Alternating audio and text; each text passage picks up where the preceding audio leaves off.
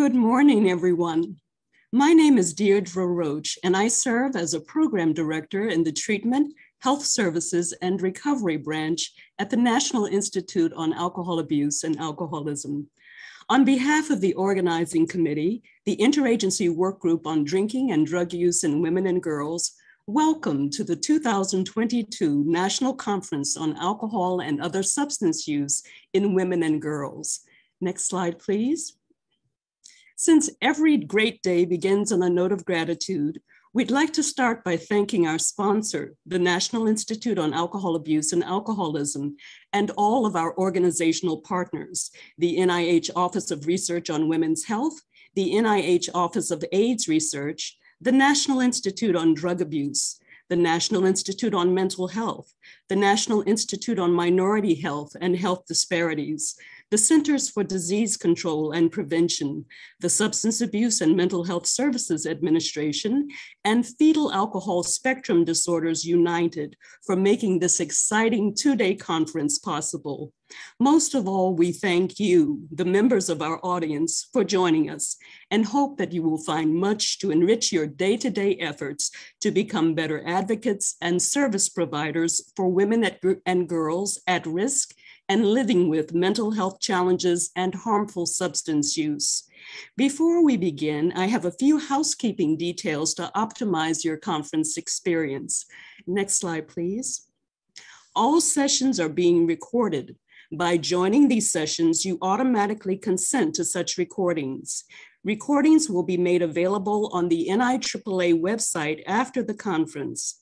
Please use the Q&A box in the toolbar at the bottom of your screen to submit any questions, comments, or feedback you may have during the presentations. For those needing closed captioning, you may enable this feature by clicking the Show Captions button, lowercase cc, in the toolbar at the bottom of your screen. You may access the conference materials, such as the program book and resources, on the conference page under Conference Materials. Next slide, please. At the end of each day and during the plenary, panel, and breakout sessions, we'll share a survey link with you via the Q&A and chat boxes. We would appreciate your feedback on individual sessions that you've attended, as well as the overall conference. Next slide, please. And now to open today's program, I'm honored to introduce Dr. Patricia Powell. Dr. Powell was appointed Deputy Director of the National Institute on Alcohol Abuse and Alcoholism, or NIAAA, in 2017, having served as Acting Deputy Director since 2015. She chairs the Interagency Coordinating Committee on Fetal Alcohol Spectrum Disorders, which fosters improved communication, cooperation, and collaboration among disciplines and federal agencies that address issues related to prenatal alcohol exposure. Previously, Dr. Powell served as NIAAA Associate Director for Scientific Initiatives, as well as Chief of NIAAA's Science Policy Branch, and was a scientific editor for the Surgeon General's Call to Action to Prevent and Reduce Underage Drinking. She is a stalwart champion of women's health research at NIAAA and across NIH. Please join me in welcoming Dr. Patricia Powell. Good morning, everyone.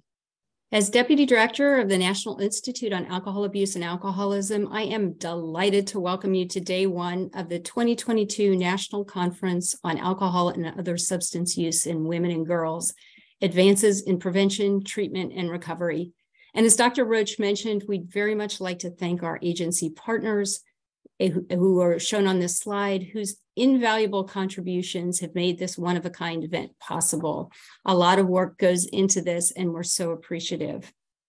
I'd also like to thank the conference organizing committee, who are members of the interagency work group on drinking and drug use in women and girls, for their hard work, dedication, and assistance in coordinating this conference.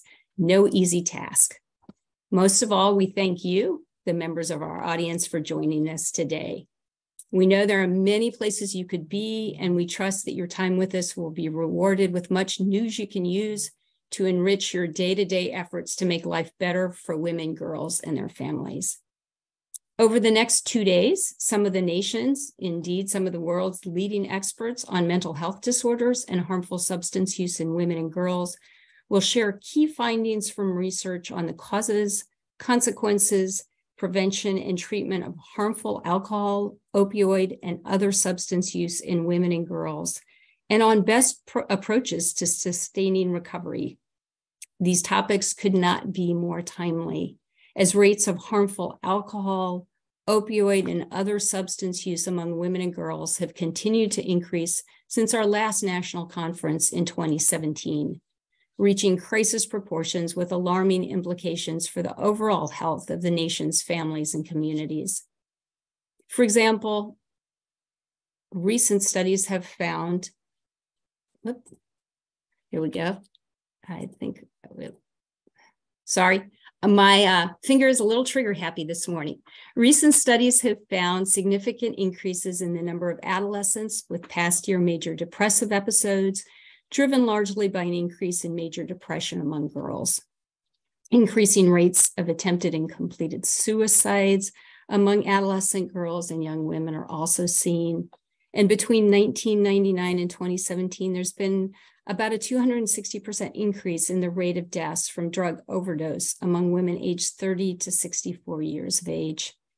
And there's rapidly escalating rates of alcohol related emergency department visits, with the rates among women outpacing the rate among men in every age group. And new data gathered during the pandemic suggests that while drinking has increased both among women and men, drinking rates and mental health symptoms have increased more among women than men.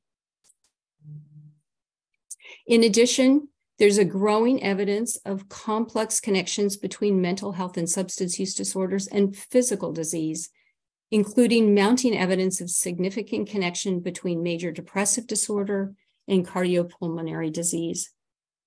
We know, for example, that depression is an important risk factor for cardiovascular disease, that treating depression early lowers the risk for heart attacks and stroke, and that women are two times greater risk for co occurring depression and cardiometabolic disorders than men.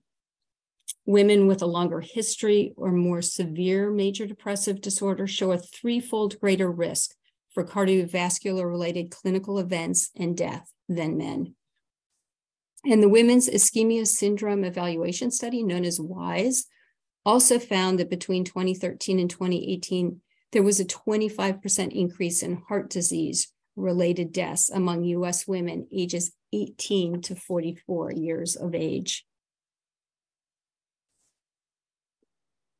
So, in terms of our two days together, we have a very exciting program lined up for you today, including welcoming remarks from Dr. Sarah Temkin, who is the Associate Director of the NIH Office of Research on Women's Health.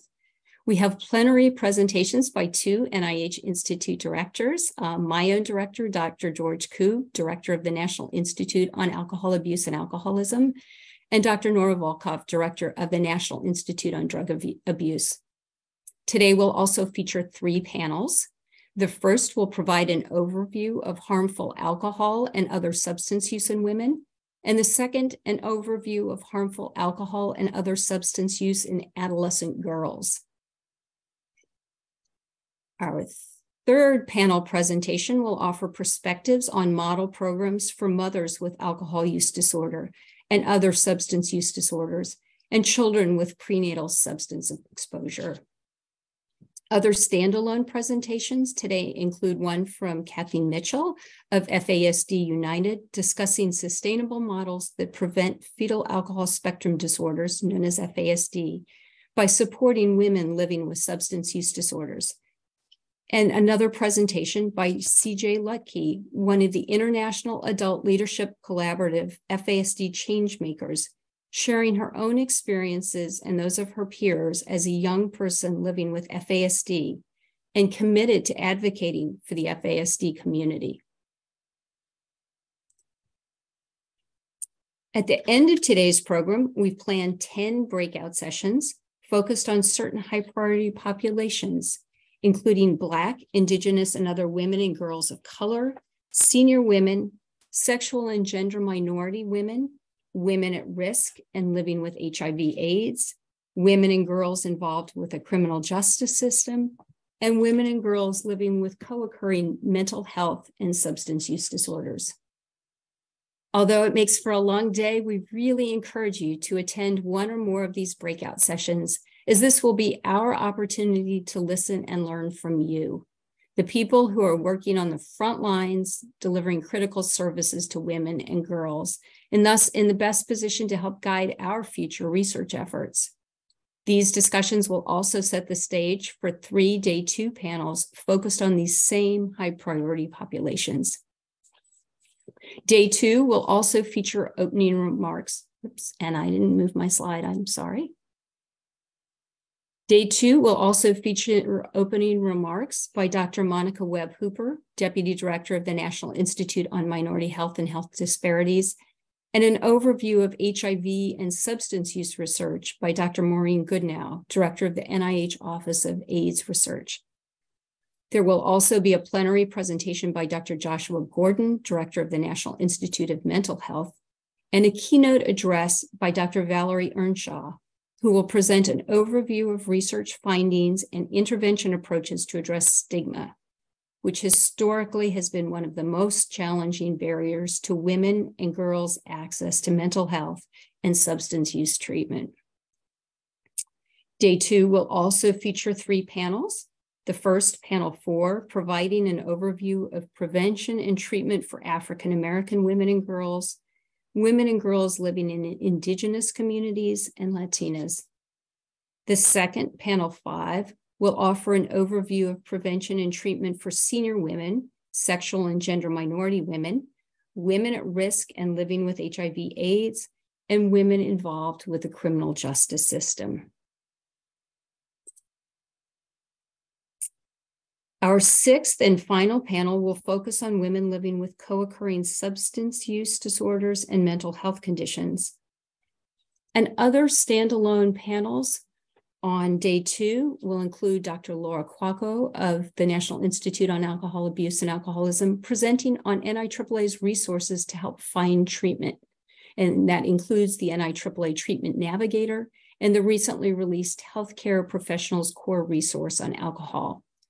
Followed by Dr. Kathleen Brady, wrapping up with a summary of the practice implications of current research on mental health and substance use disorders in women and girls. So, in closing, we freely admit we had a little bit of an ulterior motive for organizing this conference. And that is, we aim to use it as a stepping stone towards strengthening our ties with our all participating stakeholder communities and promoting more community engaged research to protect and improve the health of women and girls.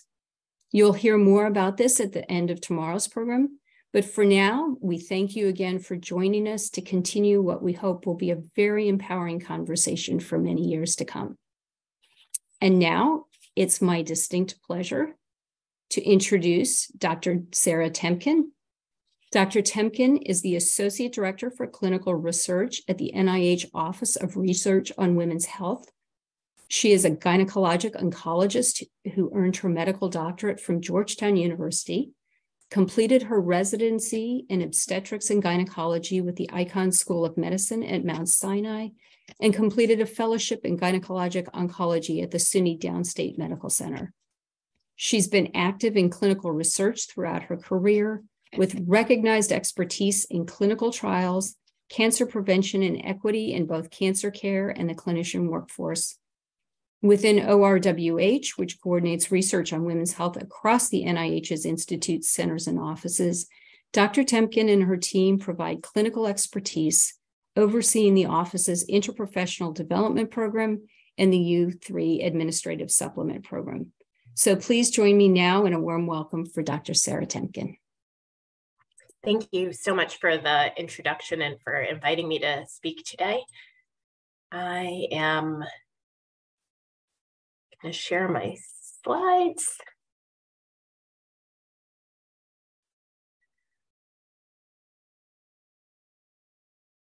There we go. Um, and thank you again for having me uh, here today to talk at this very important conference um, regarding alcohol and other substance use in women and girls. The Office of Research on Women's Health was established in the 1990s in response to concerns about the inclusion of appropriate numbers of women into clinical research um, and within a broader social context uh, and recognition that the health of women had been understudied. The 1993 NIH Revitalization Act um, required inclusion of women and minorities into NIH funded clinical research and statutorily established the office. Today, the Office of Research on Women's Health collaboratively works with all 27 of the NIH's institutes and centers to align research priorities with those of the NIH vision on women's health research. Our mission is to enhance and expand women's health research to support the inclusion of women and underrepresented groups into clinical research and to promote the career advancement of women in biomedical uh, careers. The ORWH mission is aligned with the NIH vision for, uh, for women's health, which is a world in which the influence of sex and gender are integrated into health research enterprise. Every woman receives evidence-based disease prevention and treatment that is tailored to her own needs, circumstances, and goals, and that women in science careers reach their full potential. I'm going to begin today by talking a little bit about chronic conditions in women. Um, last year, uh, the US Congress again asked the NIH to evaluate its women's health research activities. Um, and in response to uh, requests from both the House and Senate in their FY21 appropriations bills, ORWH did review NIH's women's health portfolios, as well as the portfolios on three specific topics that were specified um, these were maternal morbidity and mortality, stagnant, stagnant cervical cancer survival rates, and rising rates of chronic conditions in women. As a first step towards um, reviewing the um, NIH portfolio on chronic conditions, uh, we first uh, wanted to properly define chronic conditions. Um, several definitions uh, exist uh, for how to define chronic diseases or conditions. However, none of them are specific to women's health. Uh, we decided to use a 2010 HHS uh, definition of chronic conditions um, that is that that chronic illnesses are conditions that last a year or more and require ongoing medical attention and or limit activities of daily living. And indeed, we did, um, when we looked, there has been a dramatic rise in chronic conditions amongst women over the last several decades. Um, and we also wanted to decide how we were going to measure this. And we decided upon uh, disability adjusted life years, um, which are defined by the World Health Organization as potential life loss due to premature mortality and years of life loss due to disability. In this way, we can see that there has, um, there has been a, a steep rise in chronic conditions amongst women causing disability. And this is in part due to our aging population as well as longer life expectancy amongst women compared to men. We also looked for differences um, in chronic conditions between men and women. Uh, CMS actually captures sex disaggregated prevalence of the 21 conditions that the agency defines as chronic.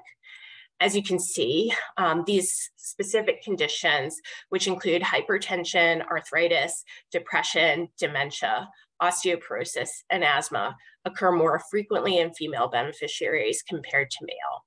This data is limited in that Medicare beneficiaries are older than the US population, um, and the average age in this cohort was 72.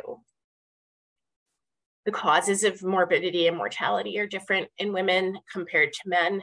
Uh, female specific conditions such as abnormal menses, endometriosis, or pelvic organ prolapse are common causes of disability amongst women.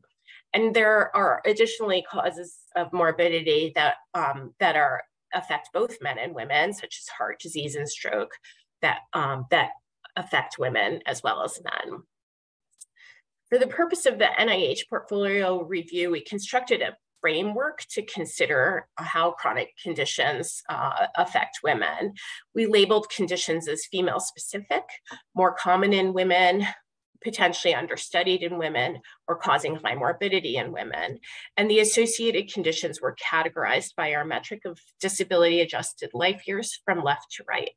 And as you can see, drug use disorders cause a substantial amount of disability amongst women. Another concept of importance when thinking about chronic conditions in women is multimorbidity, which is defined as the co-occurrence of two or more chronic diseases in one individual. The Office of Disease Prevention has published this conceptual model and research framework of multimorbidity. The patient with multimorbidity sits at the center of this framework, um, represented by the large circle. And within each, within the circle are smaller colored circles, which represent the patient's multiple chronic conditions. The uh, increasing risk um, for uh, may exacerbate a condition um, based upon environmental, biological, psychological, behavioral, and social factors. And understanding the effect, the influence of these factors on disease and interactions with chronic comorbid conditions may inform prevention strategies um, that affect disease outcomes. Multimorbidity is substantially more common in women compared to men. Um, women not only live longer than men, um, and so have more time to accumulate morbidity, but women's symptoms of disease are often categorized as atypical, um, which has been demonstrated to lead to delays in diagnosis and probably contributes to poorer responses to first line treatments um, and uh, when once diagnoses are made interactions between conditions and the development of multimorbidity are poorly understood um, in all patients, but additionally, um, uh, more so in women than in men. For women, the accumulation of morbidity starts early.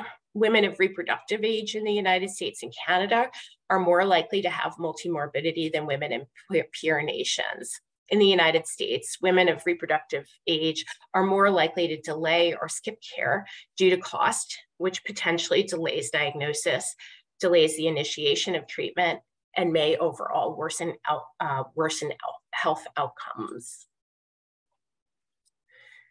The organ systems that are simultaneously involved in multimorbidity are different in female patients as well. Using electronic medical record data, investigators um, who performed this uh, analysis mapped organ systems involvement in multimorbidity by sex. There are several multimorbidities present in the female network that are not present in, in male patients. And the organ system involvement differs by sex, with female patients more likely to have overlapping morbidity that links to mental health compared to men. The incidence of multimorbidity also differs by race, um, although data disaggregated by sex and race or ethnicity are rarely reported. As shown in this slide, Black women have significantly higher rates of carrying a diagnosis of three or more chronic conditions than women or men of any other racial or ethnic group. So both sex and gender influence the incidence and types of disorders um, that develop. And sex and gender are often conflated in the medical biomedical literature. Um, and so I'm just going to really quickly provide some definitions. Sex is a multidimensional biological construct that's based upon anatomy, physiology, uh, and that uh, secondary sex characteristics, chromosomes, and hormones pregnant uh, gender is a multidimensional is another multidimensional construct that links um, that is a social behavioral and structural concept that and variable that links gender identity expression um, gender norms and roles gender power relations and equality and equity. Related to alcohol and substance abuse we know that both sex and gender influence um, disease development and outcomes um, the male and female metabolisms process alcohol differently um, due to differences in total body water. We also know that gender influences drug use for women. Most women who inject heroin point to social pressure and sexual partner encouragement as factors for initiation of use. Pregnancy is a female specific condition um, that leads most people who are pregnant to cut back um, or stop using drugs or alcohol as a result of gender roles and norms. Although we um, don't socially and culturally typically associate women with drug use disorders um, and alcohol use, one third of the population of folks who have substance use disorders are women. Women are less likely to be screened for substance use um, disorders than men. Um, following drug related visits to the hospital, um, the emergency department, women are less likely to be referred to treatment, whereas men are more likely to be referred to treatment or to, um, to the uh, criminal justice system. Women are less likely than men to utilize substance use treatment services. And the barriers to receipt of treatment for women are multiple. They include parenting responsibilities, childcare, uh, lack of childcare access, disadvantages in economic resources, less social partner support, and greater social stigma. Drug related overdose death rates in the United States have been rising amongst women in parallel to those seen amongst men. The number of women drinking alcohol uh, in dangerous amounts has also risen sharply um, in the United States. Um, and this has really been uh, exposed by the COVID pandemic. Alcohol use is more common amongst men. However, the largest annual increase in alcohol related mortality has occurred in non Hispanic white women. Uh, COVID related psychological stress um, is associated with increased drinking amongst women, but doesn't affect, hasn't been shown to affect drinking behavior amongst men. And this data on alcohol use in women during the pandemic adds to um, our already existing data that alcohol related mortality has been increasing more rapidly amongst women than men over the last several decades. As with multimorbidity in general, multimorbidity is, is common amongst women who use drugs and is uh, is likely to be is, is likely to be linked to mental health disorders. As this figure shows, the co-occurrence of drug use with any mental illness um, is common, um, and uh, the the this the percentage of um, women who have serious mental illness and use drugs um, is shown in in red here, and and uh, and the co-occurrence of mental health and substance use disorders is common. Thinking about multimorbidity and overlapping morbid conditions is important when we think about research on women's health and research on substance and alcohol use in women. Um, the high rates of multimorbidity can affect eligibility criteria for clinical research. Um, women have been historically overlooked in clinical research. And although today women make up roughly half of clinical trial participants in NIH supported research, eligibility criteria may disincentivize participation of patients who have overlapping comorbidities. When we study populations that lack complexity and consist of patients whom we already know um, about because they've been well studied before, we may miss important mechanistic information about populations of interest, and this may limit the generalizability of our research findings. So um, the NIA, the Office of Research on Women's Health continues to work um, aligned with the uh, NIH-wide strategic plan for uh, women's health research to advance rigorous research that is relevant to the uh, health of women, develop methods and leverage data sources that consider sex and gender, enhance dissemination and implementation of evidence to improve the health of women, promote training and careers to advance science for the health of women, and improve evaluation of research that is relevant to the health of women. At the Office of Research on Women's Health, we, uh, we have, we use this multidimensional uh, research framework to represent the intersection of factors that influence the health of women. Um, and this is across their, the entire women, women's health uh, life course. Uh, this this um, framework includes biological factors um, such as genetic, molecular, cellular, and physiologic factors, um, as well as external factors, including social determinants of health, gender, environment, and, and social policies. Uh, we also aim to consider intersectionality um, or uh, or the overlapping identities uh, that that women um, that uh, where women identify. Um, and uh, I'm just presenting the National Institute of Minority Health and Health Disparities Research Framework, which uses a multi-level um, a, a multi-level framework um, to consider uh, multiple influences on, on health, including at the individual, interpersonal, community, and societal levels. The Office of Research on Women's Health also supports research on intersection on intersectionality through its U3 or understudied, underrepresented, and underreported um, populations administrative supplement program. And this NOC is open and accepting um, applications for FY23. And so I want to thank everyone for their attention today and welcome everyone to this uh, amazing conference.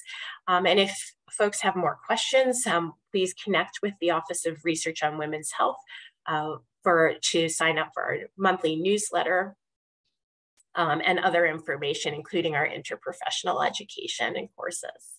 Thank you so much. Thank you, Dr. Temkin, for those very enlightening remarks. It's now my honor to introduce Dr. George Koob.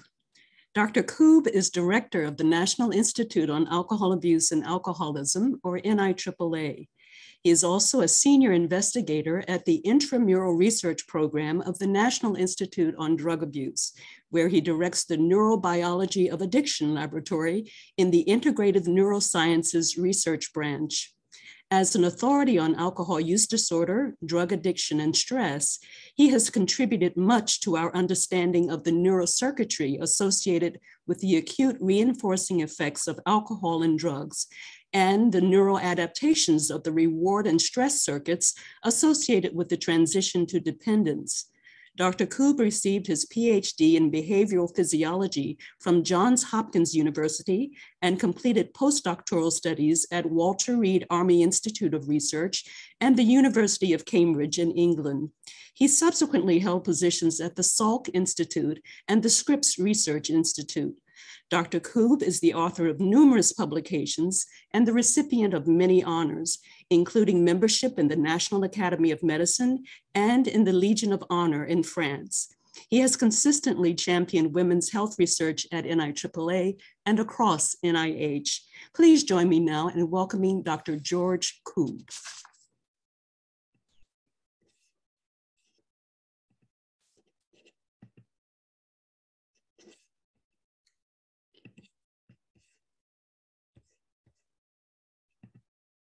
So good morning, everyone. It's a real pleasure to be here. And I, I really want to thank the organizers for including um, me in, the, uh, in, in, this uh, wonderful symposium. And I really think that uh, we're all going to learn a lot. I've already started. So it's a real, um, I, what I hope to do today is, is basically outline for you where we're at with trying to understand the differences between the male and the female brain this is a great challenge. And some of the results I'm going to show you are going to be pretty much early uh, results that, uh, you know, we're going to build upon. So when we look at the numbers and the scope of the problem, I think, you know, you'll hear this over and over again. You know, we're losing about 140,000 people a year to, to, uh, to alcohol in, in, for various reasons. Um, there's a 14.5 million individuals with an alcohol use disorder in the United States. And, you know, even with overdose deaths, um, as is illustrated in the box on the right, alcohol is listed in, in one out of six drug overdoses. And, and just to remind you that when you combine alcohol with sedative hypnotics or opioids, two plus two equals five. So th those drugs become even more lethal. Um, so you know, and we've been seeing increases in, in alcohol during the pandemic, and we'll talk about that in a minute. So one of the things that uh, Sarah Temkin just mentioned is, is the, that, that there is differences in uh, the alcohol consumption and related harms in males and females, but they're narrowing. And we're seeing more and more evidence of narrowing of the gap between males and females. And this slide pretty much illustrates the whole point, which is that uh, in the last 20 years, uh, the difference between males and females has completely narrowed. There's a slight decrease in male drinking, but the, uh, in past, past month alcohol users, but there's a, a definite trend toward an increase uh, in females that that uh, converges. And one of the things we've picked up in college age populations is that, that women now are, are binge drinking uh, more than men for the first time in history. And you can see this here. If you go all the way back to 100 years or, or so, you know, it used to be males um, were 3.6 times more likely to experience alcohol related harms than women. Now males and females are almost equally likely to experience harm and the ratio is, is gone from 3.6 to 1.3. And this has already been uh, discussed a little bit, but you know, just to, to, to emphasize the point, studies suggest that women are more likely than men to experience a variety of alcohol-related harms at comparable doses. Uh, and these include everything from hangovers and blackouts, which is where you don't remember what transpired when you were drinking, um, to liver disease, to even certain cancers. And, uh, and there have been larger increases in alcohol-related emergency department visits, hospitalizations, and deaths for women over, over men over the past 20 years. And, um, and increases in alcohol use among adult women have been increased, uh, accompanied by increases in, in, as I just said, in, in emergency department visits and hospitalizations and deaths. And some of the specific data to support that are are listed on this slide, but there's a bigger increase in yearly emergency department visits for men than for women than men, bigger increases in hospitalizations. Um, you can see the numbers here, uh, bigger increase in alcohol-related deaths for women than men. And, uh, you know, between 1999 and 2017, males accounted for the majority of alcohol-related deaths. Uh, but the increase over time for females and uh, was bigger than for males. And, and this is just consistent with this narrowing of the gap, as I've been pointing out, not only in, in past month drinking, binge drinking, but also in the pathology that comes with excessive um, alcohol use or alcohol misuse, as we like to say. And then uh, we, uh, Aaron White put this together and we published this uh, just recently, but the rate of alcohol re related deaths increased 26% in 2020, the first year of the pandemic. So, uh, and prior to that, the rate of increase in deaths was, was around 2%. And so we've had this dramatic increase as, as has been seen with um, other dr drugs of addiction. And uh, Nora, I'm sure we'll talk about that. Um, but it, about a 27% for females and 25% for males in this database. And the death deaths increased faster for women than men over the last two decades, as we've already discussed. So how do we explain some of these differences? And, and there appears to be sex differences in the motivation to drink alcohol, the brain changes that occur in alcohol use disorder, and, and the changes in affect during recovery. And there, there is early data, I would say, in the field suggesting some mechanisms to explain this. So I hope I can take you through this uh, and not be too neurobiological and, and, convey a few important points. So one important point is that we have a conceptual framework that we've developed over the years. Uh, Nora Volkow and I published this now about 10 years ago in a review article uh, about how we together put this, this conceptual framework in, in, into a, a, heuristic framework so that it can be used for, for understanding addiction. So there are three stages, the binge intoxication, withdrawal, negative affect, and preoccupation, anticipation, if you will, craving stage. They mediate uh, domains of dysfunction. The binge intoxication is incentive salience and pathological habits. During the withdrawal negative affect stage, there are deficits in reward function, increases in stress, and preoccupation, anticipation, or craving stage is characterized by executive function deficits. And while I don't expect you all to be uh, aficionados of the circuitry of the brain, I think you can see here the blue corresponds to the basal ganglia deep in the brain, an, uh, you know, uh, his, uh, you know, evolutionary uh, uh, conserved function that you see even in lizards to get on with the world, motivational systems. The, the, red is the, the fear system, the stress system in the, in the extended amygdala. And the green is frontal cortex, the, the part of the brain that is so well developed in humans that we use to uh, move about in the world and make decisions and, and not take drugs when they're, we're, we're tempted to take drugs. And we put this all together um, over the years and, and would argue that there are multiple sources of, of reinforcement, of motivation for drug seeking. Obviously, drugs can make you, feel good. Alcohol can make you feel good. It's a social lubricant.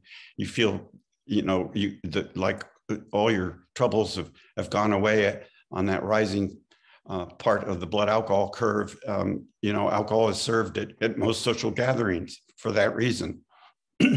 but when you overdrink, uh, another source of reinforcement kicks in, which is trying to uh, uh, avoid the negative effects of drinking too much from an emotional perspective. And we call that relief and, and negative reinforcement. And so we would argue that the development of incentive salience and pathological habits for drugs is a key part of, of uh, the reward piece and reward deficits then follow with sensitization of the stress response and ultimately compromised frontal cortex function.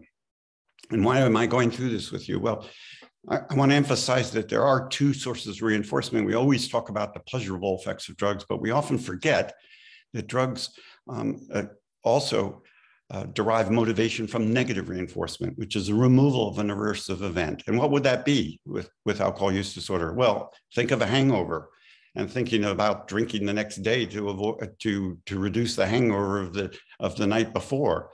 That's in some sense negative reinforcement. But in alcohol use disorder, that means drinking because you just feel lousy when you're not drinking. And uh, you know, I'm not going to keep going on this, but I just want to point out to you that there are possible sex uh, differences in drinking motives in humans. And so, one argument um, that that we've uh, kind of pulled out of of the literature is that maybe negative reinforcement is is more important for women, particularly in young women, and positive reinforcement is more important for men, particularly young men and adolescents. So overall, women are more likely to drink for negative reinforcement to dampen stress and negative affect, and men are more likely to drink for positive reinforcement, you know, stimulation and enhanced mood. This reflects sex differences in the neurobiological underpinnings of drinking behavior. However, these populations overlap, and some women may drink primarily for positive reinforcement, and some men may drink primarily for negative reinforcement. You know, probing stress neuropathology and pathophysiology may be an important direction to develop tailored treatments for women. And this is an area of active research at NIAAA. And among adolescents, females may be more motivated to drink alcohol for negative reinforcement than males. Uh, this is a quote from a paper in 2015. The results from the largest drinking motive study conducted to date suggest that gender specific prevention should take differences in the motivational pathways toward heavy drinking into account.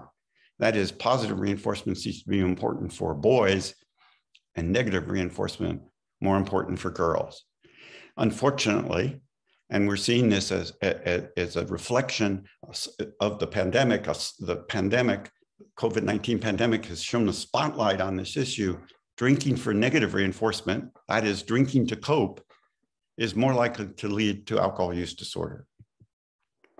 And, and there are differences in the motivation to drink uh, among adolescents, uh, females and males, just drilling down on this point in, in a sample of uh, over 6,000 Norwegian adolescents aged 16 to 18 years, an increase in the severity of anxiety symptoms uh, was primarily associated with alcohol consumption among girls, but not boys. While sensation seeking and impulsivity are known to play roles in substance use during adolescence, these tendencies are stronger in males than females. So now we're on the positive reinforcement side. And it appears that adolescent females are more motivated to drink to cope with negative emotions than adolescent boys while males are more motivated to drink as a result of impulsivity and sensation seeking. And, you know, I, I think this is a, a novel uh, framework with which to start looking at uh, all the neurobiological data that's beginning to be accumulated. And, you know, just to finish this, changes in affect during early recovery follow a different paths for, for men and women with alcohol use disorder. Women with alcohol use disorder tended to show an increase in negative affect and decrease in positive affect in early abstinence. So if, if you look at the top panel there, you see women and alcohol use disorder and their emotional responses during abstinence.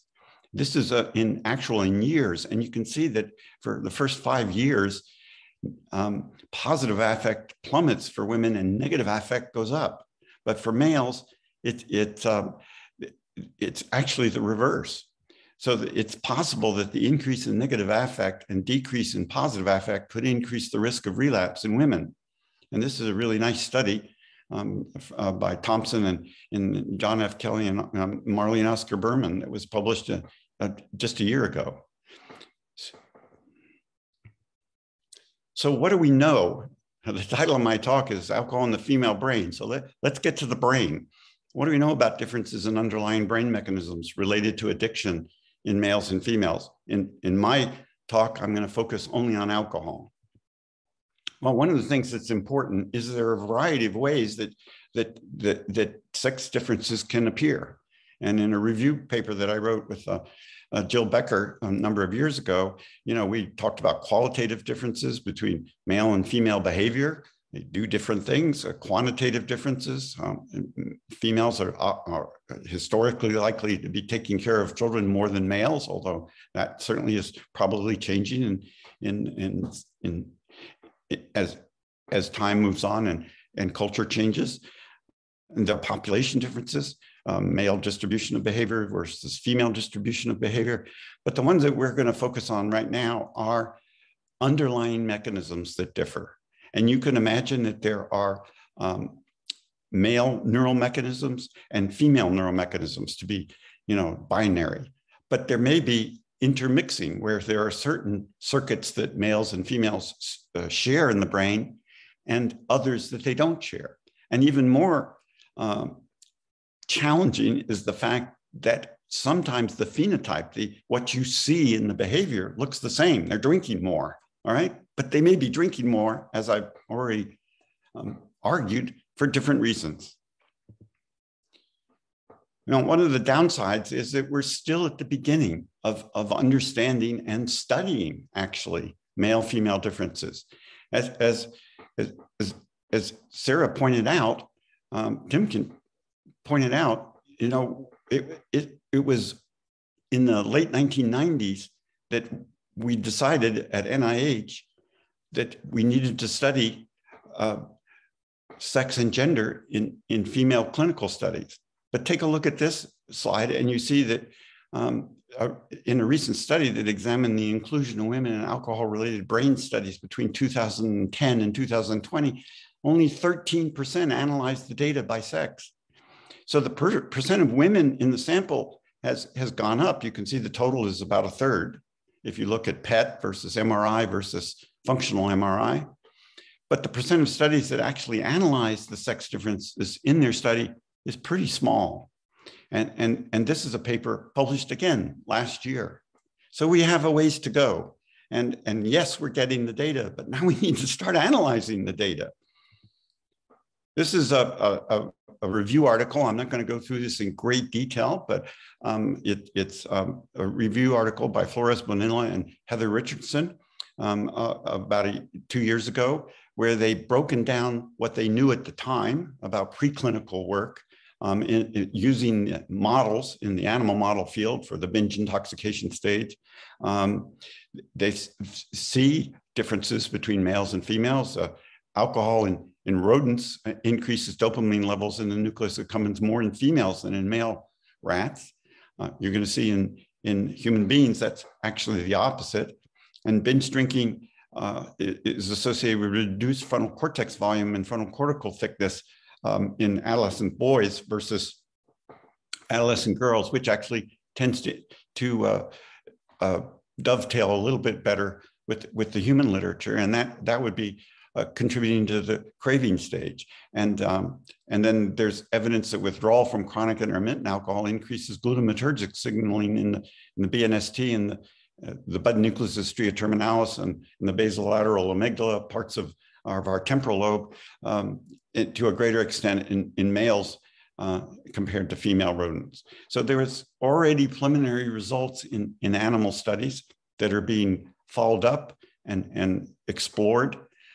And what I'd like to illustrate is one particular study that I found um, uh, particularly interesting. The amygdala is the part of the what we call the extended amygdala. It's part of our fear, stress, anxiety neurocircuitry. It's activated during withdrawal from from all major drugs of abuse, but in particular alcohol. And in this particular study, they showed that excitatory uh, signaling within the amygdala suppressed, was suppressed more by alcohol in males than in females. And, and suggesting that, that uh, the stress response in, in, in the brain is actually suppressed more in, in males than in females. And this was a, a an animal study. Um, and, and you could, which is which is basically illustrates the point I was making about the, the overall review article in the previous slide.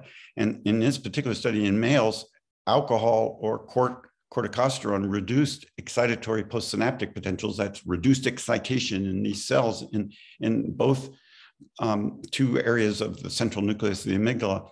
In females, there was less uh, suppression of this uh, excitatory uh, postsynaptic potentials or less activation um, produced by uh, uh, alcohol um, in, in the males um, than in the males. And, and so this just shows you that we, we have the capability now to, to study actual specific circuits that were hypothesized to be involved in, in specific responses. And just to backtrack a little bit, um, one of the things we is well established is that there's a hyper, an increased glutamatergic, a hyper excitable state that's associated with alcohol withdrawal. And again, to, to remind you of hangovers, um, the reason you wake up in the middle of the night after you've uh, take drunk too much alcohol is because uh, first you have to go to the bathroom and second, when you go to the bathroom, suddenly you find your brain is hot wired. And that's this glutamatergic surge that I'm talking about right here. Moving to the human condition, there's been a number of studies that show that, uh, that alcohol uh, releases dopamine in the human brain and activates the dopamine system, and that contributes to uh, reward and incentive salience that we associate with alcohol and its pleasurable effects. And the pioneer in this work was none other than Dr. Nora Volkow, who will be following me in, in this symposium. And but this is a, a, a, study where they broke it down by males and females. These individuals were um, actually had the equivalent of uh, uh, three drinks, and and you can see that the uh, males show a, a, much more dramatic effect in releasing do dopamine than uh, females, um, and that goes with the the whole hypothesis that uh, males may show more of the rewarding effects of alcohol and females less. Um, and uh, this is using PET imaging, and it you know you it looks like there's a decrease uh, on the alcohol scan there, and that's because you're actually displacing a ligand that binds to to the dopamine receptor, and that means that when you're displacing that ligand with endogenous dopamine, that alcohol is releasing that endogenous dopamine. So this is a one example that suggests again it, there's a difference in, in motivation that's driving um, alcohol consumption and alcohol misuse in human beings. And, and it has to do possibly with a very specific part of our reward circuitry. There are also thicker frontal areas in binge drinking females, thinner in binge drinking males. This could also control um, this kind of uh, impulsive behavior because that means that maybe the frontal cortex has more control. And, and this is uh, adolescent females who were binge drinking showed 8% thicker cortices in frontal cortex regions than female non-drinkers, which was linked to worse visual uh, spatial inhibition and attention performances. And then again, part of the reward system, the ventral striatum, which is where the dopamine goes um, to the forebrain, where it activates the forebrain, and, and we know this is involved in the rewarding effects of alcohol, is larger uh, in females and smaller than in males. Maybe in some sense, um, uh, females don't uh, drink as much because they have a, a, larger, more active reward system. We don't know at this point. The explanation is unclear, but further evidence of sex differences in the role of, of this reward system in alcohol misuse. And if you look at the graph at the bottom there, you can see that, that for the males, uh, there's a, um, uh, a, a, a, larger uh, increase in the ventral striatum, um, in uh, larger, uh, a, a, bigger decrease in the ventral striatum in males. That's the red bar in the binge drinkers. And in the females, um, th there's a, a, a larger uh, uh, decrease in, in the frontal cortex. So there are there are differences um, between the, the groups in, in the females. There's a much bigger increase in, in the ventral striatum in the binge drinkers, and and um, and th then then the uh, in the, and in the ventral striatum. And then there are further changes in brain areas involved in reward for women and men with alcohol use disorder. Um, and analyses revealed a, a, significant gender interaction for the association between alcohol use disorder and total reward ne network volumes, including the dorsolateral prefrontal cortex, orbital frontal cortex, and cingulate cortices, as well as uh, the areas uh, involving the extended amygdala, hippocampus, nucleus accumbens, and, and ventral diencephalon. Men with alcohol use disorder had smaller reward network volumes than controls, and women with alcohol use disorder had larger uh, reward network volumes than controls. Again, data that are going to have to be integrated with the overall picture, but again, data indicating there's differences in how the reward system is processing alcohol reward in, between men and women. And then there are changes in white matter that are different for women and men. And this talks speaks to connectivity of some of the uh, brain uh, systems that are controlling um, these uh, more basic motivational systems. So there are sex differences in the relationship of, of connectivity with uh, alcohol use disorder. They were observed in three clusters, the anterior and middle, medial portions of the corpus callosum, the arcuate fasciculus and extreme capsule, and the superior longitudinal fasciculi. So these descending pathways that control uh, basic functions in the brain uh, men with alcohol use disorder had lower functional anisotropy, which means lower connectivity than controls, while women had higher connectivity um, than controls.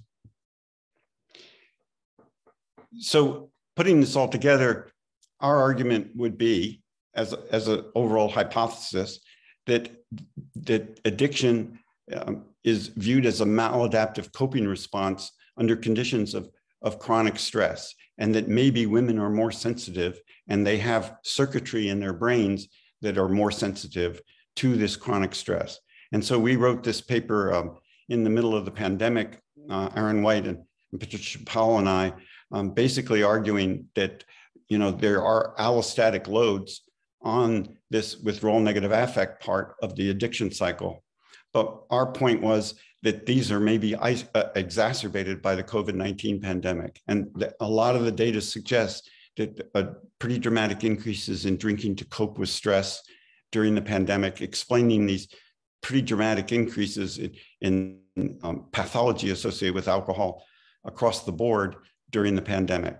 And I just want to remind you that stressors are not new, okay? And, and producing loads on our homeostatic system, which we call allostatic loads, other, uh, you know, uh, stability through change is allostasis. So you don't quite return to normal and you're carrying this load around in your brain circuits.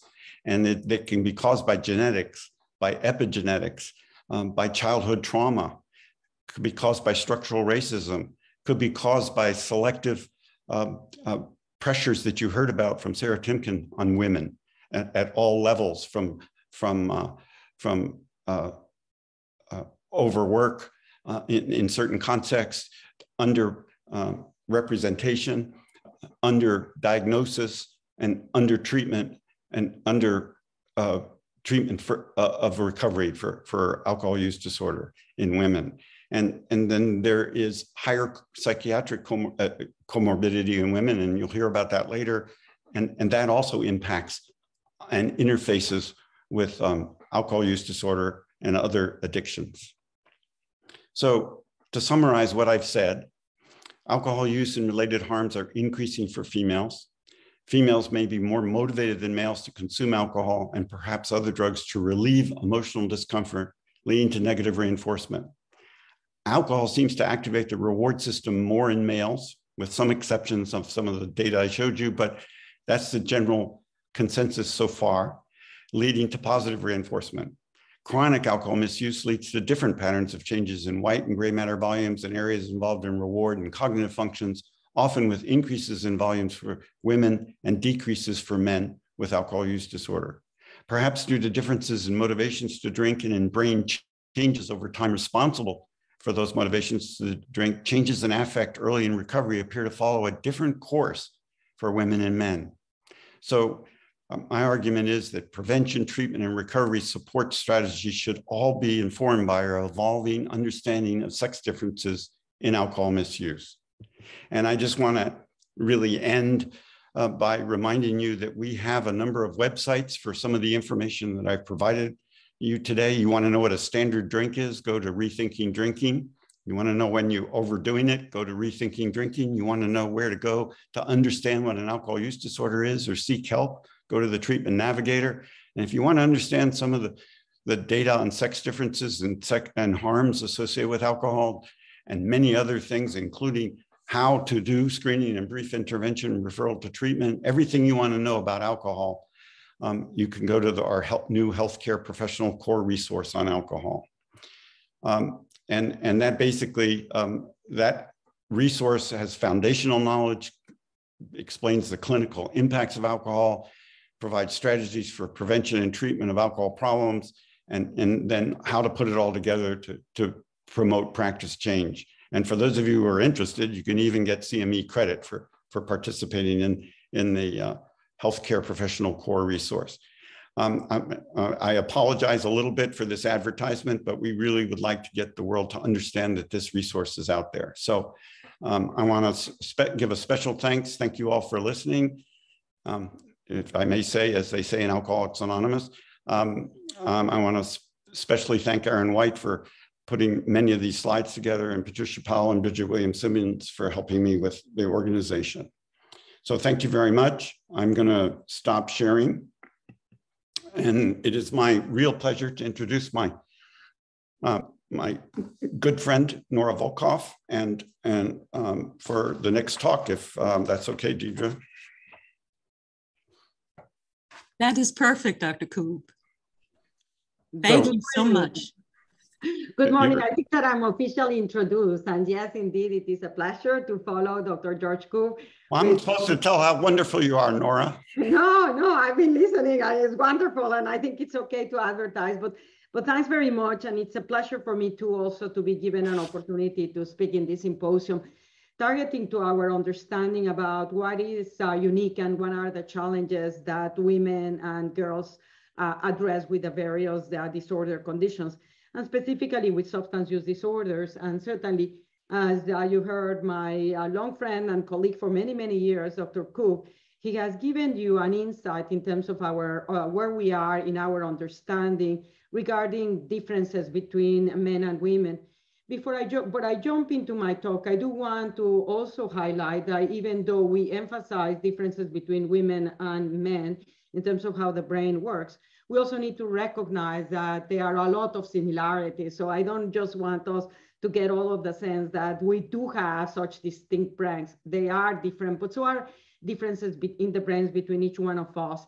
What, what is important certainly is to identify the specific factors that may actually uh, are relevant and salient that differentiate the women's brain from men particularly as it relates to issues that he gives an understanding of the disease conditions, and in our, our case, substance use disorders, as well as other mental health challenges. With that, I'm going to share my screen. Let me see if I find it, and I'm going to have to, yes, here it is. And I'm just going to need to get to someone to tell me if you can see it. Can you see it? Yeah, you're good, Nora. You're good. Yeah, no, excellent. I, I want to start with this slide. So to give you a perspective of what is the prevalence use of uh, drugs by men and women in this country. And you have the illicit substances, which are uh, tobacco and alcohol. And you make, make the argument about marijuana. Certainly marijuana is federally illegal. It's an illegal substance, but the states have legalized it. So it's an in-between. But what jumps at you, and particularly looking tobacco, alcohol, and marijuana, I'm showing you the indicators of past month use in the United States for individuals that are 12 years or older. Uh, whereas the other drugs, the other illicit drugs that are in the lower part reflect the indicator past year. And it clearly jumps at you that there is a striking differences in terms of prevalences given by the fact of whether a drug is legal or illegal or is in that uh, intermediate state, as is the case of marijuana. And we've known all along, drugs, when they become legal, become much more accessible, and that favors the utilization, and you don't have the norms that sometimes actually make people not take drugs if they are considered illicit. Um, in the case, if you compare um, men and women, and I think George made this very, very clear, the differences that we're observing between men and women in terms of drinking patterns are actually that gap that we used to see in the past is narrowing and narrowing and narrowing. And so is the case for all of the legal drugs. Uh, and I'm actually, even though it's really not officially legal uh, government-wise vis-a-vis the states, and many of the states it is, you can see that that gap is narrowing. And that, on the other hand, is very different from what you see in general for the other illicit substances in general. Not all of them follow the same pattern. But uh, certainly, for example, for cocaine, the use of is much greater in males than in females. And interestingly, on, on methamphetamine, we're starting to see an equalization. Opioid uh, depends on the type of opioid, but certainly for heroin and fentanyl is much lower in women than men. But for prescription opioids, they are actually, that is very, very similar. Um, so the differences that were very clear in the past and sort of are disappearing. We do know, as has been pointed um, before, that there are also differences on the way that these, these behaviors occur, and I'll go that into, into a second. I just want to um, basically reiterate something that now is recognized for many, many years, but for those that may be hearing, that, listening, that do not, that are not familiar with the substance use field, it is now recognized that all of the drugs that produce addiction, that has the capability of producing addiction, the what we call drugs of abuse or drugs uh, rewarding drugs, all of them have a common pharmacological mechanism, and that is they increase dopamine in the nucleus accumbens.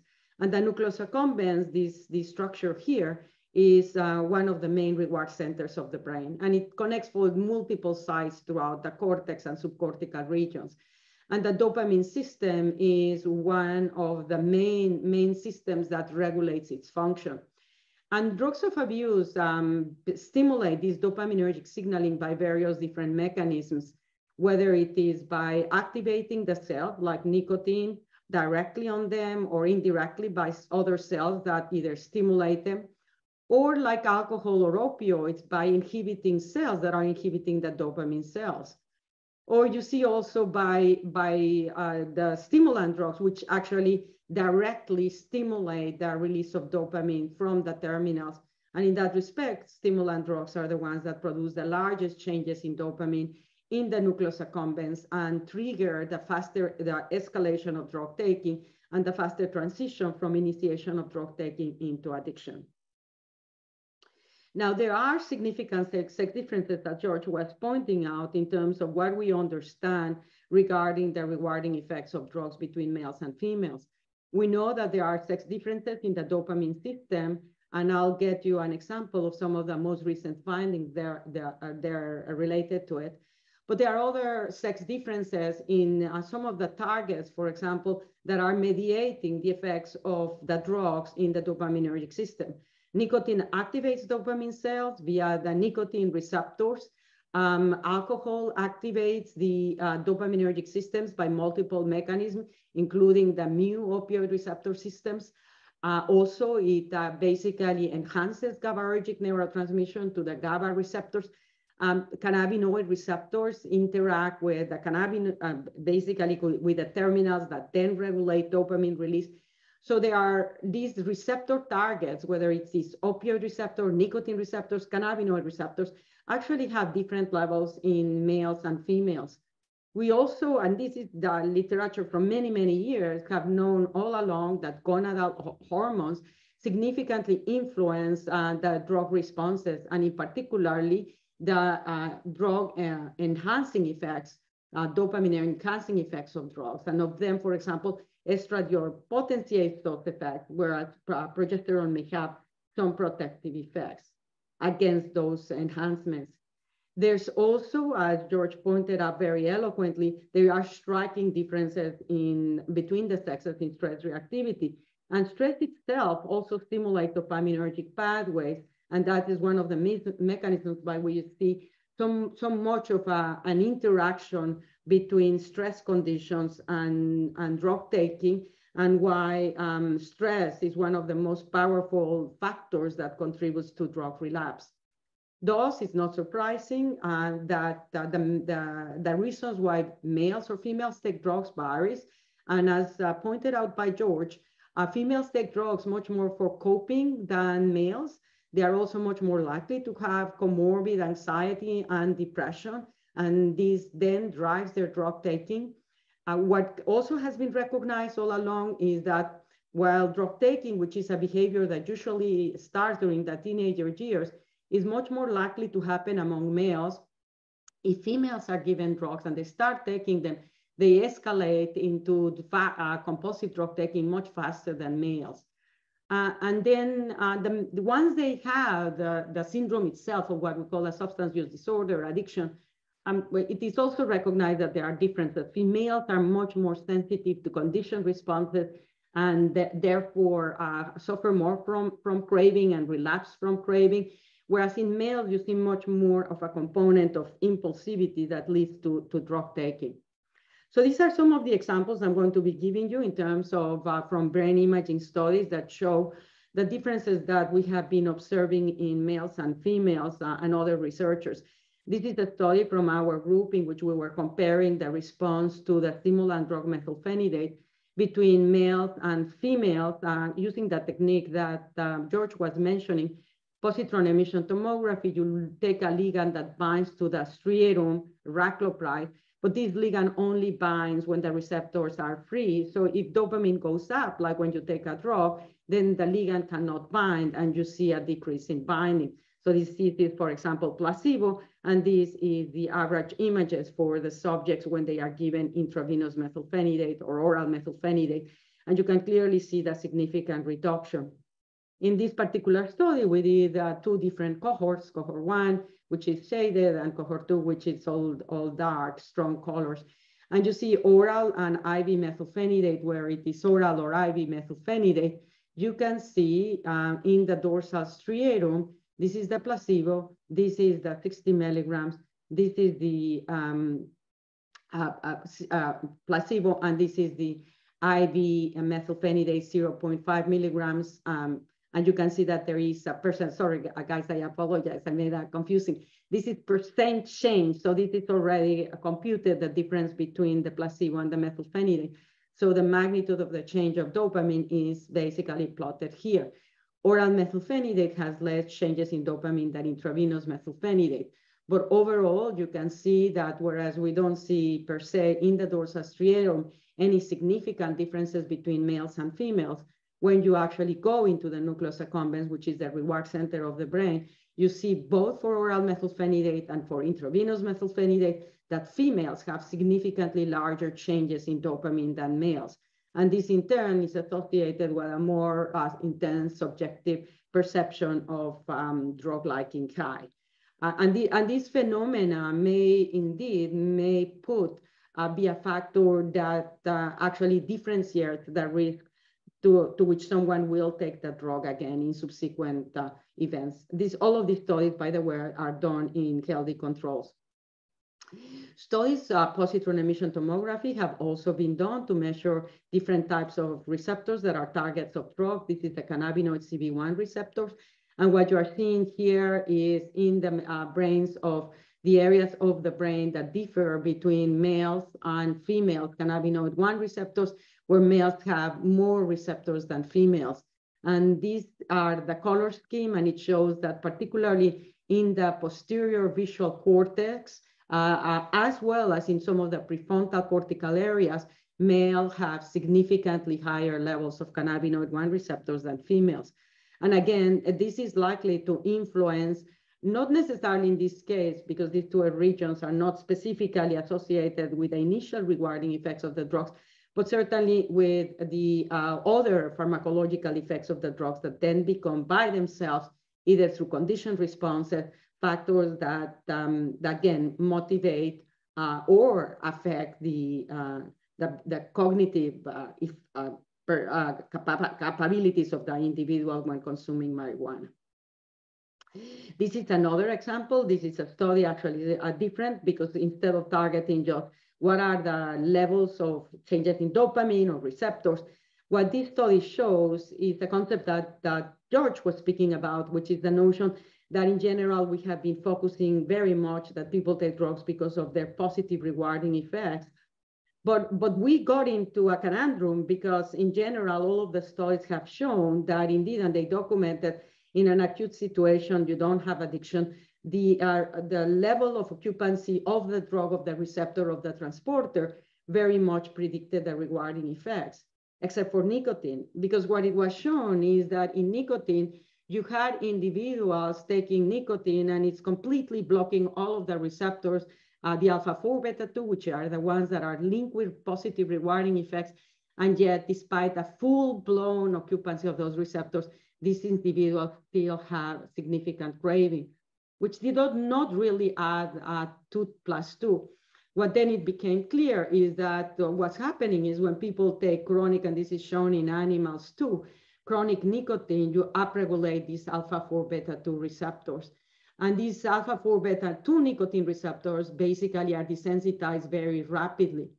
And so what's happening is that uh, the lack of stimulation of these receptors actually is what the desensitization of these receptors is what uh, the smokers appear to be seeking to do. And, and so understanding that the upregulation of the alpha 4 beta 2 nicotine receptors has a negative reinforcing effect and that the individuals are smoking in order to desensitize them. That's one of the theories that actually now is postulated to try to understand this very aberrant finding. But as it relates to sex differences, what studies have shown is that overall, uh, the upregulation of the alpha-4 beta-2 nicotine receptors, this is for striatum, this is for cerebellum, this is males, this is female, was only significantly observed in males and not females suggesting that these uh, long-term effects of drugs in these particular target receptors may differ across the sexes. The mechanism of this, of course, needs to be further investigated. And what it does point is that we cannot assume that, neuro, that the neuroadaptations are similar in males and females. I'm going to now go over to show you some of the epidemiology and challenges and unique things that are clinically relevant for three of the main drugs, tobacco, uh, cannabis, and opioids, I'm skipping alcohol because George did such an excellent job and I was expecting him to do that. So let me jump into tobacco. Um, just as I was mentioning before, we are seeing the narrowing of the gap that basically, whereas at the beginning, you, start to see these are the active smokers, the, the, the basically these, these lines, the, the continuous lines, as opposed to the the, the disrupted lines, which are the former smokers. So let's just concentrate it on the, the, the current smokers.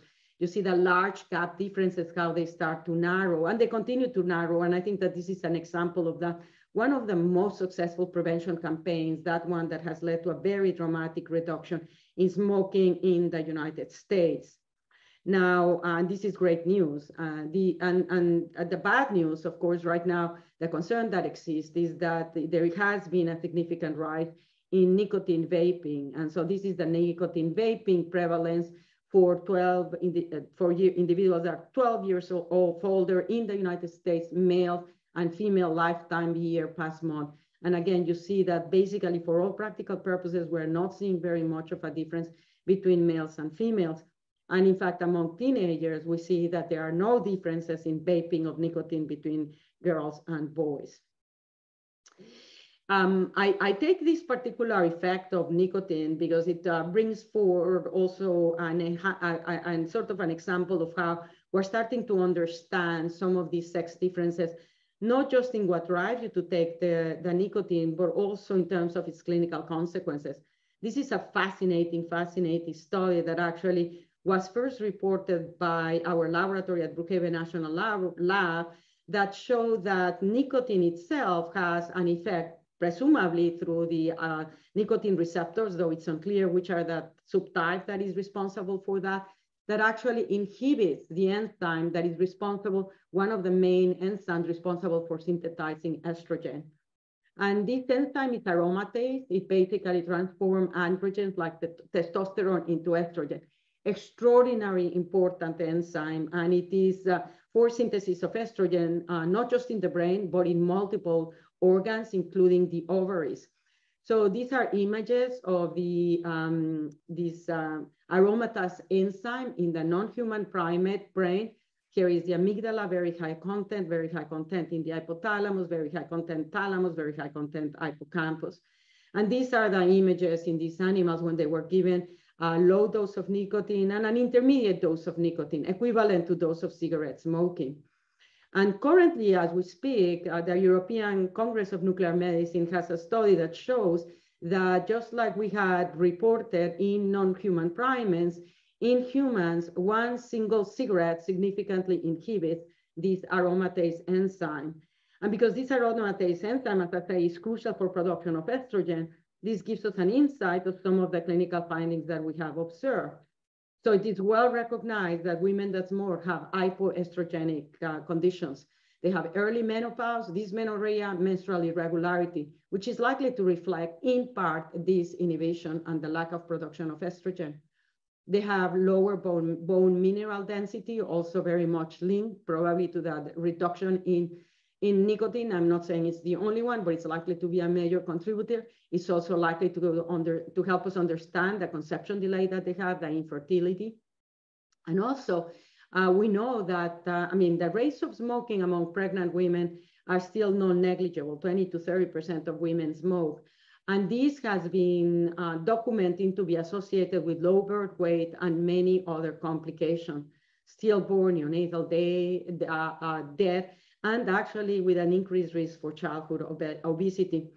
And as pointed out already by George, just like for alcohol, the consequences of smoking in women are worse than in men. So for example, lung cancer is twice the rate of in females and males, Similarly, the relative risk for heart, attack, heart uh, attacks are much higher for women than they are for men.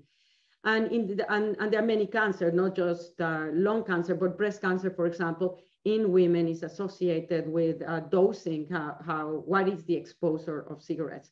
So we know that all of these factors have negative effect, uh, both for the mother, the infant, and um, they also affect their, their likelihood of responding to treatment. But I'm not, I'll, I'll mention that at the end. Now, what about cannabis? In the situation of cannabis, just like uh, we have been hearing the prior two talks, there has been with COVID, COVID has not really helped at all in terms of the patterns of drug taking, which is not surprising because one of the ways that we cope with stressors is that drug taking is one of the behaviors. So drug taking in general has been going up, not, not, not across all of the drugs, but some, some of them. So this is the uh, marijuana use in past month among women age 12 plus. And the patterns are actually not very different from those that we see in men. And these are 12 or older. And what's interesting, and this we've been recovering all along, is despite all of the legalization patterns, and during the COVID pandemic itself, we have not seen an increase of marijuana consumption among teenagers. If anything, marijuana consumption has significantly reduced during in teenagers, particularly during the first year of the pandemic, which we basically, one of the factors we believe played a role is that uh, kids were not at school, but were at home where the parents could observe them and had less likelihood of interaction.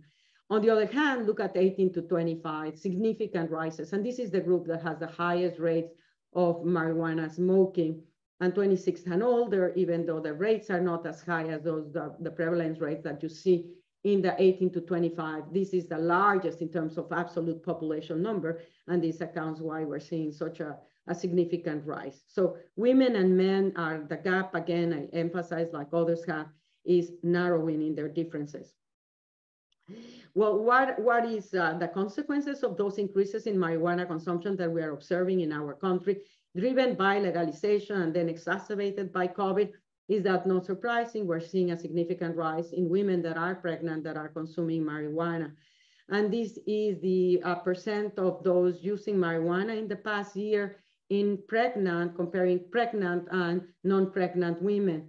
Uh, definitively, there are more non-pregnant women that use marijuana than pregnant ones. But what it is notable is see the rise. And, and this, this uh, 2017 seems as actually is an outlier number, but otherwise we're seeing this significant rise. And when you look at it uh, from that perspective and you sort of ask the question, well, what are the consequences of smoke, uh, smoking marijuana or vaping marijuana or consuming edibles? Well, one of the characteristics for drugs to be rewarding is they have to cross the blood-brain barrier. Characteristic number one, which basically means that they are crossing the placenta and the placenta, and then they are delivered into the fetus. And therefore, whenever there is a drug of abuse, we need to always ask the question, what are going to be the consequences to the developing fetus? There's a lot of work going on. and we know that the consumption of marijuana during pregnancy is not benign. And uh, but where is the data most solid? And it's more solid because it has been studied for a longer period of time.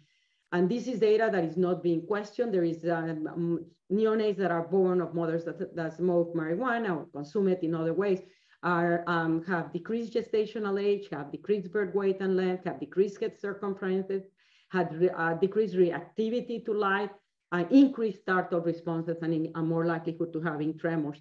And there's ongoing work, of course, to try to see are these effects long-lasting, consequential in terms of emotions and behavior. And there is uh, some data to suggest they are, but it is through prospective data like the ABCD study that we aim to try to identify is we can document causality in these effects. It's definitely something that is worrisome. Now, let me uh, jump into the uh, opioids. In the case of the opioids, this is the opioid crisis, and this is the number of deaths per 100,000 population starting in 1991 between males and females, and you can see these differences. Now look at how large the gap has. Uh, this is the, has grown between males and females.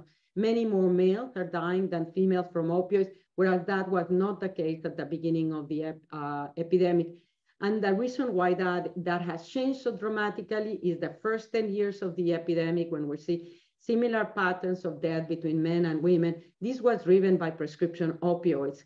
And women have much more frequency of, of chronic pain conditions than males. So these are men, these are women, and this is basically the rate of uh, different types of chronic pain, pain back uh, pains, severe headache or migraine, low back pain, neck pain. And those women were more likely, are more likely to be prescribed opiates for their pain conditions than men. And that accounted for the fact that we had, were seeing from the beginning high rates of overdose mortality. That changed in 2011 when um, basically the main cause of death became heroin, and then in 2015 when the main cause of overdose deaths became fentanyl.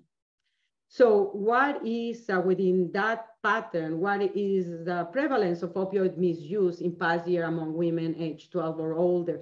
And we see basically uh, relatively stable rates. Perhaps there is uh, between 2019, 20 in, in, in this, this year, what appears to be a slight increase, a 10% increase. We, on the other hand, we're seeing significant reductions in 18 to 25. 26 and older is uh, go, basically has gone up. And we are waiting to see if these strains remain or not.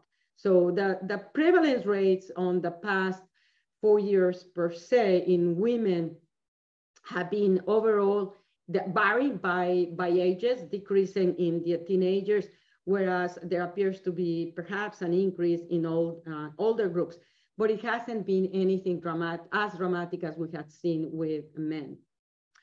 Uh, what we have also seen, and this was noted uh, in, a, uh, in a study that brought a lot of attention in 20, 20, 20, 2020, that brought attention to this issue, a significant rise in neonatal abstinence syndrome as more women uh, were uh, basically consuming opioids like heroin or fentanyl. Those neonates were being born uh, with abstinence syndrome, and that has risen enormously with all of the associated negative consequences.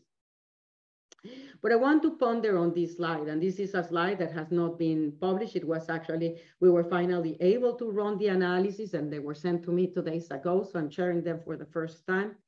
It's not published data, but it is, I think, nonetheless, extremely important to start to speak about it because it, uh, it documents the burden of the contribution of mortality associated with overdoses in pregnant women. So you have the, the, in red drug overdoses. This is all of the mortality for women that are pregnant in the United States.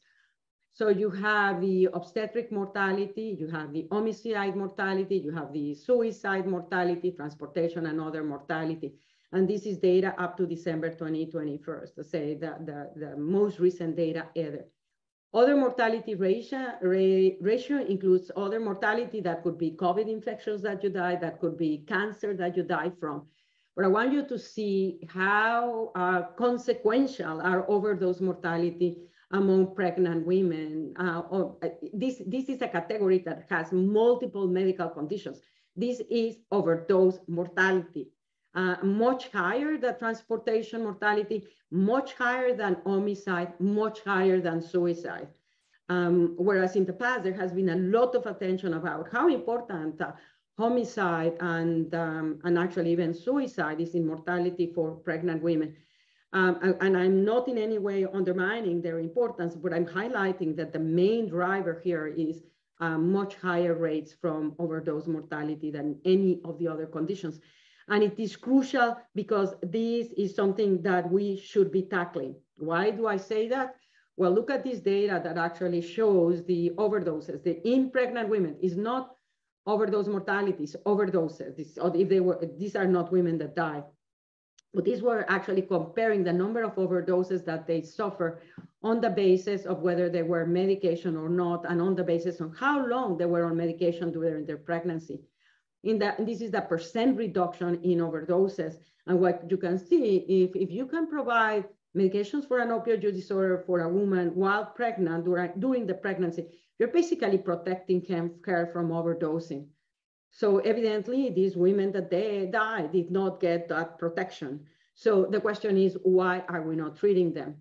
And when you look at overall, and this is the only slide that I'm going to be showing for treatment, this is treatment for multiple substance use disorder conditions for males, and this is females. Whether it is not an issue that is just for opioid, it's an issue that pertains to all of the substance use disorder women are much less likely to be treated than males. Now, what is driving this? And I think that there are multiple factors that are driving this gap in treatment, but an important one is stigma. We've known all along that substance use disorders are the most stigmatized of that all disorders. Addicted individuals are stigmatized by the healthcare system, by society, by their families, by themselves. They actually uh, internalize that stigma. That stigma in turn is associated with much greater reluctance to seek treatment. And if they seek treatment with uh, negative conditions and negative outcomes, um, states actually regulate, for example, very differently the way that they will be addressing a woman that is present, uh, pregnant and taking drugs. In some instances, that may mean that they are going to be removing the custody of that child from that pregnant woman that is taking drugs. In other uh, states, it may mean that they get incarcerated. So in those conditions, certainly women are not going to be seeking uh, ultimately help. Women that take drugs are also much more vulnerable to violence and to homelessness. And that is an aspect that we don't speak very much about, but that actually affects all individuals with a substance use disorder, but is particularly severe and, and challenging for those women that have a substance use disorder And with that, I want to thank you all for the opportunity to um, give this presentation. Thanks very much. And I'm going to stop sharing my script. Thank you so very much, Dr. Volkow and uh, Dr. Koob, for those very thought-provoking uh, uh, presentations. So much to, to think about, very informative. Um, so, and now we're pleased to begin our first panel, uh, moderated by Dr. Gitanjali Chander. Good morning. Uh, my name is Gitanjali Chander, and I'm going to be moderating the panel on overview of harmful substance use among women. Um, I'm pleased to introduce our panelists. These include Dr. Deborah Hasin, Dr. Jo Freudenheim, Dr. Rajita Sinha, Dr. Sujaya Parthasarathy, and Reverend Dr. Que English. Following their presentations, we'll have a 15-minute Q&A with our panelists. Um, our first presentation will be by Dr. Hasin, um, which will be a recording.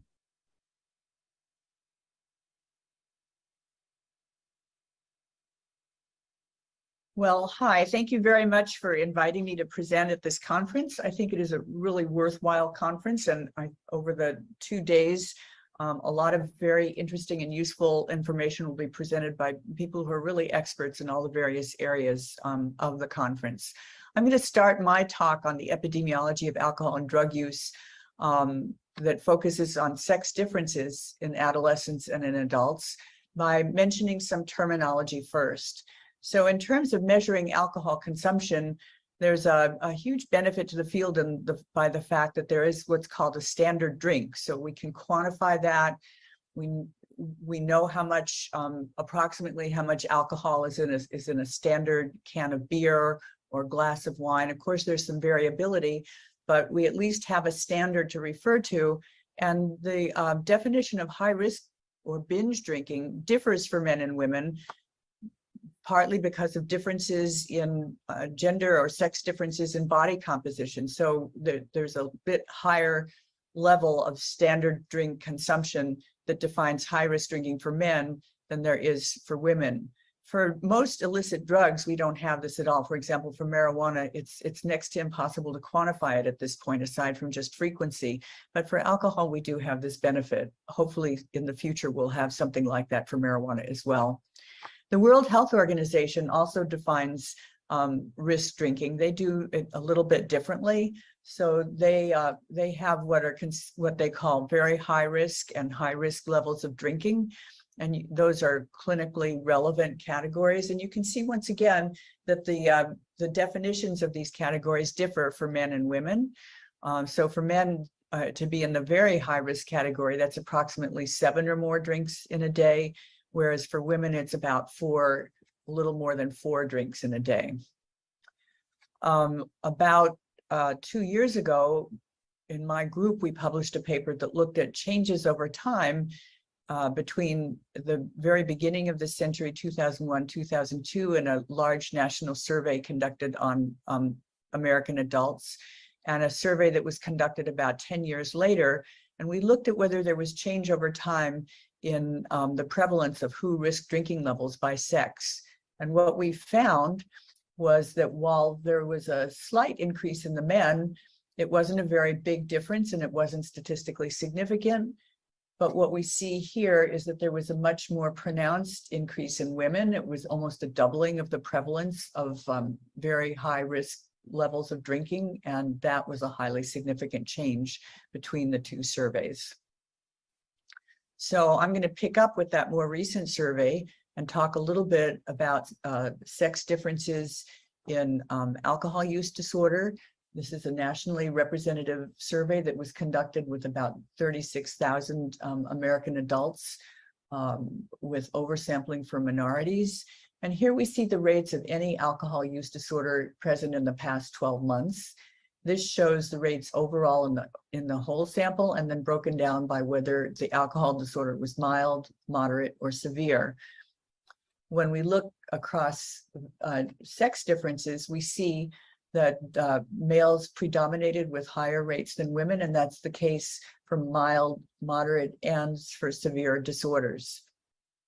However, we have some more recent information on um, binge drinking and alcohol use disorders from another national survey that was conducted in 2019. Actually, the National Survey on Drug Use and Health is conducted yearly, um, but I'm going to show you information that's from the 2019 survey. The NSDUH survey uh, includes about a quarter of the participants in age range 12 to 17 youth, young adults 18 to 25, another quarter, and then about half the participants age 26 and older. So here we see the overall rates of um, uh, binge drinking. um, and um, this is by age 12 to 17, 18 to 25, and 26 and older. Here we see the rates for broken out by men, males and females. So when we look at the total, we see that males uh, have higher rates than females. But when we break this down by uh, the age groups, we see something different. Um, and we're going to be coming back to that difference over and over again in this talk. So here, looking at the youngest age group, the the um, the youth, uh, we see that uh, the girls actually had higher rates of binge drinking than the boys did. This was not the case in the the um, young adult group, and in the older adult group, not so much older, all of them necessarily, just those age 26 and older. Here is where the um, the rates were higher in in the um, in the men than in the women. When we look at this for alcohol use disorder, also here are the overall rates. And when we break this out by um, gender, once again we see that overall more males than females have alcohol use disorder in 2019 in the NSDUH data. But once again, we see a predominance in the youngest group um, in the young in the females compared to the males. We see a slight um, a hint of this effect in the in the young adults, although it's not as strong as it is in the youth. It, and it's only in those that are age 26 and older that we see that the men are still predominating in their rates compared to women. So it suggests that something different is going on in the youth than what has been going on in the older adults. And there may be some birth cohort effects that are leading to changes in girls and boys that may in the future translate into differences in rates in adults as they as they age. So I'm going to go on now and talk about time trends, those based on repeated annual national surveys, first talking about adolescence. And much of the data for this comes from a study that's called the Monitoring the Future Study of Youth. This is a study that's been ongoing since 1976, collecting yearly data on um, students in schools, 8th, 10th, and 12th graders, um, sampled in a way that provides nationally representative rates. Uh, the the 12th graders were um, first surveyed in 1976, and then 8th and 10th graders began to be surveyed in 1991. So when we look across time in the adolescence in terms of just alcohol use um, by sex, we see that overall, first of all, there's been a really noticeable decline from 1991 in the eighth graders to the most recent year, 2021. And we see that at the beginning of that period, the boys had higher rates than the girls did. They have the blue line that's on top. But by the end of the period in 2021, those rates had not only converged but crossed over. So the girls had higher rates than boys did in the eighth graders. And then we see something pretty similar in the 10th graders. The boys started out with higher rates. There were a number of years where the rates basically were similar. And then in the most recent years, there were slightly higher rates in the girls than in the boys.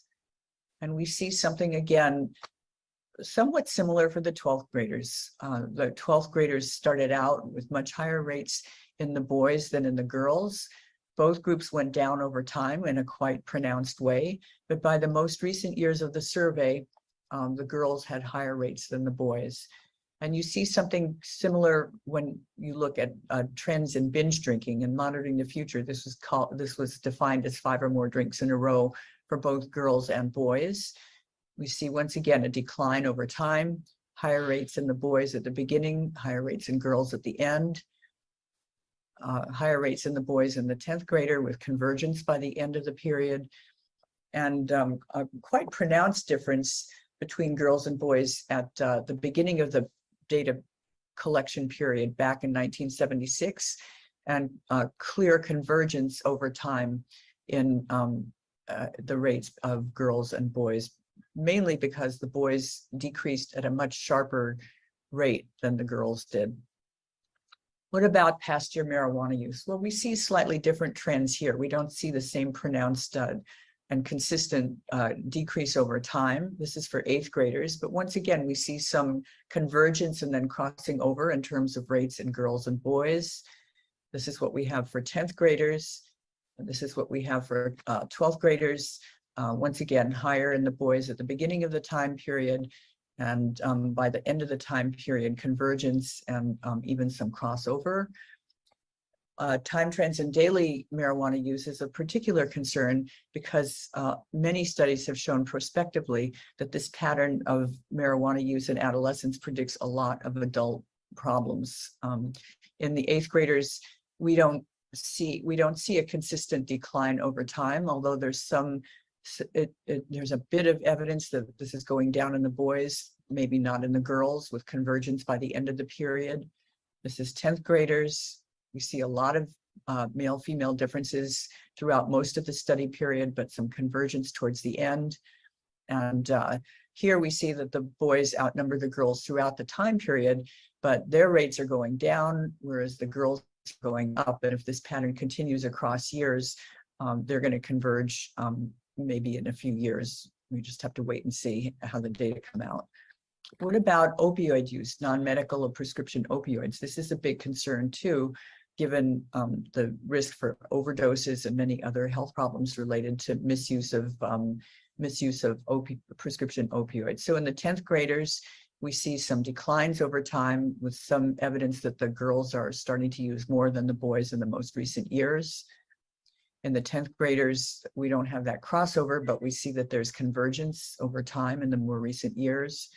And we see, uh, once again, in the 12th graders, both groups declined, males and females, but the boys decreased more sharply than the females, and so their rates are approaching um, convergence. This is non-medical use of Vicodin, um, which also has opioids in it. We see similar patterns here to what we see we saw for oxycodone, uh, more in the boys than in the girls, but convergence. And once again, a much sharper decline in the 12th graders in the boys and the girls, leading to convergence by the end of the period. So to summarize, there's been a clear downward trend in drinking and also in prescription opioid use over time, with less clear-cut time trends for marijuana use. But gender differences have largely converged, mainly because rates in the boys decreased much more sharply than girls. What about in adults?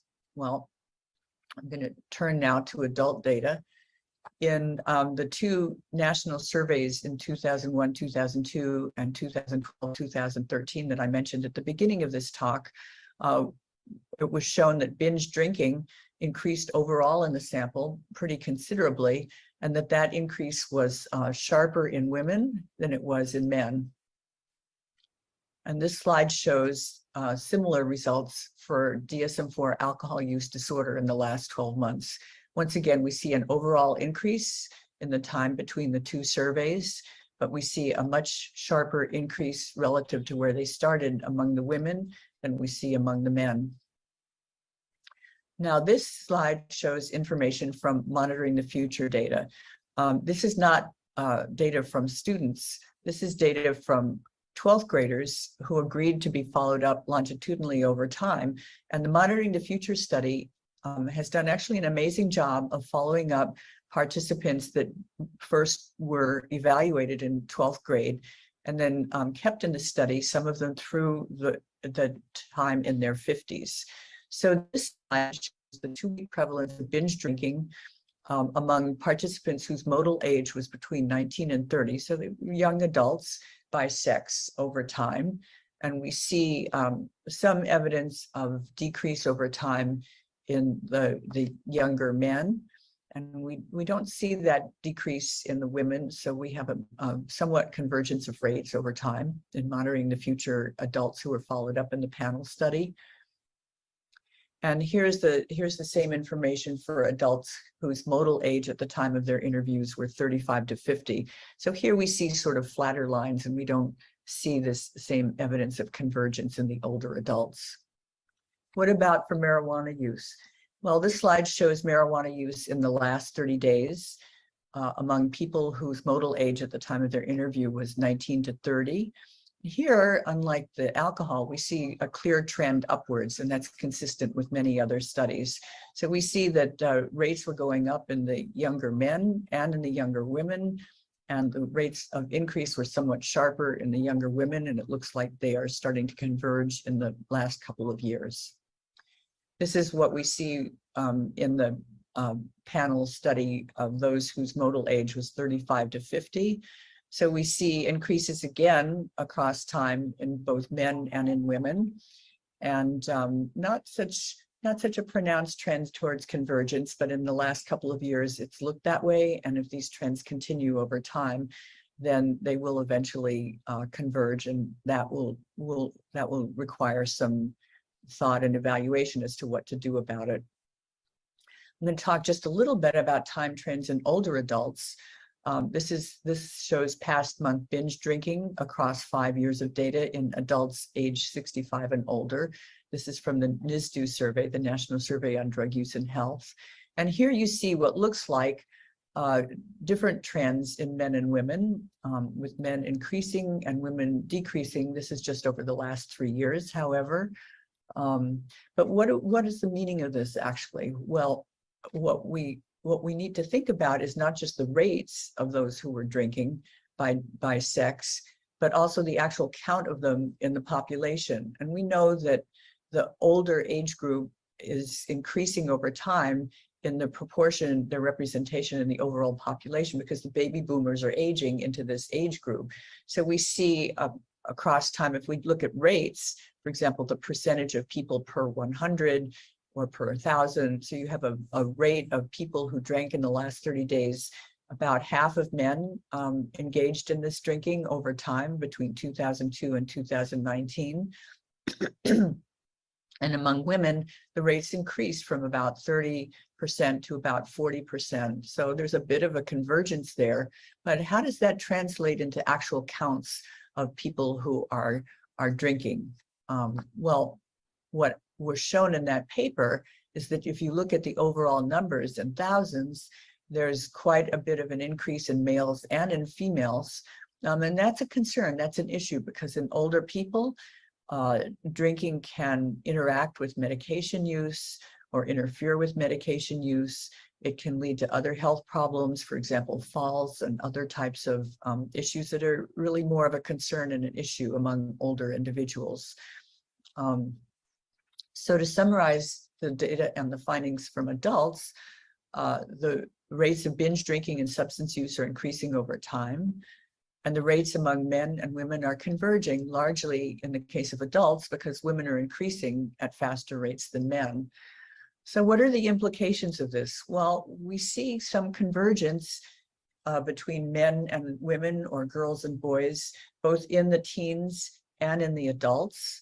Um, and uh, although these patterns are getting played out somewhat differently, mapped across declines over time in adolescents and increases over time in adults, it's some concern because we see that while traditionally we've thought about um, substance use as maybe even largely a problem for boys and for men, that is really no longer the case. The, one can't make those assumptions and if these trends continue over time, we're going to really have in this country much more substance use problems in girls and in women than we've had in the past. And the data are showing that that's already happening to some extent.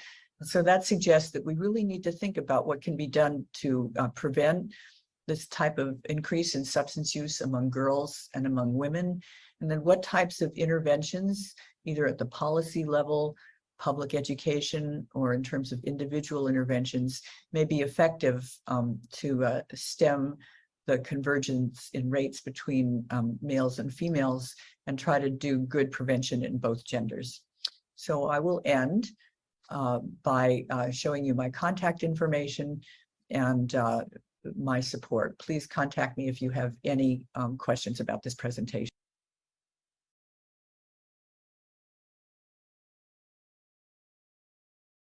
Great, thank you. And now please welcome uh, Dr. Freudenheim.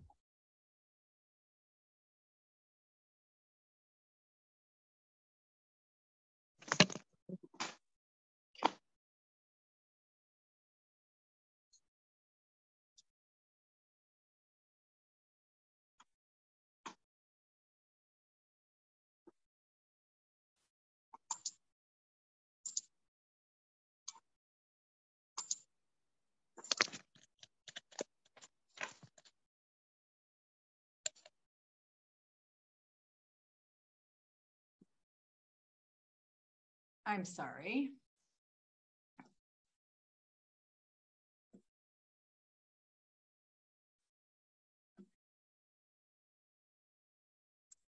Okay, um, I want to talk today about um, a somewhat different um, focus on alcohol.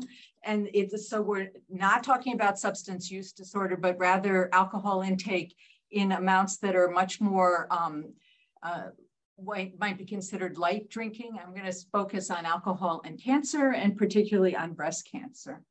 So, um, as the previous speakers mentioned, um, what we think of as one drink is about 14 grams of pure alcohol, and that's the amount in 12 ounces of beer, five ounces of wine, or about one shot of distilled alcohol, still, um, hard liquor. Uh, and for women, heavy drinking is um, defined as four drinks in one day or eight drinks in a week. So there is consensus that among from a large number of different organizations, the National Cancer Institute, the American Cancer Society, as well as these um, international organizations, IARC is the um, the cancer focused research group for um, the World Health Organization. And there's consensus that alcohol is a carcinogen. That is a substance that is, causes cancer and that the evidence is that the more a person drinks, the higher the risk of cancer. This is a table showing for women the number of um, cancer cases that can be attributed to alcohol. And what you see here is that the largest number of cases are for the lighter amounts of drinking. And that's not because the risk is greater, but because there are far more women in those categories. So for um, women who drink on the order of about 10 um, uh, grams per day. So that's like two thirds of a drink per day. There are about um, two, 24,000 cases globally um, of alcohol uh, related cancers. For those drinking 20 grams per day, the amount is about 30,000 additional deaths or 18% of cancer cases. So overall, about a third of cancer cases in women can be attributed to alcohol, at least in part. So not all um, cancers are related to um, alcohol, but these are the ones that are um, most, uh, where there's the strongest evidence. There's other kinds of cancer where there's some evidence, but it's less consistent. Um, the increase in risk is on the order of about 20% um, to five times greater risk for moderate drinking, and that depends on the cancer site. For head and neck and esophageal cancer, there's an interaction of smoking and alcohol. So that's for, as um, was previous mentioned, it's two plus two is not equal to is equal to five, or it's a, a larger risk than the sum of the two. Um, for uh, so, and, and my focus here is going to be on breast cancer. So as you see from this table, breast cancer accounts for 57% of alcohol-related um, cancers in among women. The uh, uh, the pink here is um, is breast cancer, red is esophageal cancer, and the yellow is uh, colon cancer. So those are the other cancers with a strong component coming from cancer, from alcohol. So globally, there are um, 2.26 million new cases of invasive breast cancer annually. So it's a large problem. 26% um, of all new cases among women can be attributed to alcohol um, and globally 685,000 uh, deaths from breast cancer each year. 15% uh, of those cancer deaths um, among women can be attributed to alcohol. In the US, there are 268,000 new cases annually. 31% um, of those cases um, are attributed to alcohol, 42,000 approximately deaths annually, and about 15% of cancer deaths among women in the US can be attributed to alcohol. So what we see here is a different percentage in the, um, the deaths attributed to alcohol for in the US compared to um, globally. And that has to do with differences in drinking, uh, in the US compared to globally. And also it has to do in, with differences in other risk factors, um, how important the other risk factors are in different parts of the world. But still we see, sorry, um, we see a, oh my goodness, why is that doing that? Sorry, we see a, um, a large percentage of, of both cancer cases and cancer deaths being attributed to alcohol. So alcohol, uh, sorry, breast cancer is a major problem. There's a one in eight chance in the lifetime of um, for women in the US to develop breast cancer.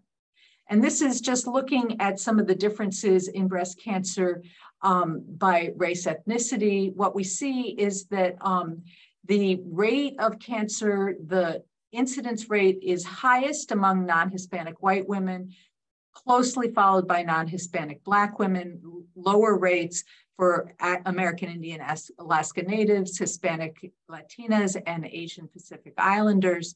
Um, but what we see is that the mortality rate is higher for non-Hispanic Black women than non-Hispanic white women. Um, so this is a concern. It's an area, this kind of disparity in mortality in relation to incidence is an area for considerable research. So we know a fair amount about what causes breast cancer. Um, and many of those risk factors are things that can that women are unable to change. Um, so things like age or family history, um, their height, their endogenous, their, um, their own, own hormone levels are things that they are not able to change. There are eh, modifiable risk factors. Some of them are listed here, and alcohol is an important one as a modifiable risk factor for breast cancer.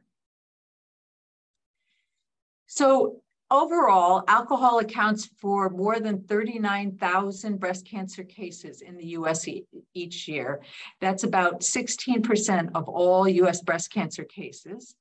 Um, it accounts for 98,000 cases per year uh, globally of um, breast cancer, and that's about 4% of 4.4% of the total cases, um, the total breast cancer cases around the world.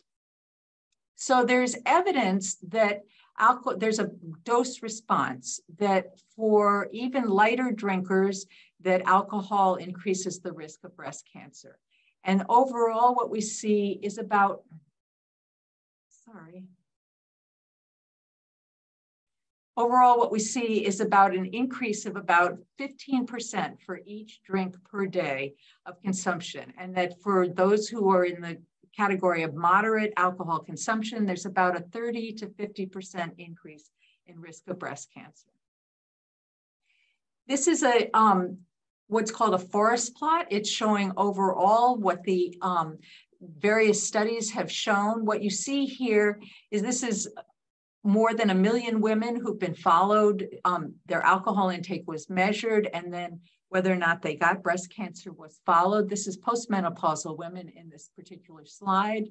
Um, what you see is that while there's some differences in the results that in general, you see an increase in risk of breast cancer among um, drinkers. This is the amount of increase in risk for 10 grams of alcohol. So that's about two thirds of a drink per day. And the um, overall here is um, the, the, in this red square, and there's about a 9% additional risk compared to non-drinkers in this study. So alcohol for overall alcohol has been categorized as a probable risk of premenopausal breast cancer that has more to do with the uh, not that the the um, evidence is weaker, but has to do with the fact that the um, numbers of women who, are premenopausal who get breast cancer is smaller, um, but it's also categorized as a convincing cause of postmenopausal breast cancer. Um, and that's again, following more than a million women. Um, there's a risk increases, there's a dose um, response, the risk is increased even among lighter drinkers, um, and overall there's about a 15% increase in risk for each drink per day of consumption. So the next question is among women who have been diagnosed with breast cancer, does it impact their, their prognosis, whether or not they get alcohol, um, breast cancer again, whether or not they die from alcohol, um, from breast cancer, whether they continue to drink? So alcohol consumption among breast cancer survivors is common. In the National Health Information Survey, 55% of women who, it's, who reported having had breast cancer diagnosed reported that they were drinking, and 12.7% reported binge drinking. So there are a large number of women who are former breast, are breast cancer survivors who have been diagnosed with breast cancer. The 10-year survival for breast cancer is at very strong at this point. 84% of women um, survive at least 10 years, and the mortality rate from breast cancer is decreased by 1.3% per year over the last um, 10 years or so. So in the US at this point, there are 3.8 million women alive who have been diagnosed with breast cancer, and there are more than 7.9 um, women globally who are breast cancer survivors. So it's important to understand in this very large group whether additional alcohol, what impact alcohol has on their, um, their prognosis. Unfortunately, at this point, this is a new er newer area of research. The results are not consistent. Um, and that has to do with the number, for a number of reasons. There are differences in the different studies in terms of what time period was assessed for the alcohol. In some cases, the studies looked at alcohol um, consumption before diagnosis and then followed the women to see how they, um, they did. In other cases, they looked at um, at alcohol consumption after diagnosis.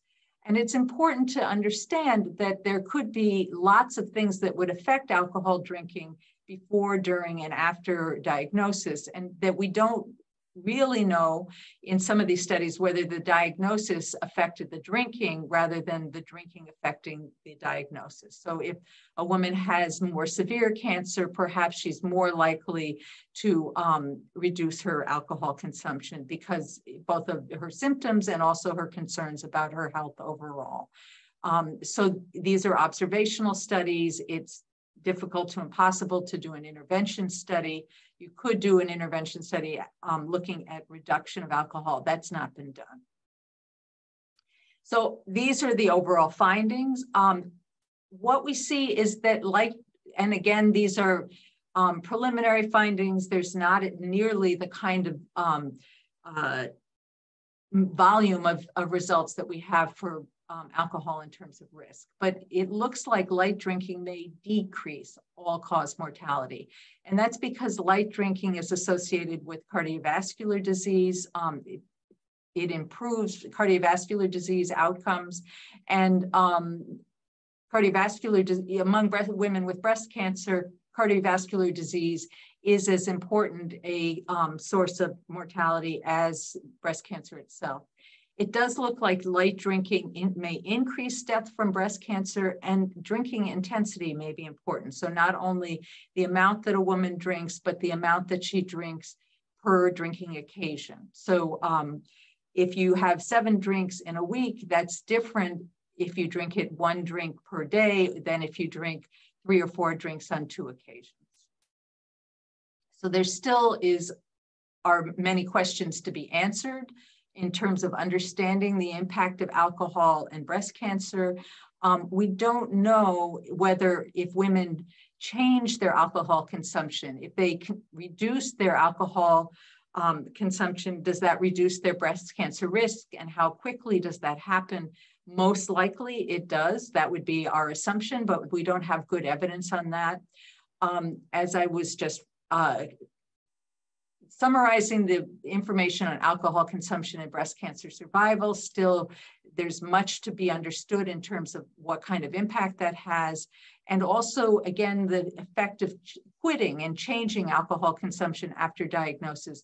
Um, what, imp what impact does that have on mortality outcomes is not well understood. Um, in most of the studies that have been done, there's just a single measure of alcohol consumption. And clearly there, um, if women are living 10 years or more, there may well be different changes in their alcohol consumption over that time period.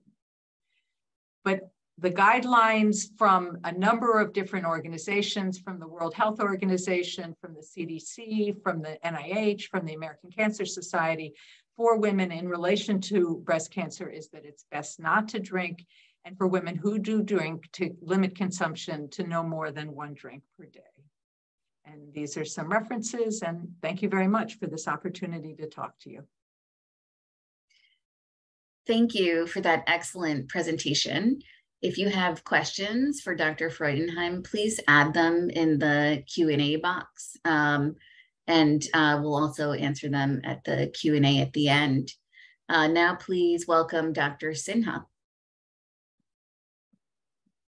Thank you, uh, Dr. Chander. Let me go ahead and uh, share my screen first. Um, uh, let's see if I can move this.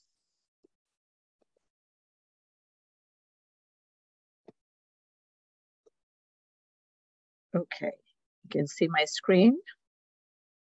Just gonna move that into presentation mode. All right, well, thanks again. I'm going to talk about the harmful effect, effects of alcohol and other substance use in women. And you've already heard uh, a very nice overview from both Dr. Koob and Dr. Volkow. And so I'm just really gonna focus in on um, and what are the harmful effects? We'll review that very quickly. Why is it more harmful to women? The role of sex and stress steroid hormones in alcohol and substance use intake. How does binge use and regular use um, impact those stress and sex steroid hormones? And does it impact um, drug related harmful effects? And then finally, a little bit about uh, treatment and treatment development and sex specific treatment development. So one of the key things is that um, there are massive uh, sex differences in, in brain anatomy, structure, and function. Uh, drugs and alcohol um, have different pharmacokinetics and physiologic effects in women than uh, compared to men. Uh, females generally experience higher levels of intoxication on the same dose of various agents and have variations in response based on the menstrual cycle. And so we'll be talking about the estrous cycle um, in animals and in humans. And then sex steroid hormones play an important role in the subjective and behavioral effects of drugs of abuse. And we'll uh, talk a little bit about that um, in, in a, a, little bit more uh, detail. And so um, if you think about now the alcohol uh, harmful effects, uh, Dr. Koob reviewed this very uh, nicely, but just again, pharmacokinetics, women achieve greater BALs, higher intoxication for the same amount. They also have lower levels of first pass metabolism due to the gastric enzyme for that breaks down alcohol. The medical consequences are much greater in women. We see higher levels of alcohol related liver disease, cardiomyopathies, alcohol related brain atrophy, you just heard about breast cancer, also alcohol, other alcohol related cancers, sedative effects, um, and then of course the impact on the fetus and offspring, which uh, we know a lot about FAS, but what about perinatal uh, effects in the, in the offspring? Um, alcohol use disorders um, in terms of comorbidity are higher in women, psychiatric comorbidity, especially things like mood anxiety, mood disorders, anxiety disorders, and PTSD, and um, the phenomena of telescoping as well. I will cover pharmacotherapy effects uh, later in the talk, so I'm going to skip that here um, and go into nicotine's harmful effects and sex differences. Again, pharmacokinetics are different in women versus men. Women metabolize it more quickly due to higher action, actions of enzymes like the CYP2A6, the nicotine metabolizing enzyme.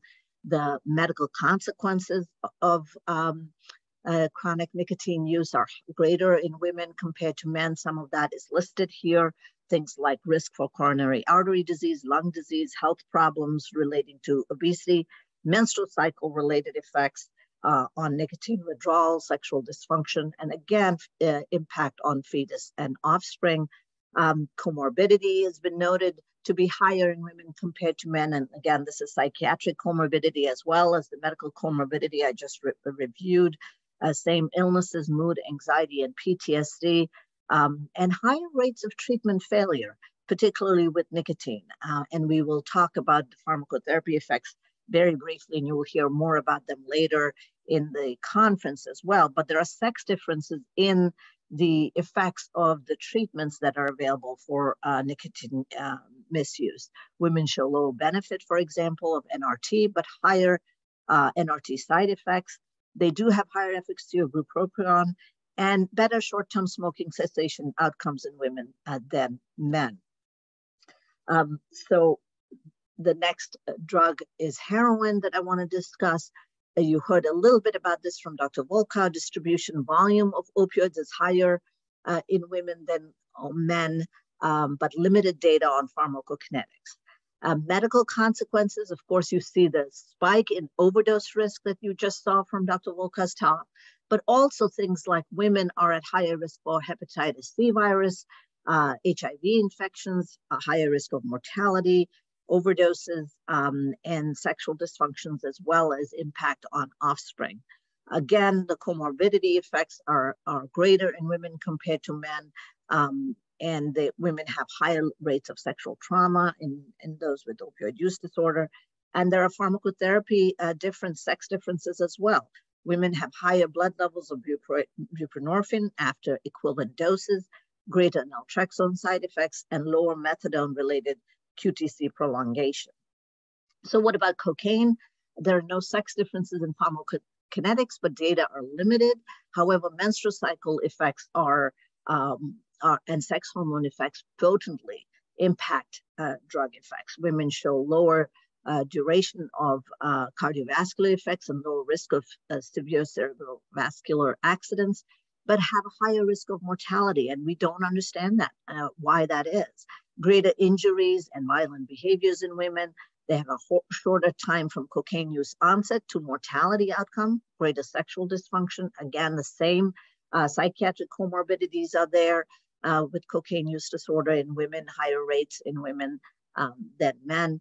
And of course, there are no pharmacotherapies that are FDA approved for cocaine, so we will um, skip that, but I will mention disulfiram later in the talk. Uh, going to cannabis, and you heard that cannabis rates are increasing, particularly in the young adult group.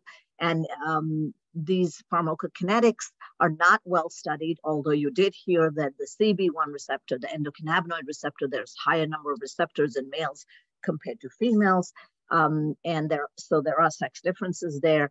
And there are likely sex differences in adolescent brain development and cannabis's effects on regional brain volume particularly what has been reported is change differences in the amygdala and prefrontal cortex um, relating to uh, cannabis use. Women progress more quickly from onset to dependence and in time to seeking uh, treatment, the telescoping effect. That's true for cannabis use disorder as well.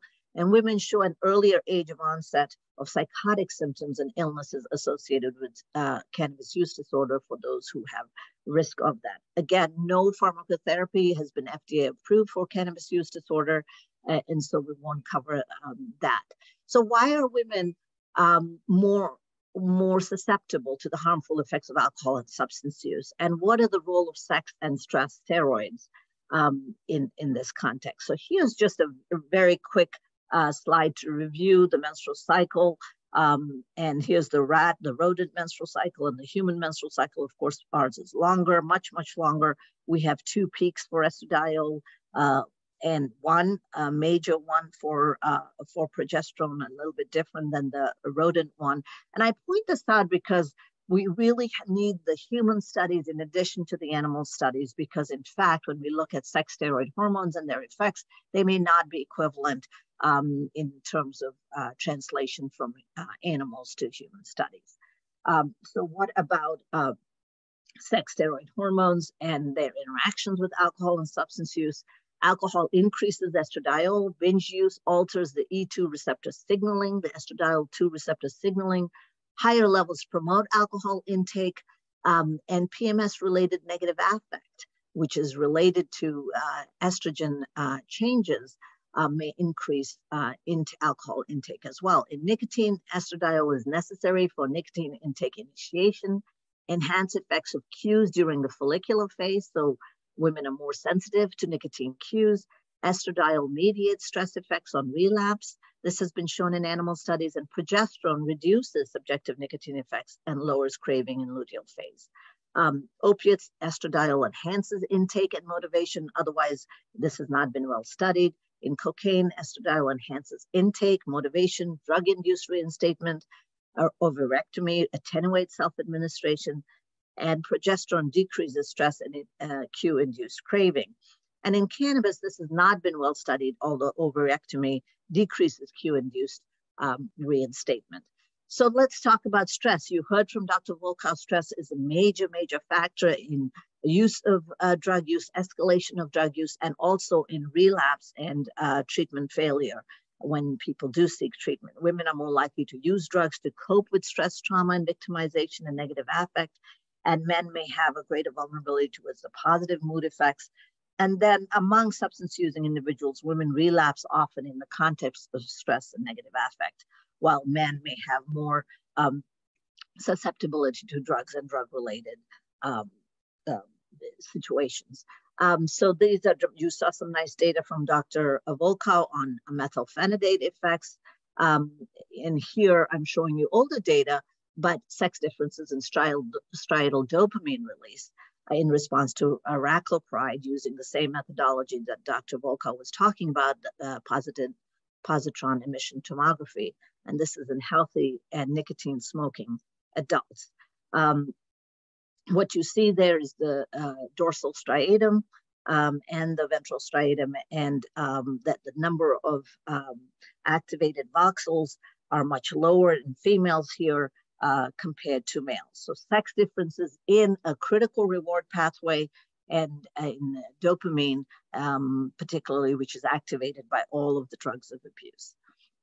But dopamine is not the only um, um, neurochemical that uh, drugs of abuse stimulate. And here, what you're seeing is beautiful summarized data by uh, Nancy Mello and colleagues showing that, in fact, drugs, in this case, nicotine, as you start smoking in the gray bar there, there's uh, activation of, the, of ACTH and rises of ACTH, particularly with high nicotine uh, cigarettes, rises in cortisol, epinephrine, DHEA. So sex steroids as well as stress steroid hormones are being activated acutely um, by drugs of abuse, and there are changes as a result of uh, chronic use. And what do I mean by that? Here are data that we published now quite uh, some time ago showing ACTH levels um, in response to stress in um, women who have uh, were using cocaine and alcohol, and there's a gender main effect overall. Women have high, lower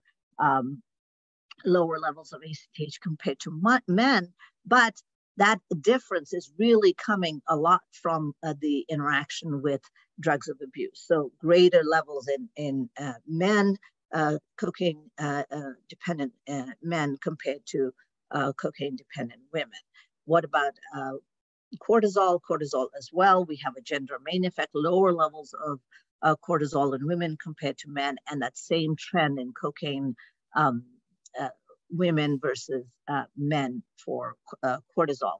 And then the reverse for norepinephrine. So thinking about the autonomic nervous system, we have females showing greater uh, autonomic responsivity compared to healthy females in uh, with stress in um, among the cocaine use disorder compared to uh, men.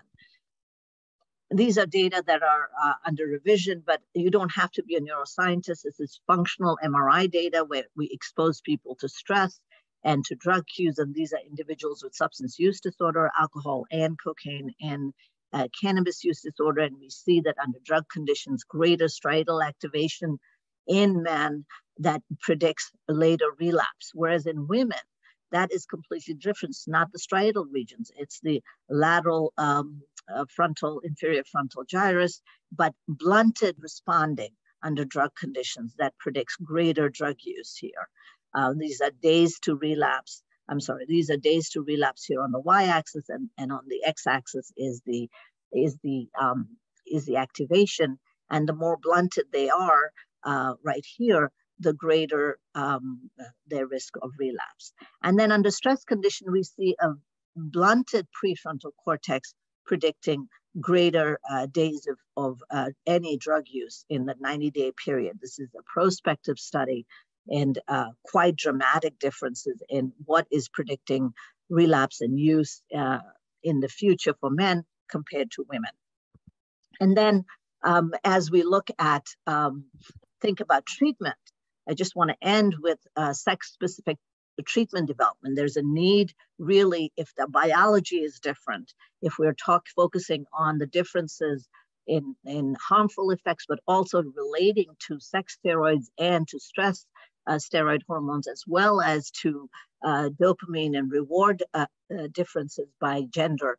Um, wouldn't it be important then to think about the fact that our treatment should be uh, sex specific as well. And biology clearly indicates addiction pathophysiology and stress, reward. I did not talk about immune pathways in, in the interest of time, but those are all highly sex specific.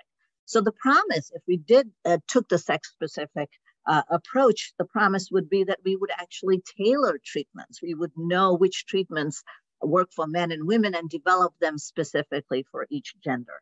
Um, medications for nicotine dependence show sex differences. I already mentioned the differences in nicotine patch and bupropion.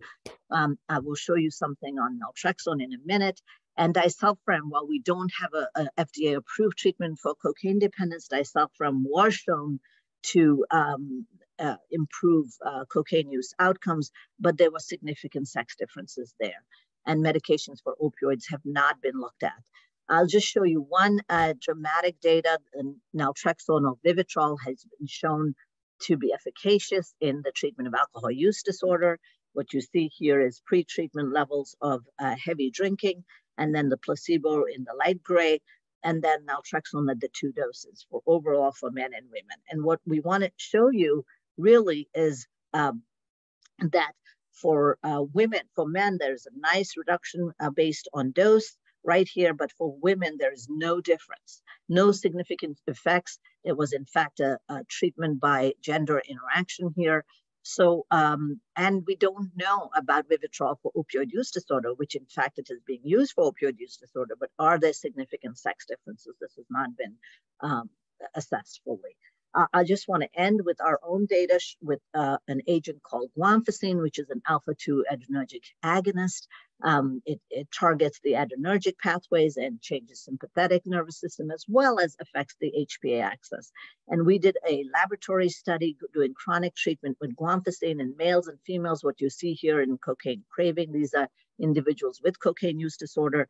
And in men, um, guanfacine did in fact made craving worse, but in women you see an effect of craving.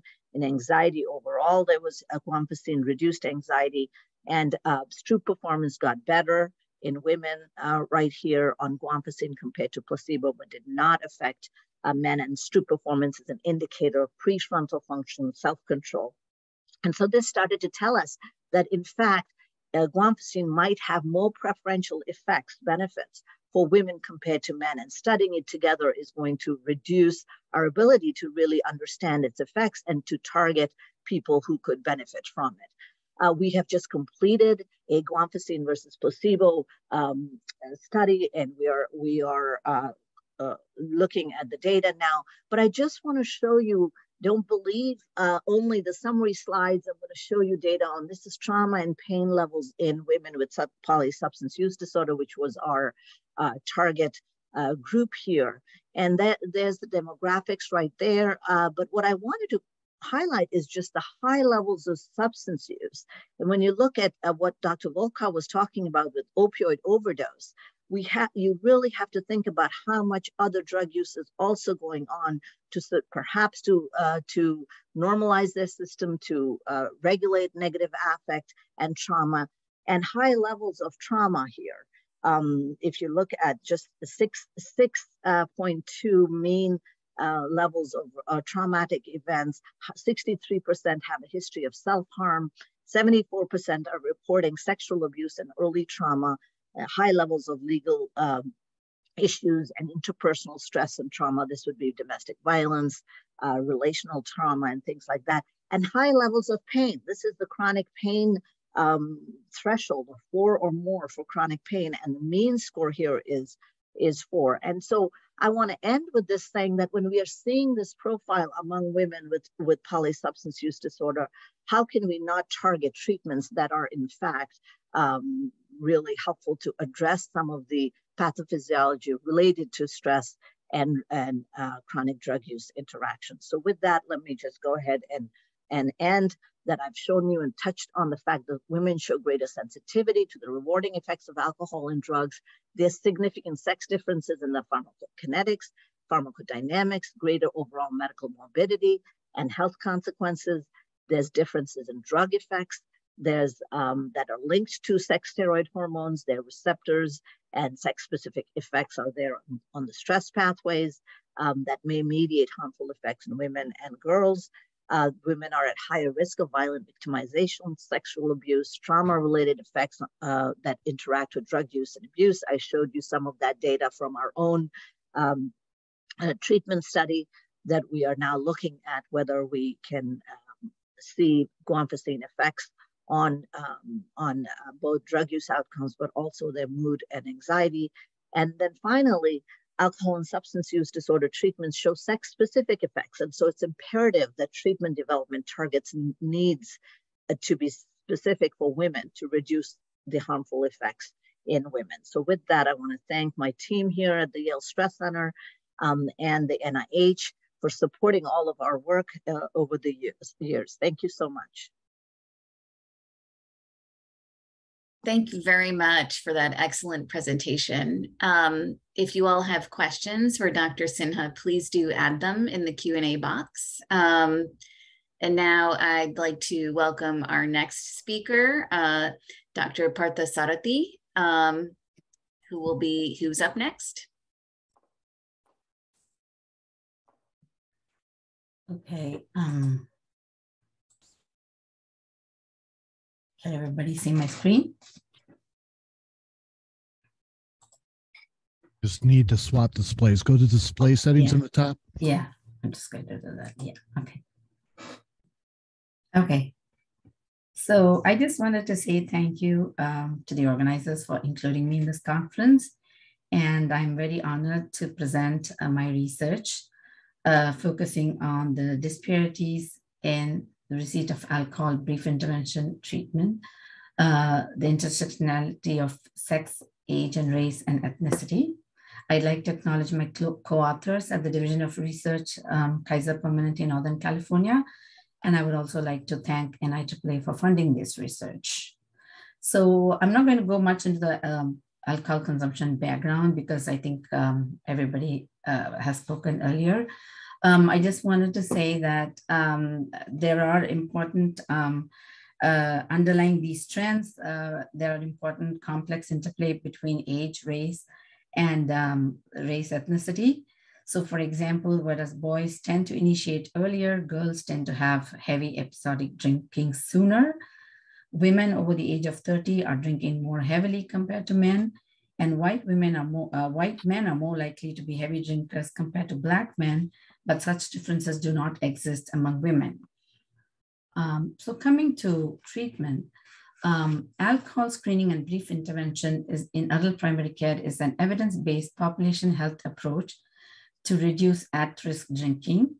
Um, brief intervention provides an important opportunity to reach women because they are, as you heard, they are much li uh, less likely to enter treatment, uh, specialty treatment, Women are also more likely to have regular primary care visits and brief intervention provides an opportunity to reach the women who are drinking beyond recommended limits.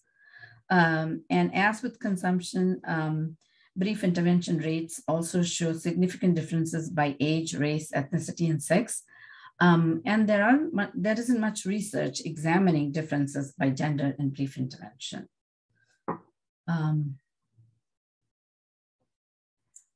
So um, the work I'm describing today is set in Kaiser Permanente, Northern California, a large not-for-profit integrated healthcare system, which serves about a third of the population of the Northern California region. Um, it is diverse geographically and covers urban, rural, and suburban areas. Uh, the population is socioeconomically and racially and ethnically diverse and reflects um, the US population with access to care Kaiser Permanente is a carved-in system in that the majority of members have direct access to specialty addiction, med addiction medicine and uh, psychiatric services.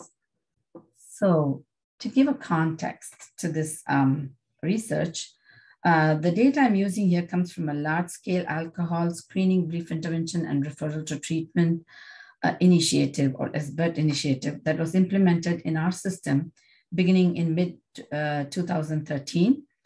In the workflow adopted by the health system, medical assistants screen patients using NIAAA's evidence-based screening questions as part of the rooming process when they are weighing you or taking your blood pressure. The patient's answers are then displayed in the EHR or the electronic health record for the primary care physician, who then provides brief intervention, including referral to specialty care as needed. So um, here is um, the alcohol as a vital um, sign initiative at a glance. Um, so you can see that the top rows reflect the actual number of screenings conducted and the bottom rows um, show uh, the number of patients who were screened. So close to half million uh, patients have received a brief intervention between 2013 to 2022. So the research aim of my talk is uh, to examine receipt of brief intervention by age, uh, by sex, age, and race ethnicity, and the intersectionality uh, between um, and their intersectionality, accounting for heterogen heterogeneity of effects and the role of systemic disparities in access and outcomes in incorporating important patient characteristics. That was a mouthful. Anyway, so the data primarily comes from our screening and brief intervention, um, alcohol as a vital sign initiative, and uh, EHR based um, data, which has um, patient characteristics and other um, comorbidity and so on. So here is a STROBE diagram, and STROBE stands for um, Strengthening Reporting of Observational Studies in Epidemiology. So you can see that there were about um, slightly less than half a million patients who were screened between 2014 to 17. And included in the study were patients, um, uh, I mean, excluded from the study were patients who did not have a continuous membership in the year prior to intake, and those who were um, less than 18 years of age. And we further excluded um, uh, patients and providers who had missing data on uh, certain characteristics that were included in our model. So our final sample consists of approximately 287,000 patients. Uh, and these are some of the measures. I'm not going to go over them. Um, yeah, I can pass on the slides to you later. Um, so we just included demographics and you know insurance and prior health care and comorbidities and so on. And for providers, we, we included their age, gender, race, ethnicity, years of service, and specialty, and where they work. Uh, so the statistical modeling approach we used was a random intercept model uh, to model the probability of receiving a brief intervention. This accounts for clustering of patients within providers, and it adjusts for medical facility as a fixed effect. Um, we conducted a series of logistic regression models examining uh, gender, um, sex by race, sex by age, and sex by drinking levels. And for each model, we um, uh, uh, we determine the odds ratio and the 95% confidence interval uh, across level for, uh, for each sex group and then comparison between sex across levels. So here's a summary of the findings. Um, so, excuse me. so looking at this um, slide, um, so you can see that, for example, most of our patients were male and predominantly white. The average age was approximately 46 years. Women were less likely to smoke, whereas they were more likely to have a mental health diagnosis. Women were also uh, more likely to report exceeding weekly limits, um, weekly drinking limits, whereas men were more likely to expo, um, report exceeding daily limits only. Um, coming to provider characteristics, the majority of our providers were female, predominantly Asian, um, Native Islander or Pacific Islander or white, and majority were in the 35 to 49 age group uh, with at least um, six years of service. So looking at brief intervention um, rates by age, uh, we, we compared um, first uh, among men and women. uh, you can see that um, women were less uh, likely to receive, um, sorry, um, uh, among women, those between the ages of 35 and 64, you can see were less likely to receive BI than younger women. And among men, those aged 66 and over were less likely to receive brief intervention. Uh, it may be that women in the 35 to um, 50 age group are, um, or you know, even 34 age group are busy raising families, and maybe um, that could be an explanation. And uh, with regards to men, um, there is a change in the drinking guidelines uh, when men turn uh, 65. So maybe the men are not aware of it or the providers are not aware of this um, change. And that may be a possible explanation for the lower rates of BI.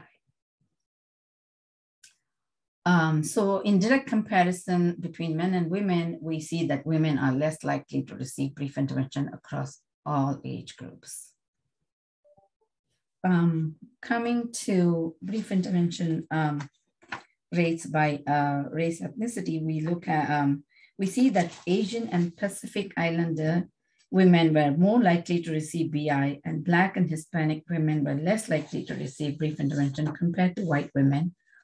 Um, and Asian, and, and it's true for uh, Asian um, and Pacific Islander men as well. But unlike women, there was no difference in the receipt of brief intervention between Black and white men. Uh, now coming to the direct comparison, we see that again, women were less likely to receive brief intervention across all race ethnicity groups. Um, next, we examined uh, receipt of brief intervention by drinking levels. So men and women who exceeded both weekly and daily limits had higher odds of receiving BI than those who exceeded weekly only limits or daily only limits. Um, so that's reassuring. Uh, now coming to the comparison between men and women, uh, we see that women again um, were less likely to receive uh, brief uh, intervention across all um, drinking levels. So um, the limitations of the study are obviously it's based on EHR data, which is self-report. And so there may be some social disadvantage bias and maybe underreporting. And the other limitation is, of course, you know, the generalizability, although we would like to say in our defense that um, Kaiser Permanente does represent the geographic region um, and um, it has a sizable market share. So. so to summarize our findings, um, compared to men, women were less likely to receive brief intervention across all age, race, ethnicity groups, and drinking level. Um, this may be because women were less likely to repeat uh, report drinking behaviors at a level which physician feels merit um, a BI, or there may be other competing clinical factors which take precedence during a woman's medical appointment. Black women were less likely to receive brief intervention than white women, but this difference was not found among men. Latina Hispanic women had the lowest odds of receiving brief intervention. The interaction of uh, sex and age was most pronounced in the middle age group. Um, uh, that is middle-aged women uh, reporting unhealthy use were much likely to receive brief intervention and older men were less likely to receive brief intervention than young women. And uh, I alluded to some of the reasons why this might be so. Our finding that women who exceeded both daily and weekly limits had greater odds of receiving brief intervention than those exceeding either weekly only or daily only limits is somewhat reassuring and in line with um, earlier research. So some of uh, the implications that female, um, uh, you know, based on what we observe on the provider side is female clinic, uh, clinicians versus male and those with longer tenure uh, versus shorter were more likely to deliver BI. Um, so clearly training and experience matters. Um, Black and Latino clinicians versus white were less likely to deliver BI. Um, this is something that um, needs further research and wanting, and maybe um, the findings reflect some um, differences in communication style, which may affect provider comfort level in screening for use and delivering BI. Um, clearly, more research is needed to explore the cause of these differences, including um, institutional and systemic factors. That can help guide development of targeted clinical training and enhance brief intervention important tools such as scripts and other um, clinical decision support tools. Um, robust delivery, uh, delivery of brief intervention may help women avoid more severe alcohol problem use and increase clinician awareness and training about the importance of BIs for women and unhealthy alcohol use. So um, oh, once, I mean, what I would like to propose or suggest is that uh, we actually need to use a multi-pronged approach to address, address disparities. For example, from the organization um, perspective, we may need to um, um reach out to, inform patients of available resources, and these can include things like secure messaging and um, you know other uh, video appointments, or um, if there's any child care providers and so on. Um, and from the patient side, we actually need to empower and activate patients so that they are actually able to access these resources. Um, this may include, you know, um, training in how to access a secure message, how to communicate with providers and so on. And on the provider side, we may need targeted clinician training to address hazardous drinking among women and also reinforce the efficacy uh, and evidence-based um, uh, effectiveness of um, providing brief interventions. And um, lastly, we may require um, different strategies for framing the brief uh, delivery of brief intervention, which may increase its delivery and acceptance. And as you saw in earlier talks, you know, um, the risk of fall or the risk of cancer is higher among, um, you know, women who drink. And this may be a, you know, context in which you can frame the brief intervention so that um, lower the stigma and make it more acceptable to women.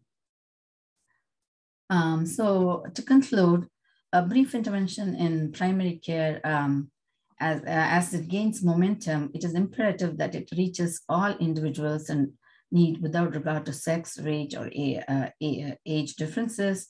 And policies that ad address disparities in the receipt of brief intervention are critical to ensure equitable access to this important preventive service. And thank you. And if you have any questions, please do not uh, hesitate to reach out to me now or after the conference. Thank you. Thank you very much. And um, sharing. Now, okay. thank you for our final presentation. Uh, prior to the Q&A session, we welcome um, Reverend Dr. English.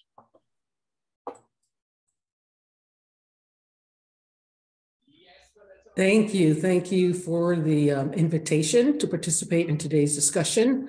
For today's talk, I will discuss my experience in building community partnerships to improve public health, especially in resource limited settings, and the importance of including a focus on spiritual health in such partnerships. So I'm proud to serve as the director of the Partnership Center at Health and Human Services. We have prioritized five core focus areas that align with Secretary Becerra's priorities and they are maternal health, knowing that the US has one of the highest maternal mortality rates than any other developed nation in the world. Behavioral and mental health, with particular focus on youth mental health. Uh, we'll be releasing our first youth mental health toolkit this year. In addition, we focus on suicide prevention. Of course, we have our continuing work around vaccination and boosters. And last but absolutely not least, which is what brings us here today, our focus on substance use disorder inclusive of overdose prevention. We have released our revised faith and community roadmap to recovery support toolkit in both English and Spanish this year and have been able to get into the hands of many of our stakeholders. As a center, we work to identify resources from grants to non-monetary resources to strengthen the work of national, regional, and local faith-based and community-based organizations throughout our nation. we support them through creating connections with like-minded organizations and government agencies, as well as help them think of creative ways, new avenues to improve or strengthen their processes and desired end goals. And before coming to the Partnership Center and prior to working as the Deputy Director of Faith-Based Initiatives for the Governor of New York State, in New York City, a large portion of my work was in building coalitions that address the atrocities we face as a city. And before I go further, I want to just take a step back to help you understand what helped me realize the need to build community partnerships and using the faith based community as an anchor. For me, it was personal. I lived in a house that lived by one of the worst statements that have been embraced by families everywhere, and particularly in our communities. And that is what goes on in the house stays in the house. Some things needed to come out of the house. Um, and if we allowed those things to come out of the house, our family could have received the help they needed, then perhaps some of the issues would have been less severe or non existent. Substance abuse and alcoholism were at the core and due in part to stigma surrounding mental health. Obviously, the social determinants of health and lack of services, they all contributed to that. My brother died in 1992, opioids, um, heroin addiction, full blown AIDS, um, three sisters addicted to crack cocaine.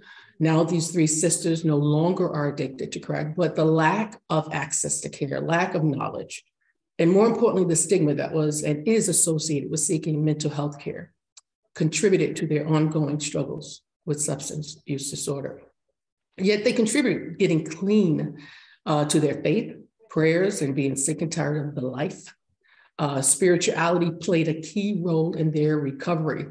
And there is overwhelming evidence that persons receiving mental health services, including addiction services, view spirituality as essential to recovery and a number of researchers have emphasized the need for clinicians to give more attention to clients' spiritual needs.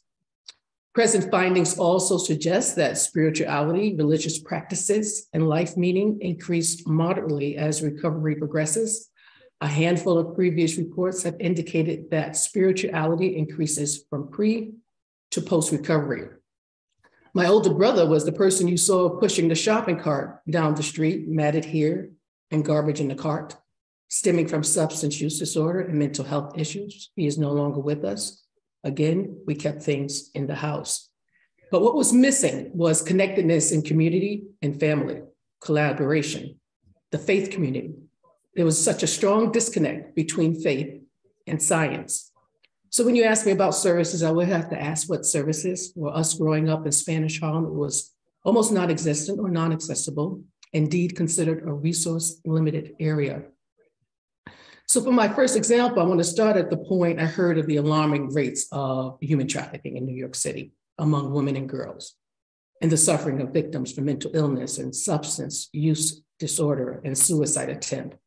And then the number of children that were victims, all disheartening. But it was important to bring together all sectors of city government, a Department of Health, Immigrant Services, even the New York Police Department, service providers, community leaders, survivors, and the faith community together at the table in the planning stages of addressing these atrocities. And all played a key role in developing a proposal that eventually yielded a million dollars in funding to address human trafficking in New York City, even changing the name of the existing office to include addressing human trafficking. But more importantly, connecting victims and survivors to needed services. And the key to success came from listening, which I consider the most effective means of communication, and recognizing one another's strength at the table, our voices, and the power of collaboration. The faith community was key, as it is the first entry point for many that are suffering. We also found that we have the widest reach. So, what did we do? We promoted connectedness among members of communities, we built alliance with local organizations and with government. We identified resources and what connecting to services look like. We ended up funding a center that partnered and was housed within a local hospital where they provided services for trafficked victims. Again, collaboration. We created strong awareness campaigns in partnership with community and government that was promoted throughout communities of faith. Because disconnect comes when you don't understand the language of faith, thereby messaging becomes less effective. We embrace cultural differences and intentionally look at the situation through each other lenses and not just our own. My next example at the Partnership Center, an underserved rural population, we have worked with an organization called Teen Challenge and other programs like it to encourage the use of medical assisted treatment in more recovery settings.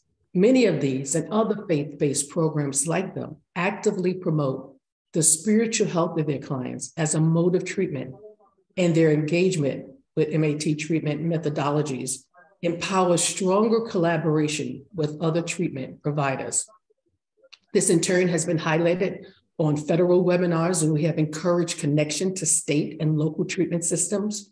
Furthermore, many adult and teen challenge program work in and work closely with individuals from rural communities where the shared, in this case, Christian faith tradition allows for a population to connect with substance use treatment they and their loved ones trust and participate in more fully because of the shared trust, operative word trust.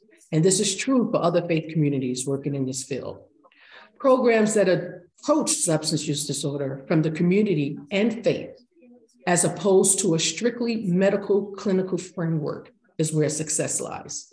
And it's important to share what the science is learning about addiction and take steps to translate that science for other treatment settings so that so those programs draw in what works and what keeps people alive while also allowing them to keep what makes their programs effective for a distinct part of the population being served. Next, for women, including women from more rural settings, we work with a program called Unshattered. This program, which is highlighted in our Faith and Community Roadmap to Recovery Support Guide, supports women who have struggled with SUD, with employment, but also a community of support for their ongoing recovery. The Partnership Center has highlighted their efforts in various ways beyond the guide, with their involvement in meetings, White House events, and policy meetings. And my final example for today is Choose Healthy Life, CHL, founded by Debra Fraser-Howze. It's a Black church initiative that ensures churches, the oldest and most trusted institutions in the Black community, receive the necessary resources, training, and support to address COVID 19 and to deliver preventative wellness programs. They now have expanded to other health to, uh, to address other health disparities, inclusive of mental health and substance use disorders, diabetes, to name a few. As an example, CHL established a network of 50 Black churches in five major cities and grew to 120 churches across 13 states. The success of the program is centered around the leadership of the Black clergy and the establishment of a faith based community health workforce in the church.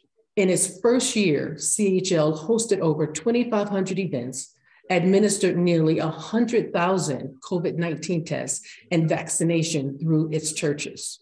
Their goal is to collaborate with local healthcare organizations with a vested interest in providing support to underserved communities and to deliver measurable and sustainable impact that drives health equity and work to see a decrease in morbidity and mortality in the community served. They have developed a proven, sustainable, and scalable model to address address health equity in the Black community through the Black church. This model can be used as we think of ways of effectively addressing alcohol and substance use among women and girls. In my conclusion, we must realize faith is important to many individuals in underserved and rural communities. It is a source of strength for them and their families. It is a source of authority and influence in their lives. Listening and engaging with this community can begin with something as simple as including questions about faith and spirituality in an initial assessment with a client or an individual being served. Also consider from the clinical side that SAMHSA points to spiritual health as one of the eight elements of wellness, which they connect to questions of meaning and purpose. These are all elements that can draw from, connect to, and relate to faith communities and the leaders of these faith communities. Finally, I want you to take a look at this very short video produced by the Partnership Center of how trusted messengers with lived experiences from the faith community came together to address stigma around mental health and promoted health and human services 988 suicide prevention lifeline as just one example. Thank you. I grew up with one of the most um, horrific statements that can be made in anybody's household. And that was what goes on in the house stays in the house. And for me, and as a black family, that nearly destroyed us. And it wasn't long after that, my nephew, 14 years old, hung himself. It wasn't long after that when you found my brother pushing a shopping cart in the middle of the street. Yeah, he was that one. I'm the father of a suicide victim. My daughter was my only child. She was my heart, and she took her life. If there had been a helpline in that hour of crisis, could have made a difference. I've personally had to uh, receive mental health and assistance. I've had family members uh, who've received mental health, who've thought about suicide. The significant number of folks who are attempting suicide, who have suicided, are young people between the ages of 13 and 19. I have a friend who was very spiritual, loved the Lord, and who took her life. And the biggest problem was at the funeral, all of us knew it, and no one could talk about it. Growing up in a family of 15, I really do know what it means when individuals would say that what goes on in the home, stay in the home, because that's the way our parents really raised us. Too many people are experiencing suicidal crisis or mental health related distress without the support and care they need. There is hope. The Lifeline works. It helps thousands of people overcome crisis situations every day. The 988 dialing code is just the first step towards strengthening and transforming crisis care in this country. It serves as a universal entry point so that no matter where you live, you can reach a trained crisis counselor who can help. 988 offers 24 7 access to trained crisis counselors who can help people experiencing suicidal, substance abuse, and other mental health crises. To reach the Lifeline, people can call or text 988 or chat 988lifeline.org. 988 is more than just an easy to remember number. It's a direct connection to compassionate, accessible care and support for anyone experiencing mental health related distress. But we're at a moment in time now where we have to indeed break that cycle and be open to a number of things that are happening in our families, especially in the black church. You may be the person that stands between them, that ultimate irreversible decision. Thank you for calling the Lifeline. How may I help you?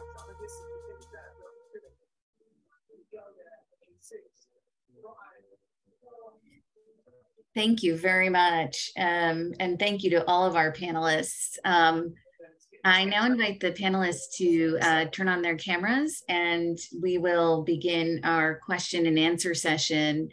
Um, please do uh, post questions in the Q&A uh, box um, I will actually start with a question that came up um, uh, for Dr. Freudenheim, which is, um, you know, in your talk, you mentioned that the risk of breast cancer is increased even for women who drink as little as one drink per day. Uh, what uh, what is sort of the pathophysiology or what might the biological effect of that small amount um, of alcohol? What's the cause, you know, for a disease like breast cancer? So Dr. Sinha spoke a, a fair amount about how alcohol can affect um, steroid hormones. Uh, there's a change, there's an increase in um, estrogen levels in the blood uh, shortly after any a single alcoholic beverage and also over time with um, increased drinking, you see a, a, chronic effect of alcohol on steroid hormone levels. And steroid hormone, hormone levels are um, strongly associated with risk of breast cancer. And in addition, alcohol has other effects that um, seem to, uh, that probably also increase the risk of, of breast cancer, um, oxidative stress, um, inflammation, all of the pathways that are important for cancer are influenced adversely by alcohol. Uh, thank you. Um, Dr. Uh, Reverend Dr. English, what are some ways that we can improve access to mental health and substance use care in our community? Oh, I think you're on mute. Sorry about that. I keep forgetting about that mute button. Um, but I, I have a, several uh, uh, recommendation. One is intentionally partner with trusted messengers in the community from both faith and nonprofit communities. Um, look for those um, who have lived experience, uh, who can elevate your message through PSA and, and other means. Faith voice, faith voices and messaging is critical to reach this population. Um, have these partners at the table early in discussions before rolling out a master plan. Creating buy-in and ownership go a long way. Um, search out existing entities that have um, existing health ministries and or coalitions to partner with and work to increase workforce with culturally competent and perhaps religious competent individuals. Um, lastly, take time to meet with faith community that have proven models, such as CHL founders and members, glean and implement as you move toward reducing alcohol and other substance use among women and girls. Thank you. Thank you. Um, a question for uh, Dr. Sinha. Does uh, chronic drug use alter the gonadal hormone levels? Um, and uh, could that be involved in greater risk of alcohol and other substance use related illnesses? Yeah, that's a great question. Uh, we need uh, more research on it. We did some work, uh, now it's over 10 years old, uh, where we monitored um, a daily uh, saliva uh, sex steroid hormones for over 28 days in our polysubstance using women and showed um, changes. And this was during, in, they were in an inpatient unit. And so this was during early abstinence and um, estrogen levels are very variable daily. And of course, this is in saliva, uh, well uh, validated kits, but uh, progesterone levels particularly were higher. Um, and so there are adaptations that are going on with chronic drug use, but we certainly need more um, more experimental studies and, and, and, and data to show that um, that that they are altered. There's indication that there may be. Thank you, um, Dr. Uh, Parthasarathy. Um, can you uh, give some examples of um, or reasons of what telescoping is and why that might be uh, more noticeable among women than men? Yeah, I think, um, I don't know, one of the speakers mentioned before about the biological, you know, the hormone differences, you know, and how the brain processes um, alcohol. Uh, that's one reason, but um, there, uh, the other important reason can be like co-occurring disorders. So for example, 40% of people um, with substance use disorders have also had a lifetime eating disorder. So, you know, those, um, you know, the, the co-occurring mental and, and uh, as well as depression and anxiety. The, so that's one reason. Um, and also socio um, cultural pressures may also precipitate the telescoping effect. So, um, especially during pandemic, for example, you know, with, with kids staying at home and, you know, if you're a single parent and so on, I mean, it, I mean, it's it's not strongly only for women, but it does is more noticeable though. You know, it, it can apply both ways, but it does show more for women um, the the effect of telescoping. Thank you. I have a, a couple of additional questions that uh, came up in the chat for Dr. Freudenheim.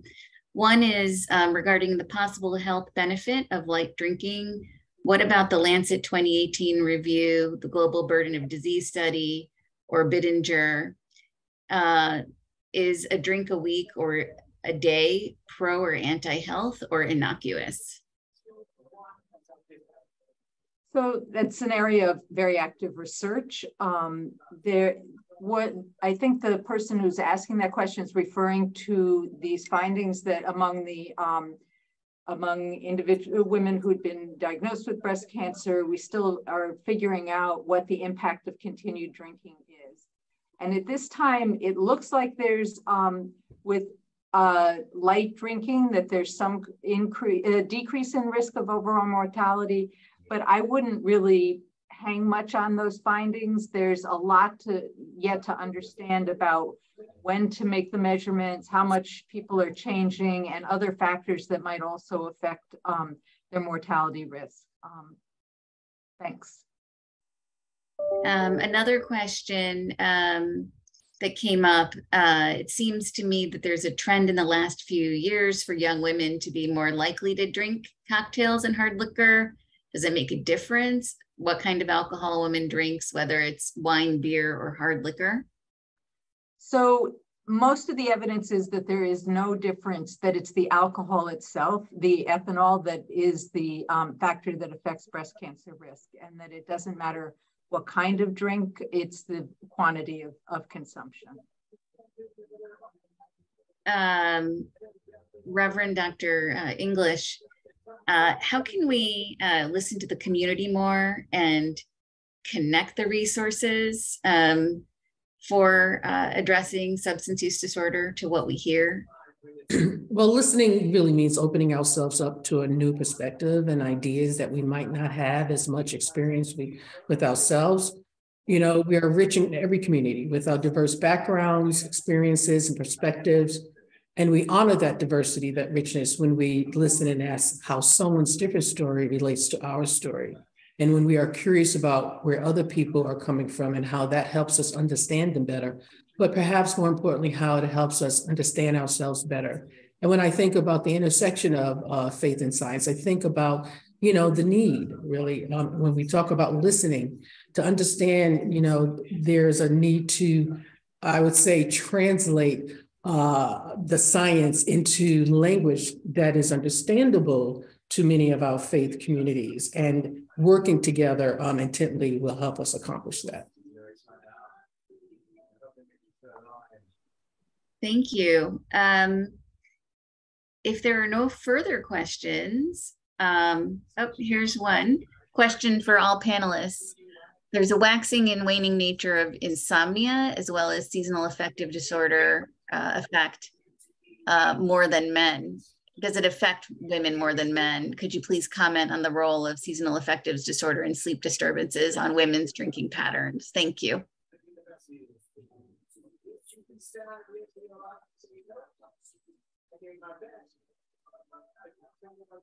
I mean, that's a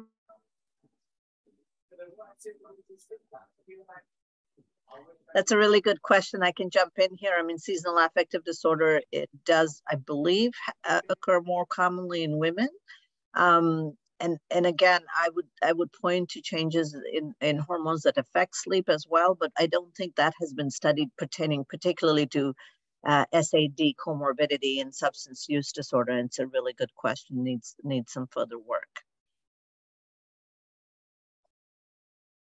Thank you. Um, any further questions? Oh, I think they're now coming in.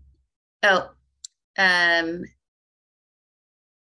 it says you may want to briefly say what seasonal affective disorder is for this uh, audience.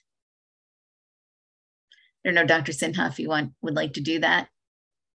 Um, you know, we can we can go into. I mean, it's focused basically on on uh, mood symptoms and affective symptoms, um, greater depression and distress occurring tied to uh, to really the winter months originally, but really changes um, as people uh, historically looked at this. This was related to seasons and as specific seasons, particularly um, relating to um, to uh, winter and um, and then alleviation of symptoms during uh, during the summer. So mood uh, mood changes occurring as a function of seasons.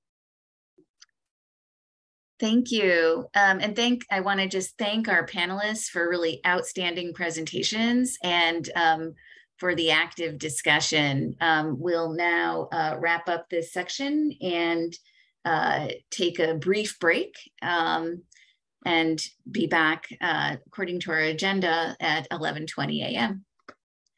Thank you. Thank you.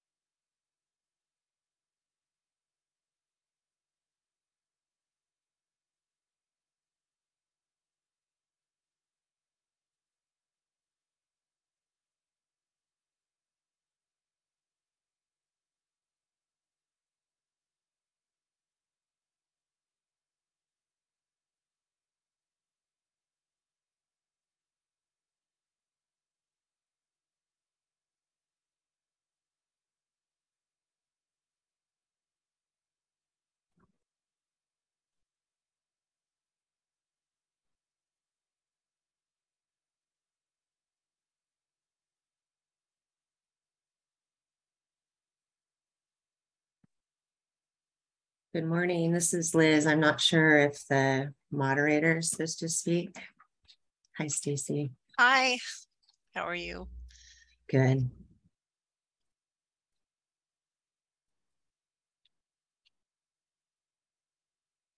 Yes, the moderator is supposed to speak. Hey, Sandy. Jan? Is Jan on? Deidre is not on yet. Okay.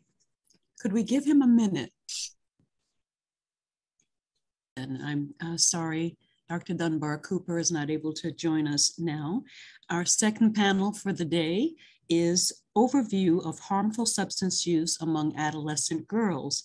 And uh, we'll begin with a presentation by Dr. Elizabeth D'Amico.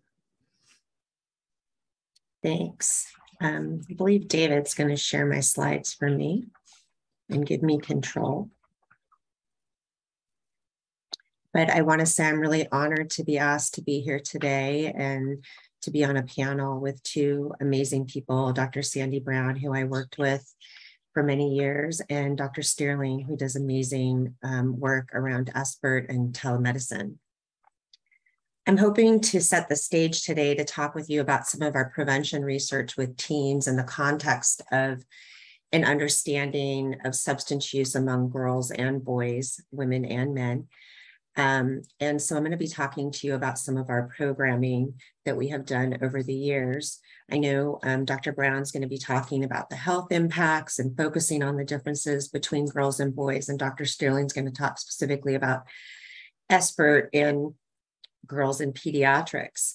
But what I think is um, important, oh, I have to click this little button.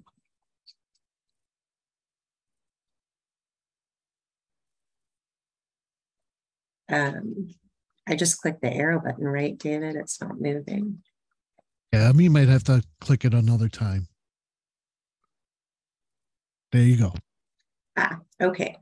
So this is from work that we've done um, with NIAAA funding with several grants looking at um, trajectories of use over time. And I think an important thing to notice here and what we've seen over the last few years is that the girls are catching up with the boys. So rates of use for alcohol and cannabis are pretty similar. And I think that's important in the context of prevention, because I think sometimes we may focus more on boys when the reality is that we really need to be addressing and screening substance use for both uh, boys and girls.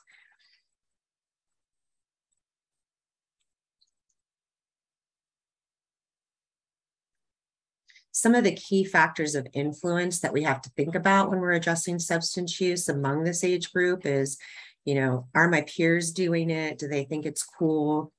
Is my best friend using? We know important adults in teens' life can also affect substance use, siblings who are both a family member and a friend. And then a lot of our work has shown the importance of advertising in affecting substance use among teens. So these are all important factors that we need to incorporate into our interventions for these youth. So some of the key policy questions that we've been trying to address around prevention with young people is how can we reach them to make healthy choices? How can we reach diverse and underserved populations, which is really important. We need to go to a lot of different settings in order to do that we also need to make sure that programming is engaging. Um, I don't know anyone out there who likes getting told what to do, myself included. So programs really need to be collaborative and guiding versus telling teens what to do. And then most importantly, and I know a big focus of this conference is how can we create programming that's sustainable? So when the funding ends, how do we give these programs to communities so that they can continue to implement them? And I'm going to talk a little bit more about that later, bridging that gap between research and practice. So our team has a lot of interventions targeting diverse at risk young people. These are a few of them, and I'm going to focus in on a couple. But Choice is one of our programs that we have for middle school. And as many of you know, middle school is a tough time for a lot of teens. It's a time when we see alcohol and drug use rates triple among boys and girls. And so, a really important period for intervention.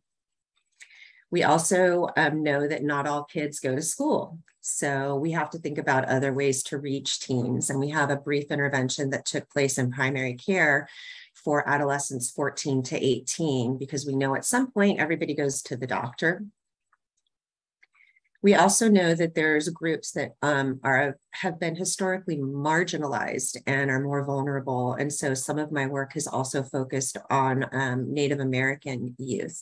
I've done work on this with Dr. Dan Dickerson, who's an Alaska Native addiction psychiatrist at UCLA.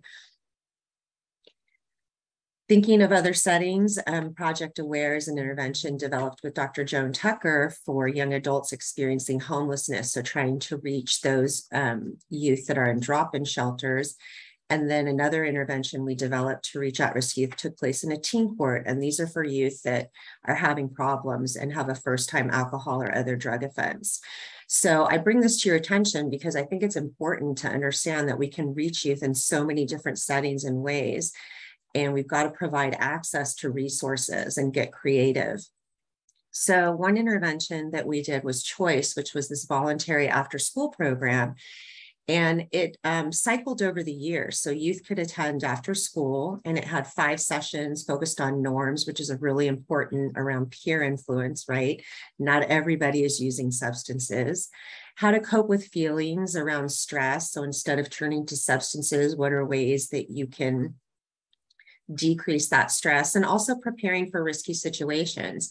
And we know, for example, that um, when you think about girls and women, often they're being offered substances maybe by their significant other. And so there's a lot of different ways that people get offered substances. And so trying to teach them ways to prepare for these situations and how to say no.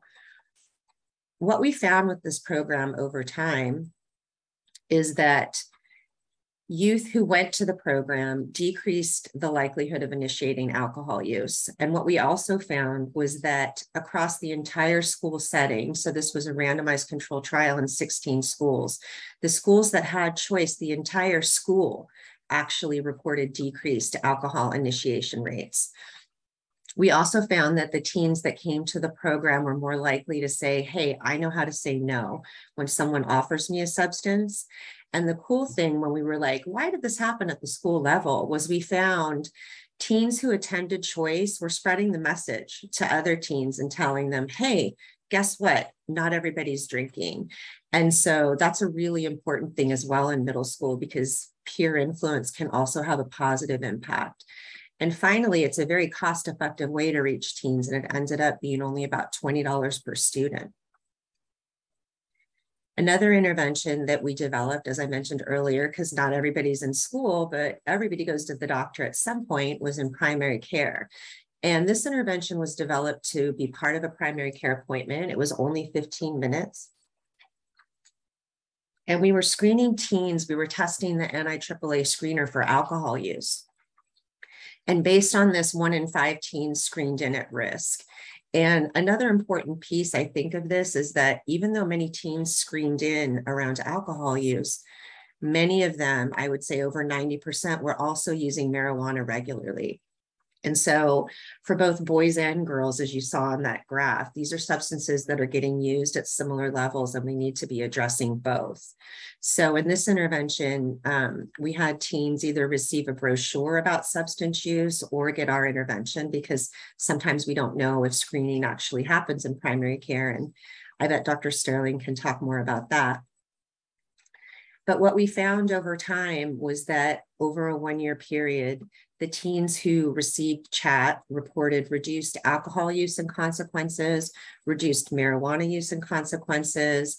They had more accurate norms and they started to change their social context. So they were spending less time around other teens who used substances.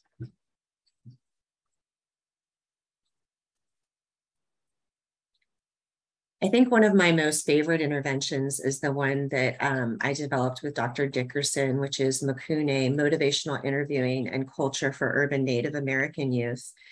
And what we did in this intervention was combine um, my work in motivational interviewing and Dan's work focused on traditional healing as a way to prevent substance use.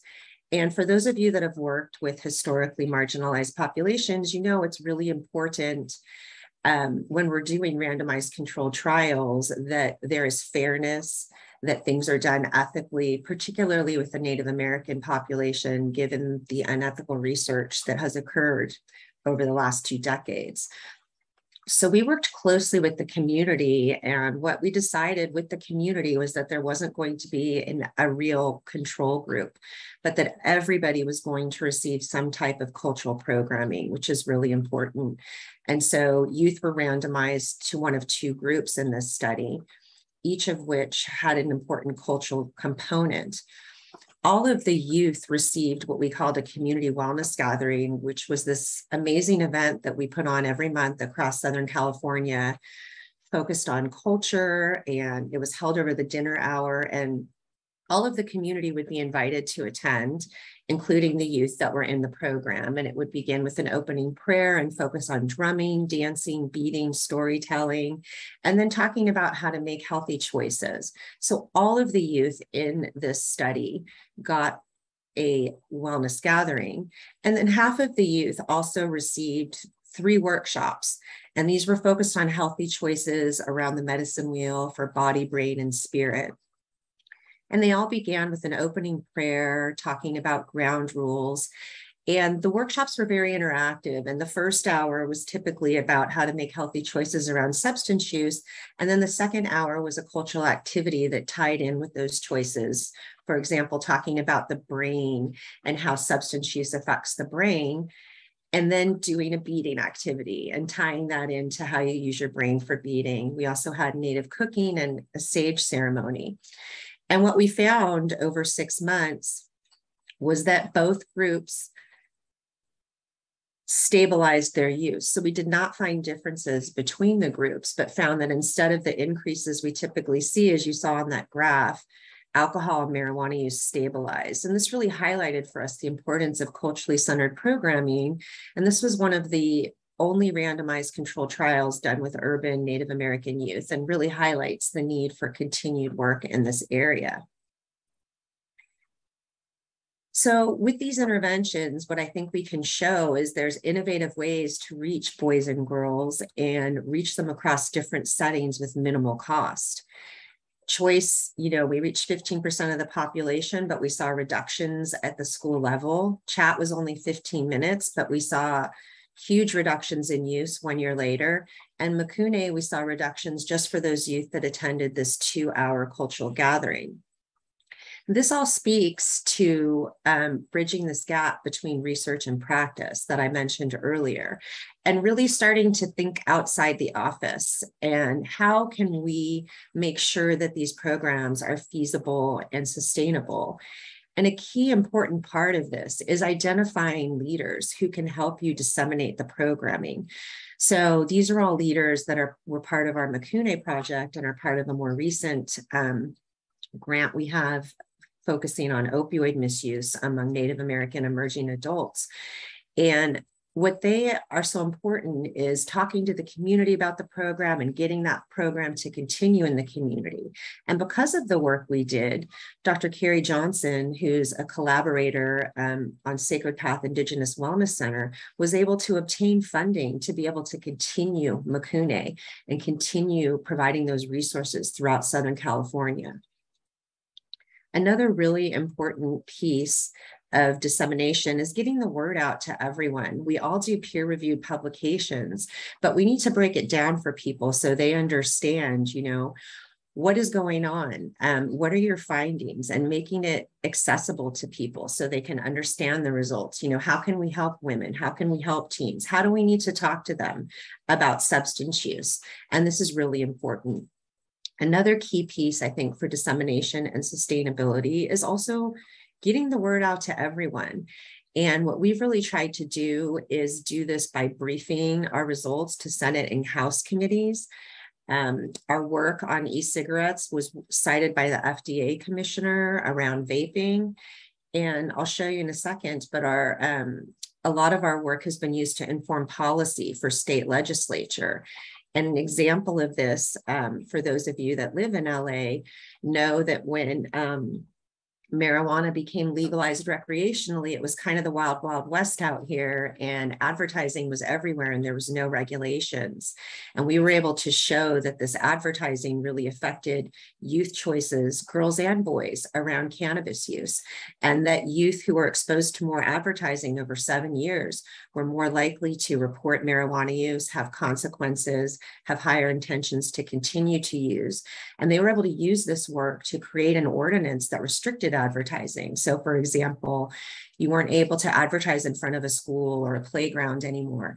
And so I think, um, you know, an important part of our work that we do as researchers is figuring out how we can use that work and bring it into communities to help communities.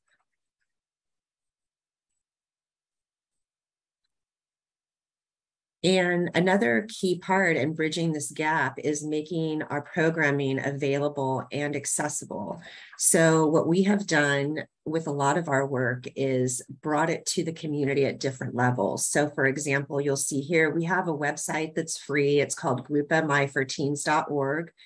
It has all of our curricula up there for free that people can download. It has training videos, and a lot of the community has been using this. I mentioned, you know, MICUNAY is being done in Southern California. Our choice program is being done in school districts. Um, throughout the United States. And Free Talk is also being implemented, and people can contact us, they can get the information, and they can have these programs for free and bring them to their communities. Um, we also created with um, the NIDA clinical trials this training program that you see here that says engaging adolescent patients about marijuana use. And this was based on the chat intervention that I talked with you about earlier, where we screened boys and girls in, and we used those digital recordings to create this patient, David, who comes into the primary care office with marijuana use. And depending how providers talk to David determines how much he tells you, just like in the real world. So if you tell David that he better quit using pot, he's pretty much going to shut down and not tell you anything else. And what this training program does is it provides free continuing education to providers and allows them to work on their motivational interviewing skills on how to talk to teens. And then this um, page you see in the middle here from our TACUNA project, which is Traditions and Connections for Urban Native Americans, is a way that we disseminate our work to communities as well. So we do these press releases that are written in lay language for every publication we have and disseminate them to the community so that they have access to our findings in a way that's accessible. So these are all different things that we've done to try to really make our programs accessible to people. Finally, as I mentioned at the very beginning, um, bridging the gap also involves thinking through implementations across different settings. Schools, community settings, primary care, metropolitan areas, there's so many ways that we can reach teens who need resources. And so we have to think outside of the box and continue to go into different settings so that all teens can have access to these different resources. So with that, I know we're taking questions at the end and I will turn it over to Dr. Brown who is following me. Thank you. Well, I am just uh, delighted to have the opportunity to uh, follow uh, Liz D'Amico. Uh, what an amazing set of interventions that uh, she's designed, developed, collaborated on, and um, it shows us that there are many, many ways uh, in particular to reach young people around the problems that alcohol, marijuana, and other substances create.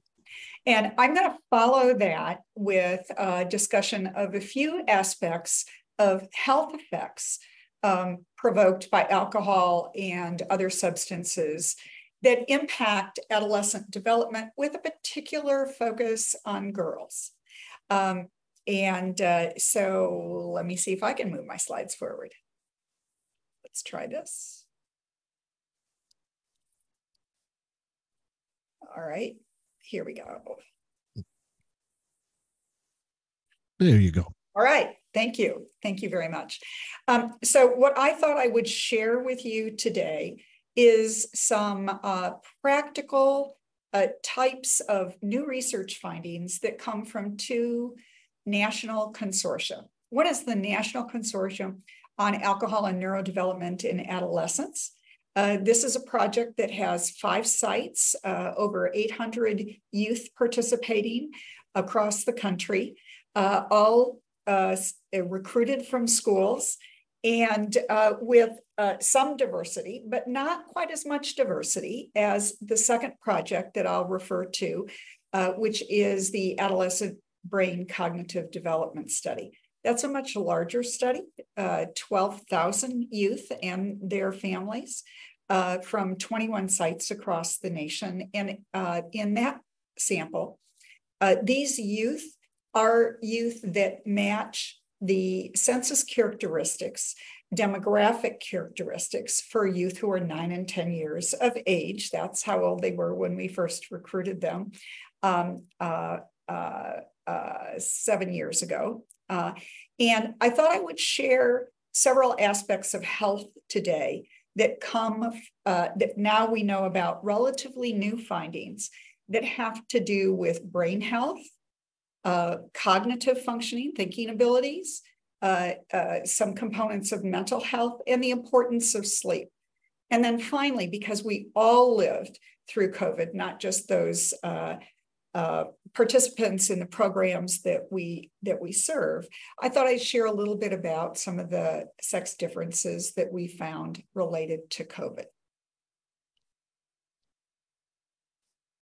So first, with regard uh, to brain development, um, even if you don't remember the specifics of the differences between boys and girls and the impact of alcohol, please remember that alcohol impacts normal brain development across adolescence. Many studies over the years have found that uh, uh, alcohol impacts brain functioning of adults.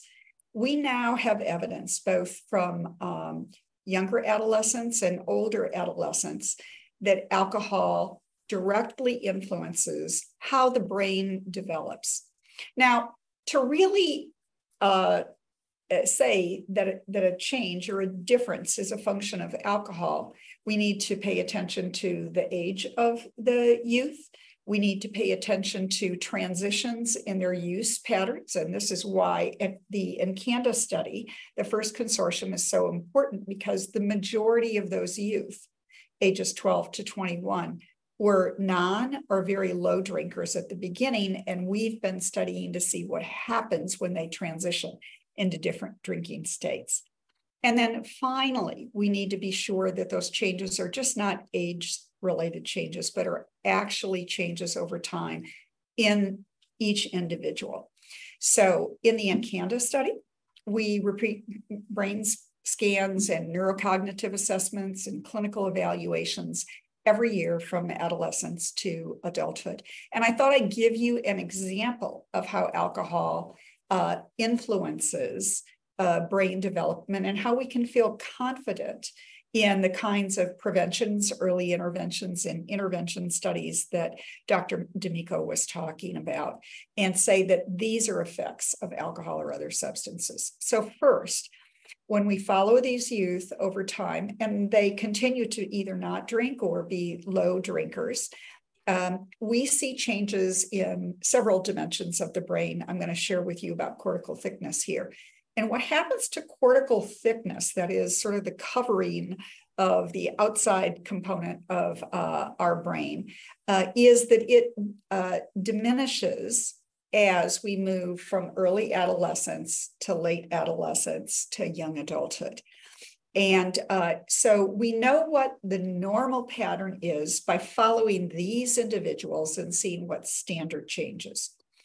If we look at youth who have transitioned from non drinking to drinking states, uh, uh, but are not heavy drinkers, they're not regular bingers, for example, what we see is that their cortical thickness decreases faster in the youngest cohort. So the earlier you start to drink, the more impactful it is on this dimension of brain development. And the changes are slower than uh, would be expected uh, at the older ages, at, in late adolescence and young adulthood. And importantly, for those youth who transition from non drinking or very low drinking up to to regular heavy drinking, uh, binge drinking, for example, it's the very fastest in the youngest cohort and the very slowest in the older cohort. Let me give you a picture of this. There we go. Uh, so if you look at the red lines here across these different parts of the brain, what you'll see is that they all look like the, the decline, the, the rate of change uh, is about the same uh, across all of these five time points that we studied them. Um, but if you look at the green and the blue, the moderate and, and the uh, heavier drinkers, you see that decline is slower here. It's slower in this part of the brain. It's slower in this part of the brain. So, and we see that all the way across, and that the and that at, at the end there is a much bigger di- difference uh, in terms of uh, the level of thickness in the brain and the rate of the intercept as well as the rate of change. Why is that important? Because these kinds of brain changes, um, cortical thickness changes, gray matter reduction, uh, white matter increase, and functional uh, connectivity, neural network connectivity, are all important in, in the process whereby the brain basically restructures, reorganizes, and becomes a more efficient learning and memory system. So if alcohol disrupts that, uh, that process, we, pro- we will be able to see that manifest in uh, the way youth make decisions, the way they learn in the classroom, the way they remember things, uh, and how planful they can be as they move through adolescence. So uh, we've done a number of studies in this NCANDA project where we're looking at individuals over time. And what we find is that gray matter volume reduction is impacted by alcohol. Um, it's not exacerbated by marijuana use, for example, but it's impacted by alcohol. Those who are alcohol users, uh, uh, the patterns look the same as if they have other drugs on board. White matter um, uh, uh integrity, meaning uh, as the myelination occurs in the nervous system, uh, neural, neural networks in the brain, the uh, effectiveness of that myelination, the completeness of that myelination uh, is impacted by alcohol. It disrupts how efficiently parts of the brain can uh, connect and send messages to one another and can work in coordination. Uh, we talked about a volume difference. And the last thing is alcohol Im- impacts this functional connectivity, meaning how the networks of nerves work together in different regions of the brain to help us make good, good decisions, uh, to help us understand other people's feelings and thoughts and their behaviors, to plan our own behavior, for example.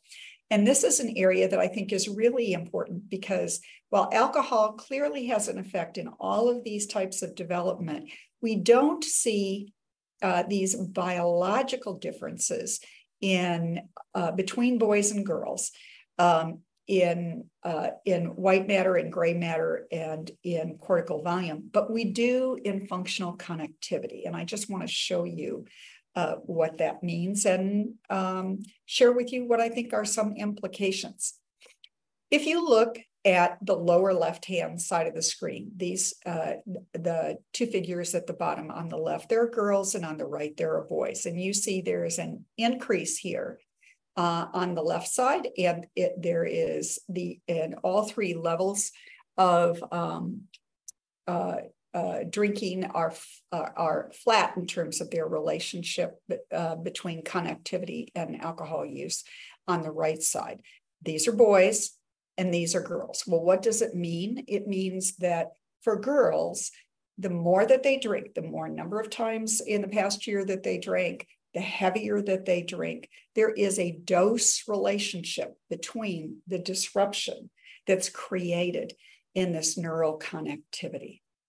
Um, for boys, it looks like uh, the impact of alcohol and other substances is the um, same uh, for um, days uh, if they're using alcohol, but for girls, it's higher. And for boys, it looks like the uh, drinking, um, excuse me, yeah, drinking directly affects connectivity. Um, whereas for girls, what drinking does is through this alteration, uh, uh, the alterations in sensation seeking, it increases um, the uh, connectivity uh, levels or it impacts more strongly the connectivity levels. So, what does that mean for us? This is in the sensory motor part of the brain, and we see exactly the same thing, the, same patterns in the motor network as well, uh, where we see stronger effects for girls than we do for boys in these parts of the brain, and these same patterns. And there's a dose uh, response effect. So, in a way, this is showing us that the brains of girls, the brains of female adolescents and uh, late, uh, early and late adolescents, are more impacted, uh, disrupted by alcohol use. The more the girl the girls use. For boys, uh, alcohol is disruptive uh, but it does not do so through enhancing sensation seeking. And if you think about it, um, this heightened sensation seeking um, uh, can put girls at risk, can put it, sensation seeking is very normal, risk taking is very normal in adolescence. But if you have something that heightens that, that can also heighten other types of risk uh, exposure to dangerous situations, exposure to unwanted sex, those kinds of things. Um, uh, perhaps driving more rec- recklessly, for example. So, um, uh, this is an important arena where alcohol affects uh, so much of brain development in adolescence, and it especially impacts girls in um, adolescence in, in the, this way. So, um, we know that these are pretty consistent findings. We've seen these in several studies now. Um, and we also know that alcohol impacts cognitive performance. Now, in adults, we know that women's tend uh, uh, that alcohol and other substances do influence cognitive functioning, learning, memory, uh, attention, uh, executive functioning, problem solving, for example, and um, behavioral inhibition. Um, and we, we see this to a lesser extent in, in our behavioral measures of cognitive performance in uh, younger people, but we still see those differences. But for girls, I want to point out that alcohol appears to have a stronger impact on nonverbal memory. That's visual spatial kinds of memory. And remember, I just showed you this functional connectivity link that's more impacted uh, by females. So we see behaviorally in um, visual spatial memory what we saw in the functional connectivity measures. And with boys, alcohol appears uh, to impact sustained attention or vigilance more uh, than other domains uh, and more than girls. Uh, the, on other domains, we see, see, those differences, but we uh, don't see uh, as a result of alcohol use, but we don't see the differences between females and males. Uh, so there are, in fact, differences in the way alcohol and other substances affect the brain. They affect how we think and other aspects of health as well. One of the things we know is that over the past several decade, there has been a dramatic increase in depression among adolescents. And um, I'll talk to, uh, to that again um, uh, when I mention a few things about COVID. Um, but if you look at younger children between the ages of 5 to 11, we know that uh, uh, death related to depression and suicide, for example, pretty low. But by the time youth move into this 12 to 17 year age range, you can see that suicide is the second most common uh, cause of death for youth. Although uh, ideation is um, um, it's more, excuse me, it's more common in Caucasians than um, other populations. And uh, uh, death by suicide is more common in, in males in this younger age group. However, girls, almost a quarter of them have said uh, that they've seriously considered suicide uh, by the time uh, they're in high school and uh, high school seniors. So uh, this kind of ideation is pervasive for girls. Um, we were interested in the ABCD study with how early this starts. And you can see that even controlling for all types of confounding factors, that 6% of the nine and 10 year olds said that they had at least had passive um, ideation, like life is not worth living for them. Uh, two and a half percent said that they thought about it and thought how they might do it or even developed a plan. And uh, 1% had actually made uh, attempts, over 9% had made some personal uh, kind of injury, cutting, head banging, etc. So it's important for us as we think about early interventions uh, to look at what are the risks at these early ages. Some things are not surprising, like high family conflict, a lot of stress in the in the family. But limited parent parental monitoring was also associated with greater reports of suicidal ideation.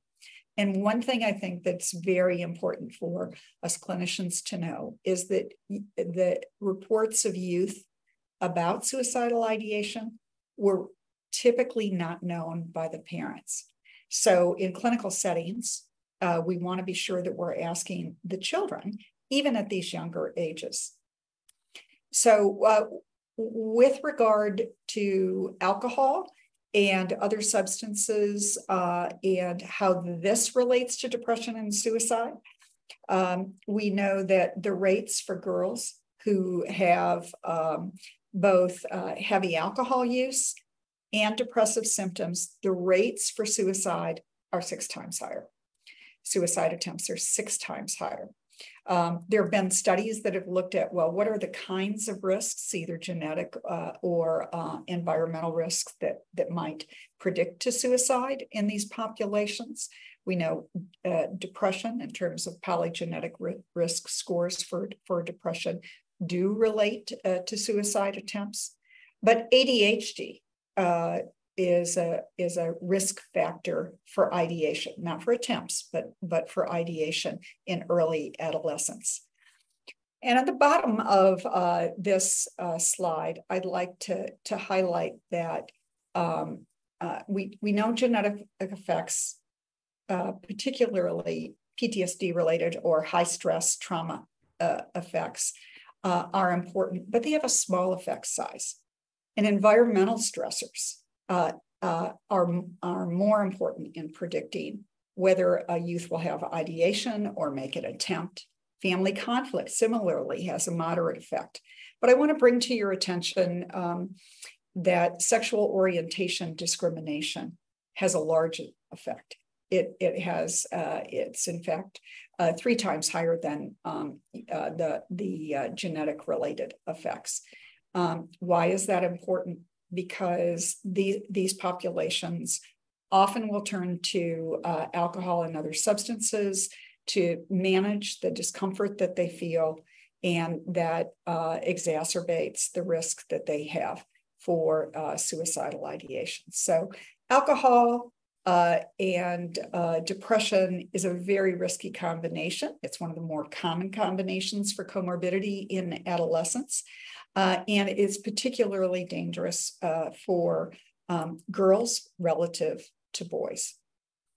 Um, another set of new uh, findings that I wanted to be sure to share had to do with uh, alcohol, adolescent alcohol use and sleep.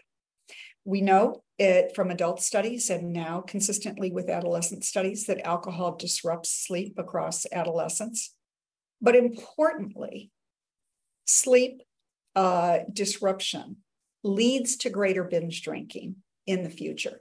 And this is especially true uh, for girls. There are characteristics of girls that, uh, that are related to sleep problems and uh, risk for continued or exacerbation in, in binge drinking, uh, being awake, uh, a pattern of being awake later in the evening, um, more daytime sleepiness, uh, shorter weekday duration of sleep predicts to future binge drinking, onset and exacerbations, um, and uh, uh, shorter week weekend duration of sleeping as well. We see some of these effects. The the shorter duration of sleep uh, uh predicts binge drinking for boys. But this is really important for girls to ask about the quality of their sleep. Be sure you understand um, uh, the if they're having difficulty and to help them address that. That's an important health domain that seems to unfold and actually be exacerbated in adolescence. Uh, so uh, let me uh, uh summarize uh, so far that we see alcohol affecting the brain and uh, cognition, and it looks like gray matter, white matter, cerebral volumes, and cognitive performance, especially executive functioning, seem to be impacted about the same for girls and for boys, um, and, including the impacts of binge drinking and blackout level drinking, by the way. Um, but for girls, alcohol produces more visual spatial memory problems. Uh, it uh, produces impairment in neural connectivity development, both in the sensory motor and motor um, arenas, and sleep problems for girls uh, are at elevated risk, uh, elevate risk for subsequent alcohol use. So I'd like to close my time by just making a few comments about uh, the COVID period, uh, these last two and a half years that we've all uh, had to struggle through, and it's been especially hard uh, for those who go into the COVID uh, uh pandemic, the SARS-CoV-2 pandemic, disadvantaged in any way, uh, economically, uh, in terms of family life, et cetera. But for, we see a 14 to 16% increase in depression for those who were reporting depressive symptoms before COVID onset. So for those uh, uh, individuals, both boys and girls, there's a 14 uh, to 16% increase in, in depression as a function of COVID uh, during the first year. And this is regardless of whether they've had COVID or not. And girls report being substantially more stressed uh, uh, by the pandemic than, than do boys. And on the right, you'll see all these different ways in which, uh, at least in our repeated surveys, in both NCANDA and ABCD, we find that COVID has impacted youth, um, uh, uh, disrupting uh, relationships with their friends and their family family members, uh, making problems that existed before, whether those are financial concerns, health concerns, uh, mental health concerns, making those kinds of things worse. And um, uh, so you see all the different ways in which, uh, uh, and, and the extent to which uh, these factors uh, were influenced by COVID. Um, when we look at how much stress people experienced during COVID, um, uh, we see that girls experienced much more stress than, than boys. And one of the things that mitigates the level of stress that's experienced, uh, um, particularly for girls, is communication with parents. And here I'd just like to highlight that uh, Black and Hispanic communities and uh, socioeconomically disadvantaged families were parents were much more likely to talk to their children about the challenges of COVID uh, than were families, uh, than were Caucasian families or families with uh, that were less financially impacted of higher SES. Uh, it's a really important message, I think, for us about the resilience that we can uh, see and observe and need to understand in uh, across these different types of families. So with that, I think I'll pause and very happy to take any questions that you have. Thank you. Thank you for that excellent presentation, Dr. Sandra. If you have, Sandra Brown, if you have any questions for her, please put them in the Q&A box and we'll be able to answer them during the Q&A session at the end. Now, please welcome Dr. Stacy A. Sterling. Dr. Sterling? Hi. Can you hear me? Yes, we can. Great. Thanks so much. Um, I'm really happy to be here today uh, to talk uh, about SBIRT, screening, brief intervention, and referral to treatment for adolescents and some of the implications for adolescent girls. And I'd like to thank NIAAA for their support of these projects and especially thank Dr. Roach for her passion and, and commitment to bringing this conference to fruition. Um, so let's see. So today I'm going to talk a little bit about adolescent girls and alcohol and drugs and comorbidities, uh, but we've heard a lot today about the health and mental health effects of alcohol and drugs on adolescents and girls in particular, and just want to remind everybody about the convergence that we have seen between um, girls and boys and their use of alcohol and drugs over time that we've heard from several of the speakers today. And so I'll just present a few findings that really echo uh, the what we've already heard. Uh, talk a little bit about um, the evidence base for adolescent SBIRT, um, particularly for girls, um, and uh, talk about current guidelines and recommendations, and then share some findings from a trial that we have conducted in our health system, Kaiser Permanente, Northern California, of adolescent SBIRT and some of the findings over time, particularly the long-term findings, and then hopefully uh, talk about some next steps or future directions. Um, so, uh, you know, as we've just heard from Dr. Brown and others, uh, you know, some of the um, health and mental health impacts and the um, increases in use among adolescent girls um, that we've been seeing over time, I think have been exacerbated during um, the COVID pandemic. Uh, we know that there's a lot of distress and stress out there, particularly among adolescent girls.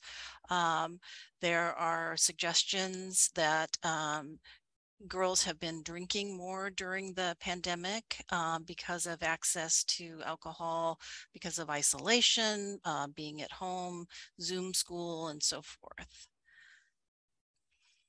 Uh, we have looked at this uh, a little bit in our system and just to, uh, uh, for those of you who aren't familiar with Kaiser, um, Northern California, it is a large integrated healthcare system. We serve about a third of the population of Northern California. Uh, we have about 4.3 uh, million members overall and about 400,000 adolescent members.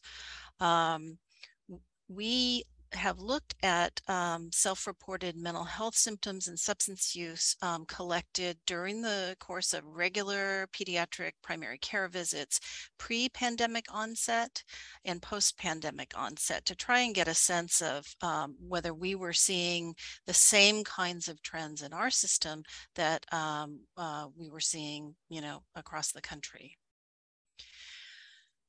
So already you can see this is pre-pandemic and you can see that, um, you know, girls were self-reporting alcohol use um, more than boys were, uh, about equal uh, percentages of um, self-reported marijuana use, um, but much higher uh, reported uh, self-reported mood symptoms and suicidal ideation. And that was, you know, this really echoes what we just heard from Dr. Brown.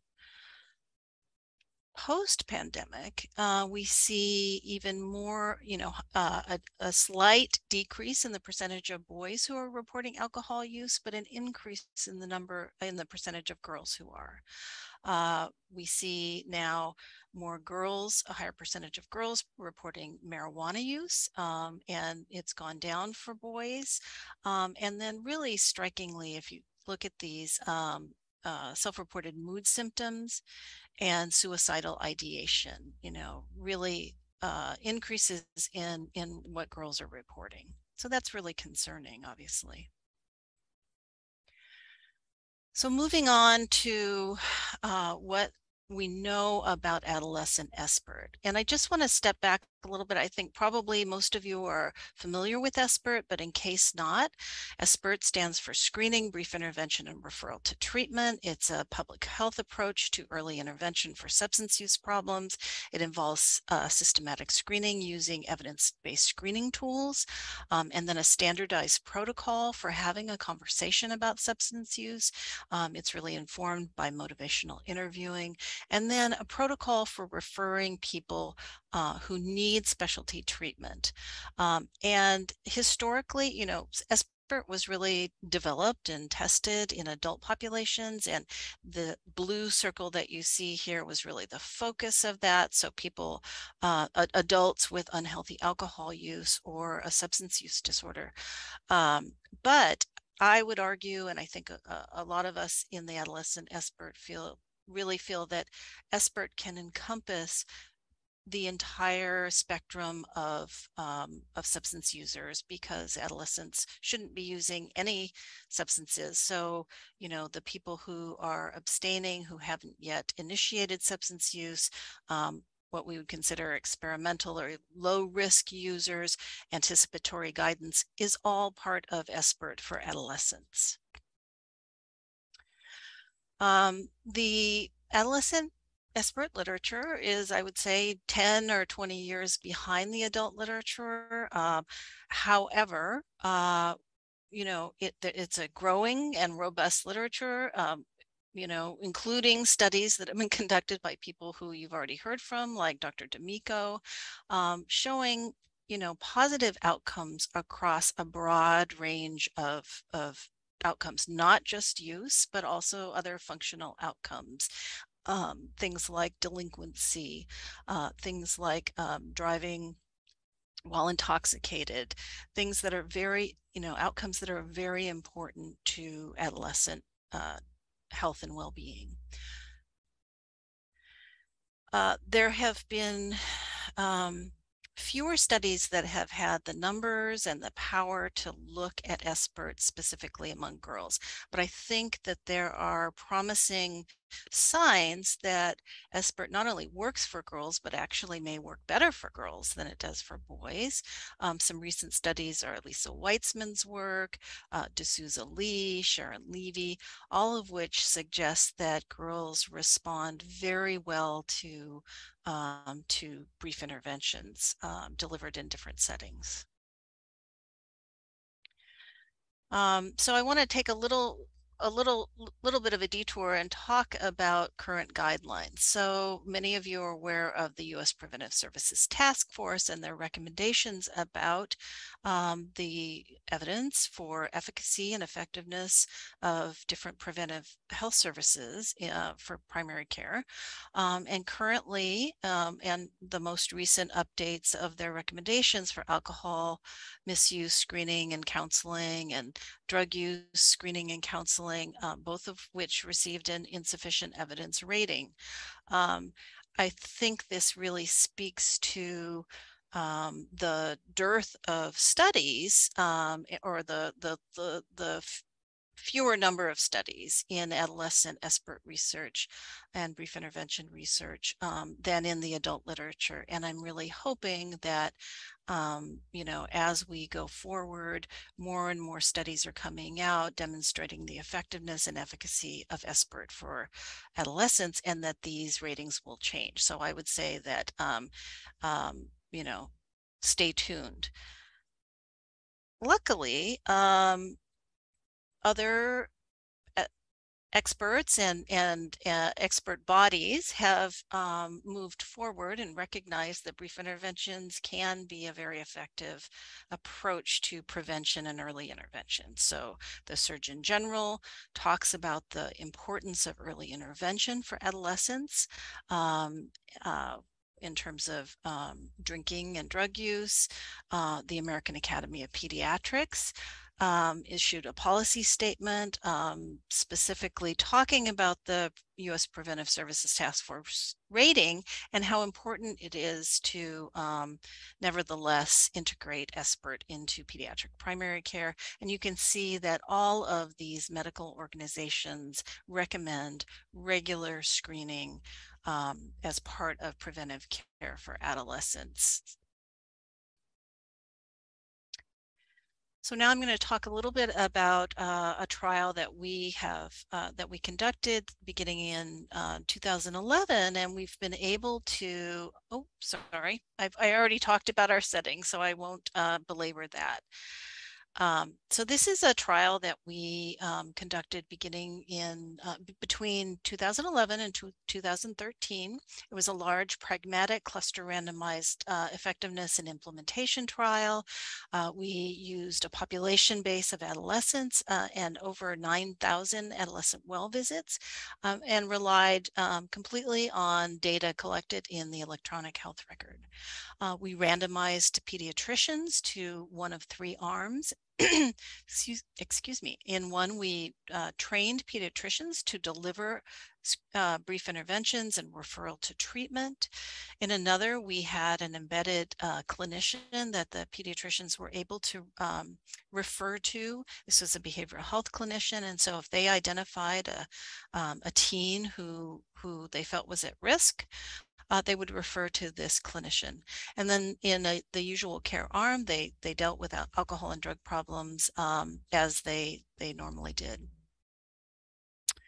And we looked at a whole variety of outcomes. We looked at implementation outcomes. We looked at patient outcomes, both um, alcohol and drug use, but beyond that to uh, many other salient um, outcomes for adolescents.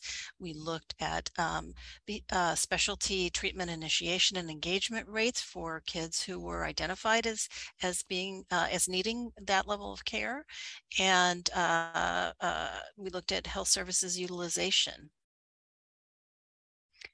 and we have um, published, uh, a, you know, a lot of different outcomes so far.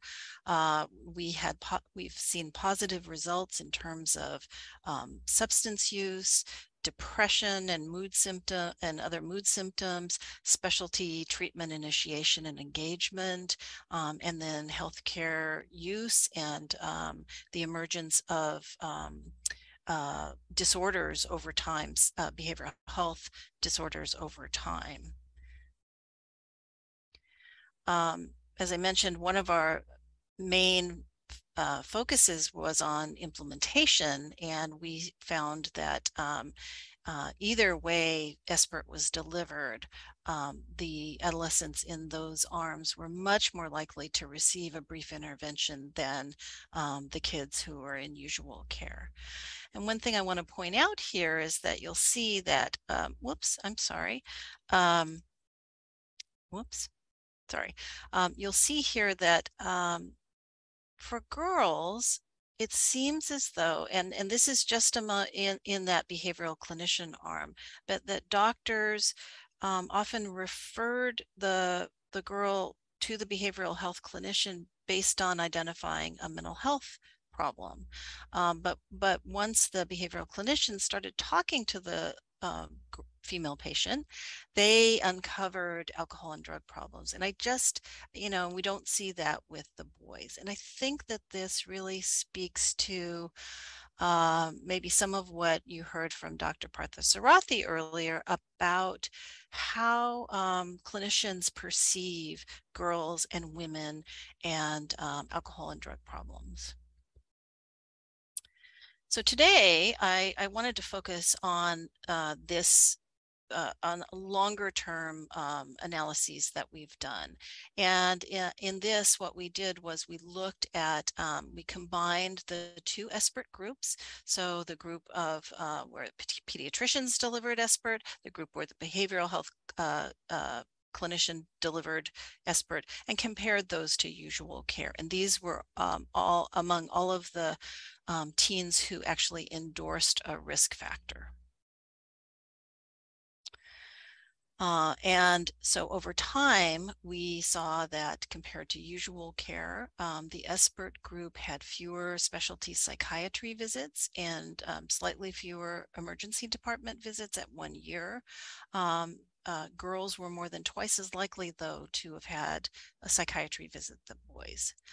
Um, we had we see fewer um, specialty psychiatry visits and fewer total outpatient visits compared to usual care at three years among the SBIRT group um, adolescents.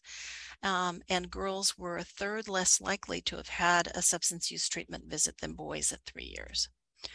Um, the SBIRT group was less likely to have mental health diagnoses or chronic medical conditions at a year and was less likely to have substance use diagnoses and more, but more likely to have had substance use treatment visits if they had a substance use diagnosis than usual care at three years. Um, and now we've been able to look at these uh, kids young adults now um, at seven years. So all of these are uh, uh, this, you know, all of the these uh, participants are, are, young adults now. And compared to usual care, uh, we see in the SBIRT group that they had lower odds odds of any substance use, alcohol, any drug, marijuana, or tobacco diagnoses. They had lower odds of any inpatient hospitalizations. They had lower Charlson medical comorbidity scores compared to the usual group. Uh, we did not see any differences in mental health diagnoses in general between the two groups.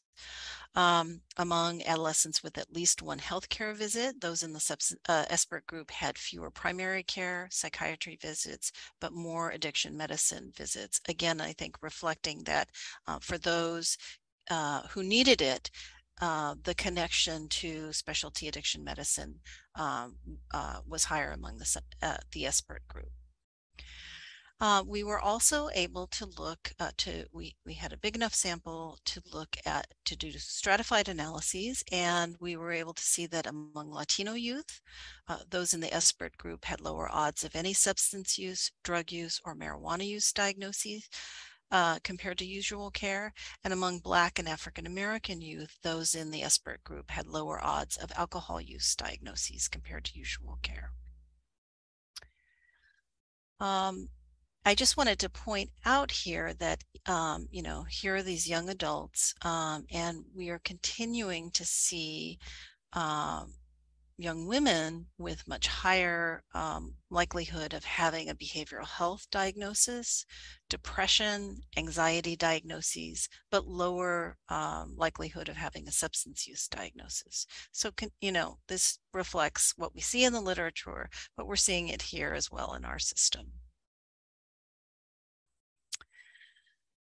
So I think what we are are determining you know, from this study, you know, in our system that uh, is that SBIRT delivered in um, a variety of different ways, whether by pediatricians or other clinicians can improve identification and treatment of adolescent substance use and mental health problems in uh, pediatric primary care.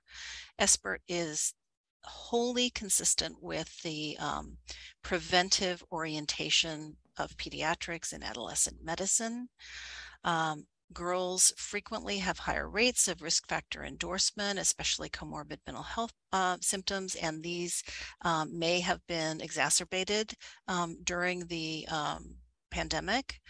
And I think that we are going to be um, dealing with um, the sequela of the pandemic for a long time. Uh, but I think it provides opportunities to intervene on substance use in girls through other means. So starting out talking about mental health problems um, or in psychiatry, maybe. Um, but pediatricians may be less likely to think about girls as having substance problems and training and education of clinicians is really key. Um, SBIRT may be as effective for minoritized youth as for white youth, but we really need more and larger studies looking at youth of color, LGBTQ uh, youth, youth in low and middle income uh, countries. Um, and that SBIRT alone is really not enough and that uh, young people and parents really want um, a broader spectrum of behavioral health services in pediatrics and adolescent medicine and young adult medicine and other non-stigmatized settings. So I'm I'm going to leave you with this, and these are some questions that I have. And um, you know, SBIRT was, uh, you know, the early studies, which are were great and we we lean on them a lot but they were really you know involved mostly you know middle-aged uh, white men. And um, i think it's time that we really um, think about SBIRT more broadly. So we don't necessarily need to use the same old SBIRT modalities uh, for teens. Uh, that may involve telecare, some of the really exciting stuff that you just saw Dr. D'Amico talking about, the ways that they have approached these kinds of interventions. So that self-administered, peer facilitated, social media based, you know, going where teens are. Uh, we really need to look at effect heterogeneity. And so what works for whom, in what context, and delivered how. Um, and but we have to also be thinking about so how do we balance this tailoring of interventions with high quality, uh, large scale, systematic delivery. So I will leave you with those questions which keep me up at night. Um, and thank you. Thank you for that excellent presentation, Dr. Sterling. We will now transition to the question and answer section of this presentation. Please put all of your questions in the Q&A box provided. I will also start off with questions that were sent in. And the first one is, what would you say, and this applies to all of the presenters, what and to the audience as well. You can respond. I think this is important that we get input from the audience because that's what the conference is mainly about. What would you say is most important to think about when you're working with historically marginalized communities? And how have you and your team been able to build trust in these different communities? Anybody in the audience can answer this question here and, and we will provide um, an answer.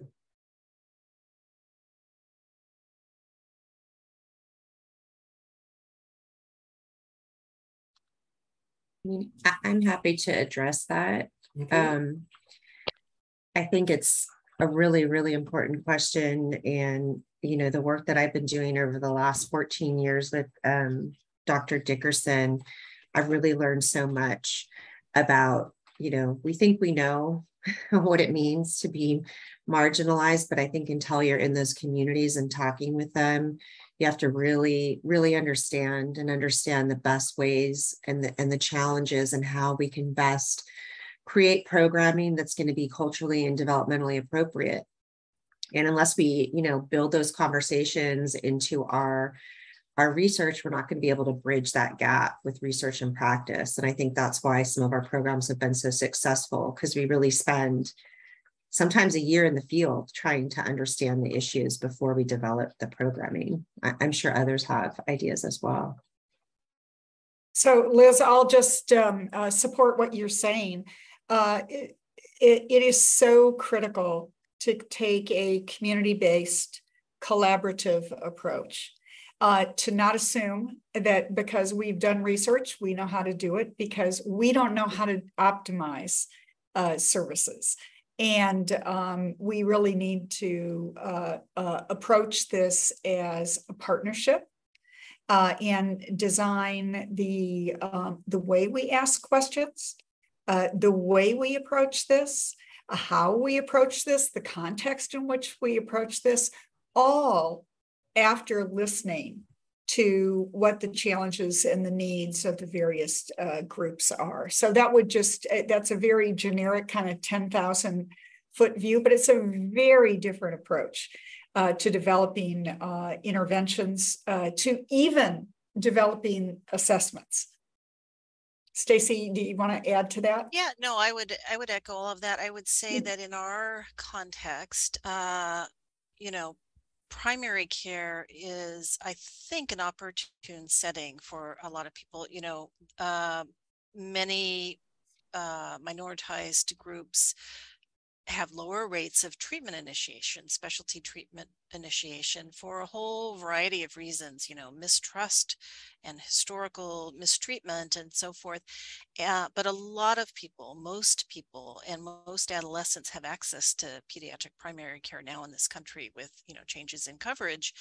And um, so many pediatricians and, and, and doctors are trusted uh, uh, uh you know, professionals. And so that I think for us is a way to reach populations that might not be willing to um, be interested in any sort of specialty care.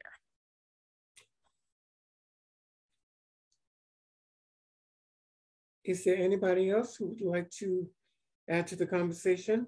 If not, we have some questions in the Q&A. Are there any studies that look at concussions related to youth sports would have a greater effect combined with substance use? Um, why don't I just begin with that? I'm not an expert in this area, but I will uh, uh, say that we are in this process of analyzing both the NCANDA data and the ABCD data as relates to this now.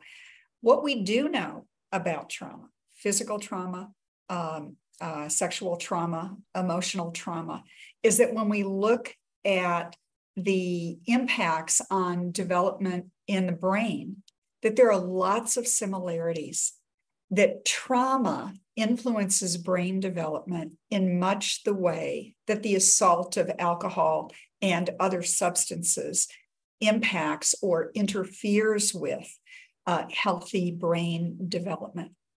Um, and so the real question is, is, is this just an additive effect? Uh, is it uh, is there unfortunate synergism that it that it even more disadvantages uh, the youth who've had these physical traumas uh, or other types of traumas in addition uh, to the insult that alcohol and other drugs produce. I'll I'll pause there in case anyone else would like to share.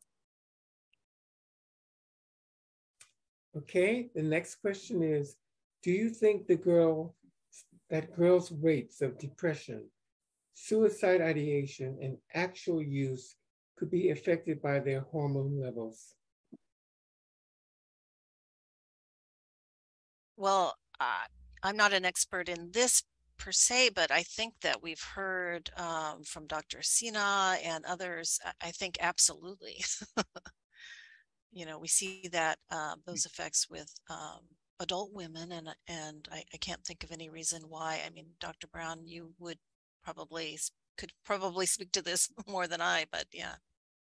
Yeah so i just agree with you uh, uh, stacy and uh, you see uh, changes in rates of depressive symptoms uh, in um, uh, increases in prevalence of depressive diagnoses uh, other types of internalizing disorder diagnoses as well uh, that are related to the to uh, uh transitions through pubertal stages. So uh, totally agree with you.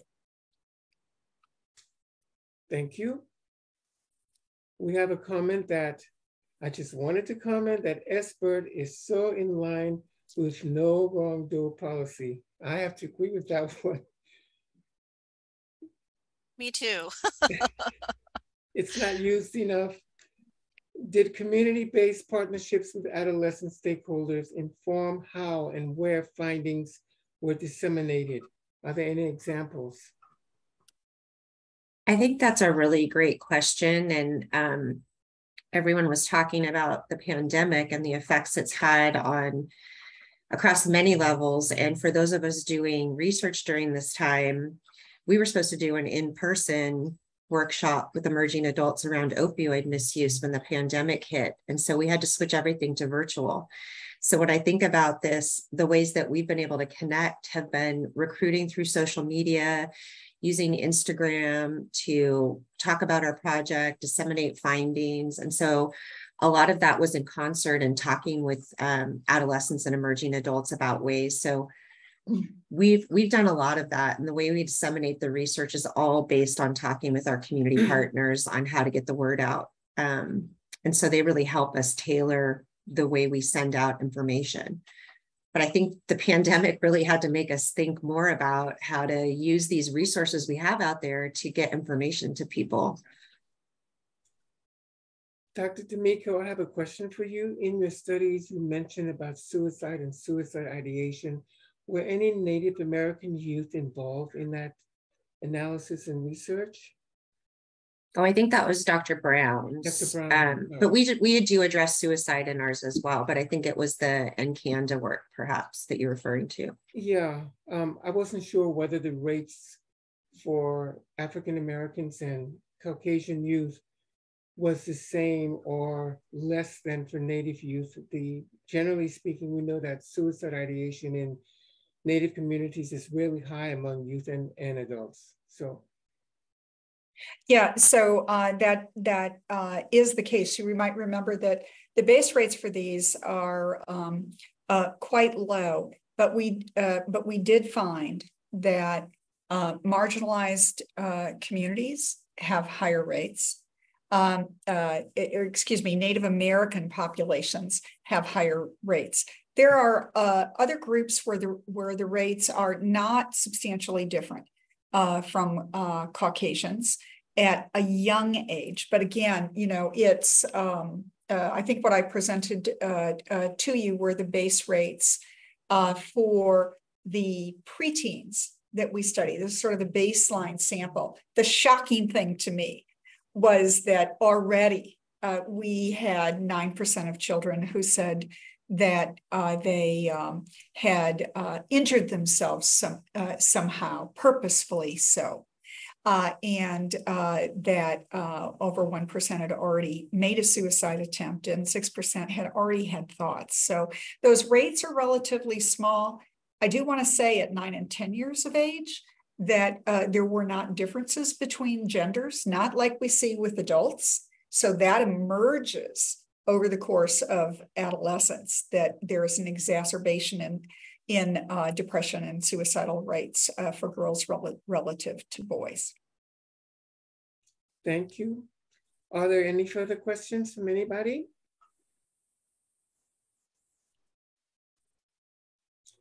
Thank you again to all our panelists. We'll now begin our 15 minutes, we'll now end our 15 minute question and answer. And we'll close now until the next session. Thank you so much. Thank you. Thank you all. Thank you for having us.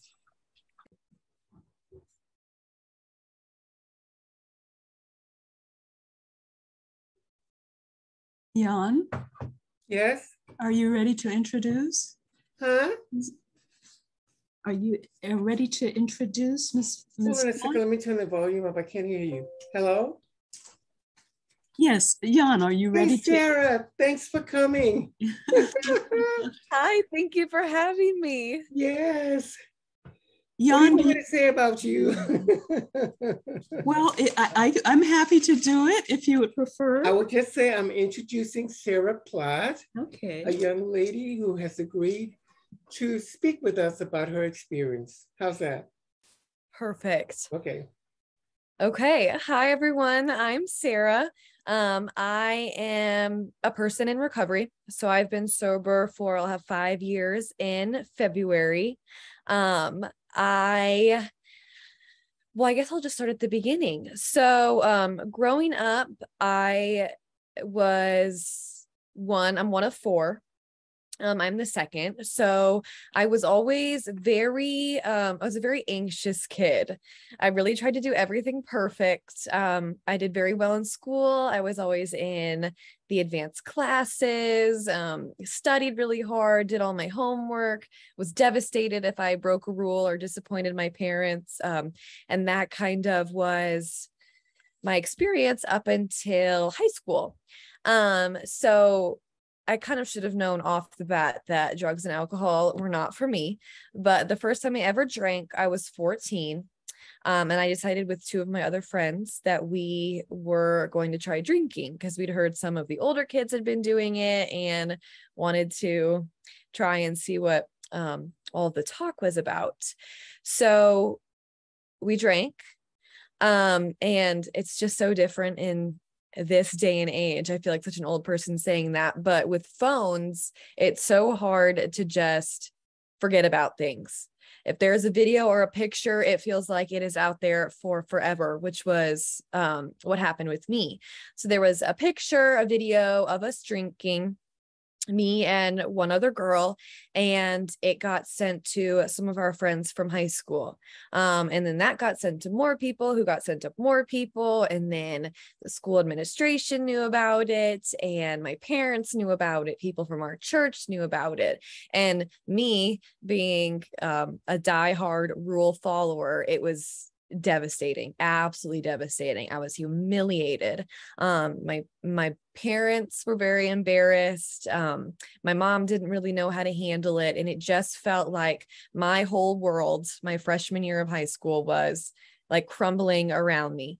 Um i i think i had a really hard time coping with it and i felt like my facade, me trying to be perfect, I feel like it was shattered and I didn't really know who I was anymore. Um, and a lot of my friends stopped being friends with me.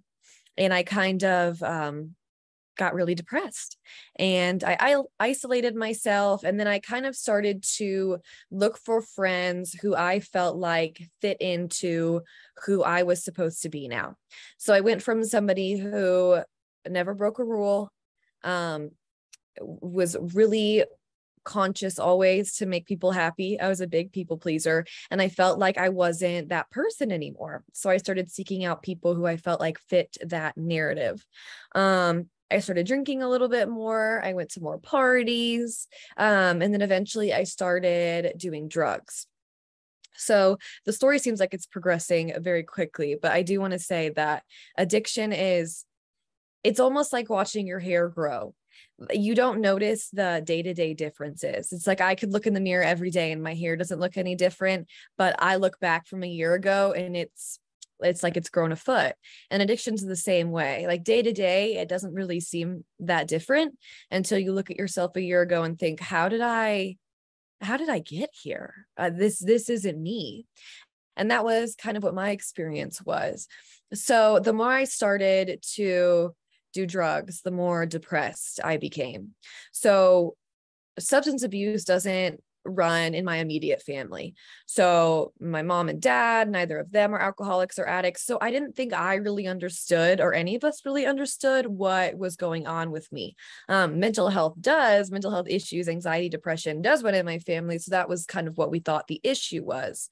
Um, so, I went from having like perfect attendance to not really going to school. I missed maybe um, one day every week and then two days every week. And then I got high and drunk on the weekends at parties and then on the weekends during the days and then after school on the weekdays um, and then during school before school. And it just, it just progressed. Um, it didn't seem quickly at the time, but it really did. I think I, I think I kind of like fell in love very very very quickly. Um so my freshman year the second half i kind of failed out of my advanced classes. I was in ap honors classes and i just couldn't keep up with the workload. I couldn't get out of bed. I i, I just wasn't motivated to do anything. So i um was sent to the hospital for a suicide attempt where I got help um, with my medications. I was taking medication at the time, and unfortunately, it didn't work very well. The medicine didn't work as it was supposed to because I was using drugs and alcohol. Um, but we tried to fix that, and I went back to school. And then my sophomore year, I failed out of my regular classes, and it was just so devastating. It was just so devastating. And it's hard to to like put it into words because it seems just like well i made a mistake and then started doing badly in classes but it was felt like that was my whole identity. I had built my whole world around that and i just didn't it felt like i had nothing else to offer. It like i wasn't smart i wasn't good at school um, I was disappointing my parents. My family was very upset with me. They didn't understand. And it just felt like I had nothing. I'd lost a lot of my friends and I was just, I was just devastated. So um, I was put on a special schedule where I only went to school half days because my parents and the school thought that that would help me get to classes on time. Um, and that didn't help. I stayed just not going to school, not getting out of bed. My parents tried everything. They called the police, um, threatened truancy, and it just, none of it mattered. The only reason I got out of bed was to get drunk or high. And if I wasn't actively trying to get drunk or high, I was thinking about how I could get drunk or high. It, my whole world revolved around it. I went from um, constantly thinking about how to people please to constantly thinking about how to use drugs. So I went to rehab my first time the summer going into my junior year. So I think my parents kind of figured out what the issue was. I they knew I had been using drugs, but they didn't know the extent of it until I um, went to treatment for my first time. So I went to treatment there and it felt like it really opened my eyes. Like I really understood what my issue was because I think the thing about addiction is when you're not really sure what's going on, you just know that the only thing that makes you feel better is using drugs or alcohol, you don't really understand that that is the whole root of your problems. It seems like everything else is the problem, and the only thing that is helping are the drugs and the alcohol. So I kind of learned there how the drugs and the alcohol were affecting me, and it felt like everything made sense. Um, I wasn't stupid. I wasn't a bad person. I didn't like get joy out of disappointing my parents. I had an addiction, I had a disease. And that doesn't mean that my behavior was excused, but it made me feel better. It made me feel like I wasn't a failure. I was just really struggling with something.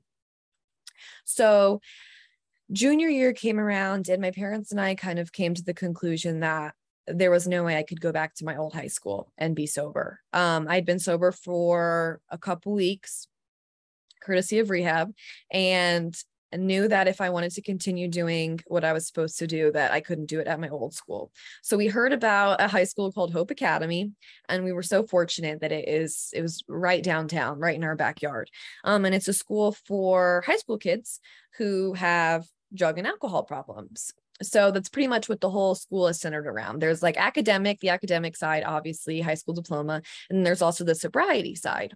So you get like sobriety support, you have um, a recovery coach that you talk to, meetings, all, all that kind of thing. Um, they drug test you. And it was just, it, it was like an environment where people understood um, what you were going through. So I enrolled there for my junior year and I had really done a lot of damage to my brain and I had missed out on a lot of schooling. So it felt like two years I, I had no recollection of what I'd learned at all.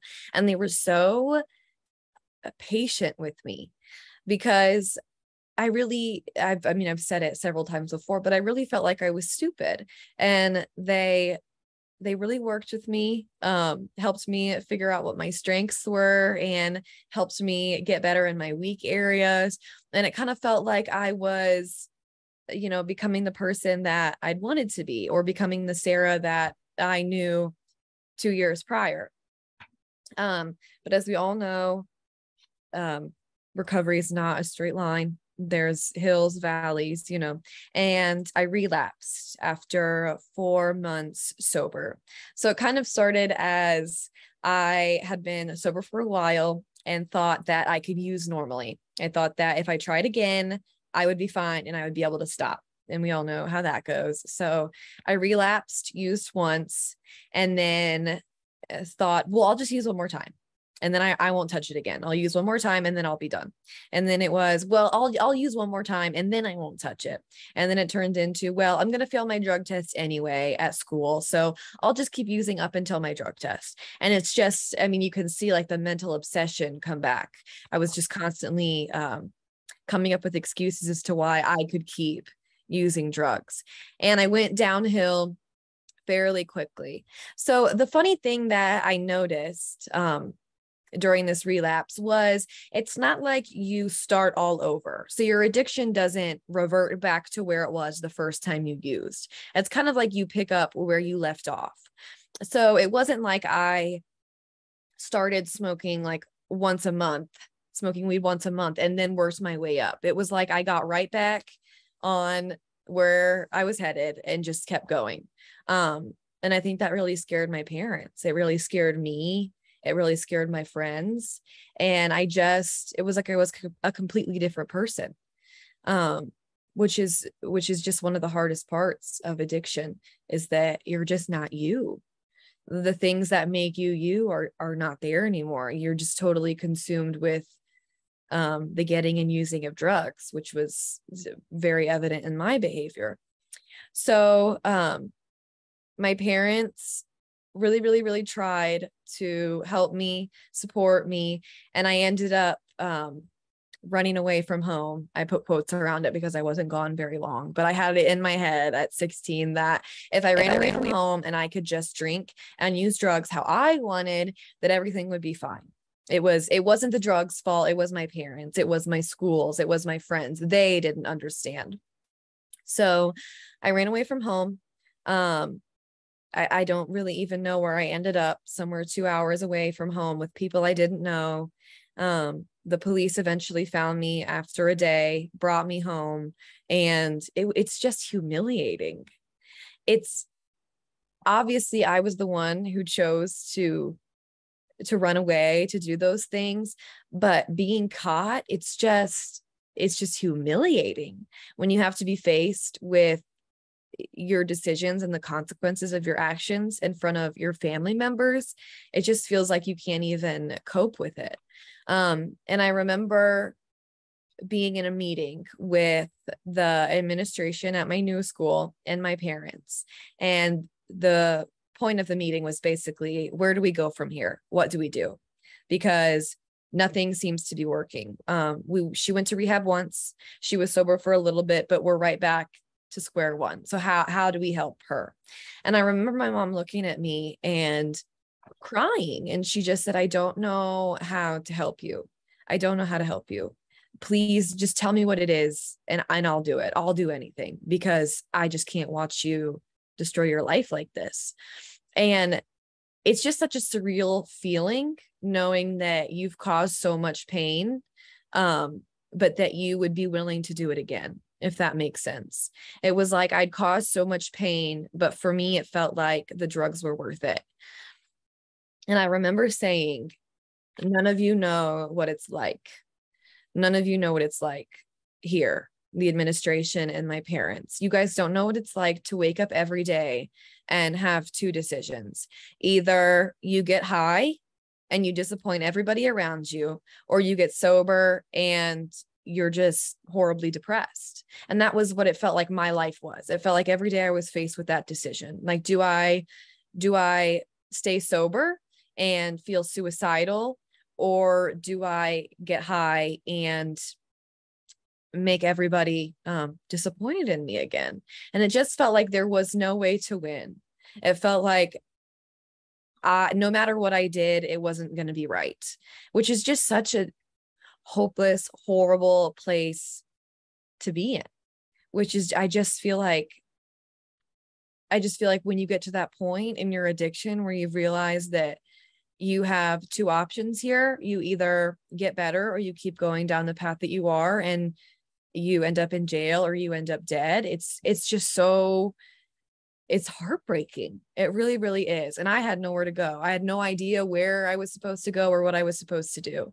Um so we decided that I would go to rehab again but it was a special rehab where it wasn't just for drugs and alcohol, it was also for mental health. Um, so if you haven't heard it before, normally mental health issues and substance abuse go hand in hand. So I had had some trauma, um, some sexual assault trauma from earlier in my um, drinking and drugging career that I hadn't really dealt with. Um, and then not to mention I, I feel like i was embarrassed to use the word trauma because it didn't feel like um it was bad enough it didn't feel like what i experienced was bad enough to be called trauma if if you understand my meaning it felt like trauma was what um people who've been to war experience or people who have survived horrible car accidents or plane crashes. And it felt like what i experienced um like getting too drunk or getting too inebriated and having someone take advantage of me didn't feel like it was it was worth something you know? And I think that was such a blessing to be able to go to this treatment facility and have my my eyes opened to uh, to the fact that my pain was valid and that it didn't mean that using drugs and alcohol was okay or that it was excused. But again it kind of reinforced what i learned earlier that i wasn't a bad person. I had made some bad choices but i wasn't a bad person and i didn't deserve the bad things that happened to me and that i had so many more options in life than to either be sober and depressed or um, under the influence and a disappointment. So I was in that treatment center for about two months. And um, I still remember it with such fond memories. I really do. It was an all girls treatment center. And I felt like I created such lifelong friends. I mean, I think there's something to be said with, well, one, you're living with these people. So you can't get away with get away from them even if you wanted to and you guys are all also in such vulnerable points in your life you know you all come you're not you don't go to that treatment center because you're like really killing it you know you go there because you need help and to be able to witness people's journeys and just witness like their raw healing and their raw pain is such a um it's such a it's an experience that just connects people um and it just felt like the girls that I was in this treatment center with, they lifted me up. It felt like like they'd saved me and they'd offered me support um, that I just wasn't able to get from other places. And that's not to say that my friends or that my teachers or that my parents didn't give me support because they did. They gave me they gave me an indescribable amount of support but it was there's something to be said for having someone who's been in the same in the same trenches you've been who knows what it feels like um and you don't feel so alone and so isolated which is one of the things that i think addiction is so good at doing is isolating you making you feel like you're the only one who feels like this but i just had such a connection and such a community with these girls and i mean i will forever be so thankful to them for all that they did for me without even knowing it. Um, so I got out of treatment and um, I had such an incredible experience, but I think I just I just wasn't done yet, um, which breaks my heart to say. So I started getting high again once I got out of um, treatment, and it breaks my heart to even say that because I just, it's just such a dark place to be in. Um, and I remember my dad has always been like my biggest supporter, has has always done everything that he could do for me. Um, even when saving me meant being my worst enemy, you know, he was willing to do it. He was willing to set down hard boundaries and make hard decisions um, that kept me safe. And he said to me one day, um, Sarah, I found all the bottles in the bottom of your closet. And when you turn 18, you are more than welcome to leave because I don't know how else to help you. You have younger siblings. Um, and, we just can't keep we can't keep doing this. And I remember, guys, I was 17 and I crawled into the back of my dad's car and started kicking the back of his seat. I'm not, I'm embarrassed to say that, but I did. I acted like a child and kicked the back of the seat. Um, and I threw a fit and I cried and said, um, I'm not drinking, I'm not drinking. And of course I was. And he said, I don't want to hear your excuses. I just want to let you know that. So when you turn 18, you know, the choice is yours. You can get sober, you can leave. And that was February 6th, 2018. And that was my first day sober. I had plans to go home after school that day and drink and I just I couldn't do it. And it's not because I like suddenly saw the light and and was ready to, be sober and it, it was the I was so excited. It just felt like I didn't have it in me anymore. Like I literally couldn't lift my hand to pick up the bottle. I was just so exhausted. So exhausted. Um and I went home and I went to bed and I just slept. And I mean, yes, I feel like I did get 30 days sober, but I think 25 of them were spent sleeping. So um, sleep was kind of like my safe place for a while because I knew that if I was sleeping, then I wasn't I wasn't in danger of getting high or getting drunk. Um, so I did spend a lot of time in bed, but I spent that time in bed sober, so I'll take it. Um, but it was really, really, really, really hard. It is, it was one of the hardest things I've ever had to do because there's good days and then there's bad days. And the bad days are very, very hard. Um, and it just feels like you're never going to be happy again. It just feels like everyone around you, for some reason, has it figured out and they're living a happy life and you're just never going to be a part of it. And again, it's like the isolation is just so crippling. Um, and I just kept at it.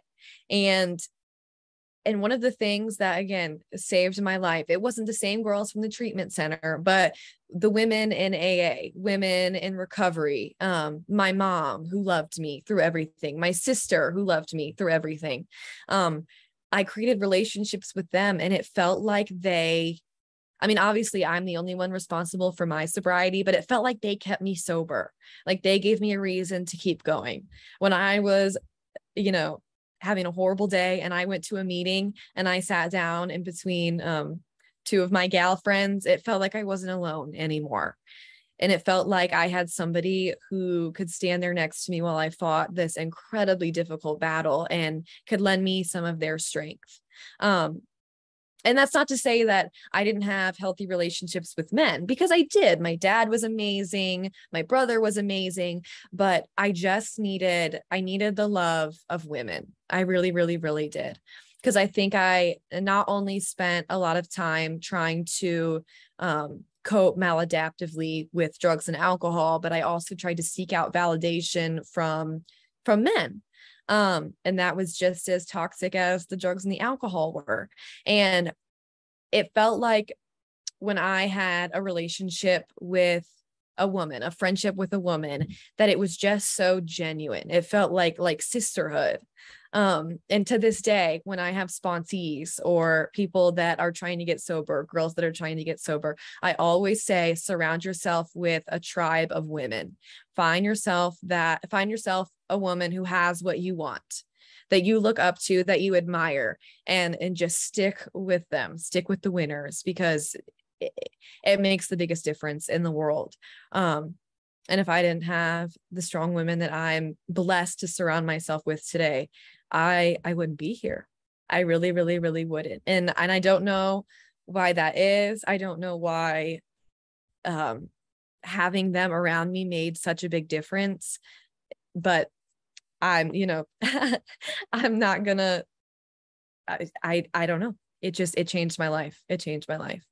And i wish um i wish i could give each and every gal girl woman who's trying to get sober a little piece of what i experienced because my life is just it's so much more beautiful than i ever ever ever could have imagined.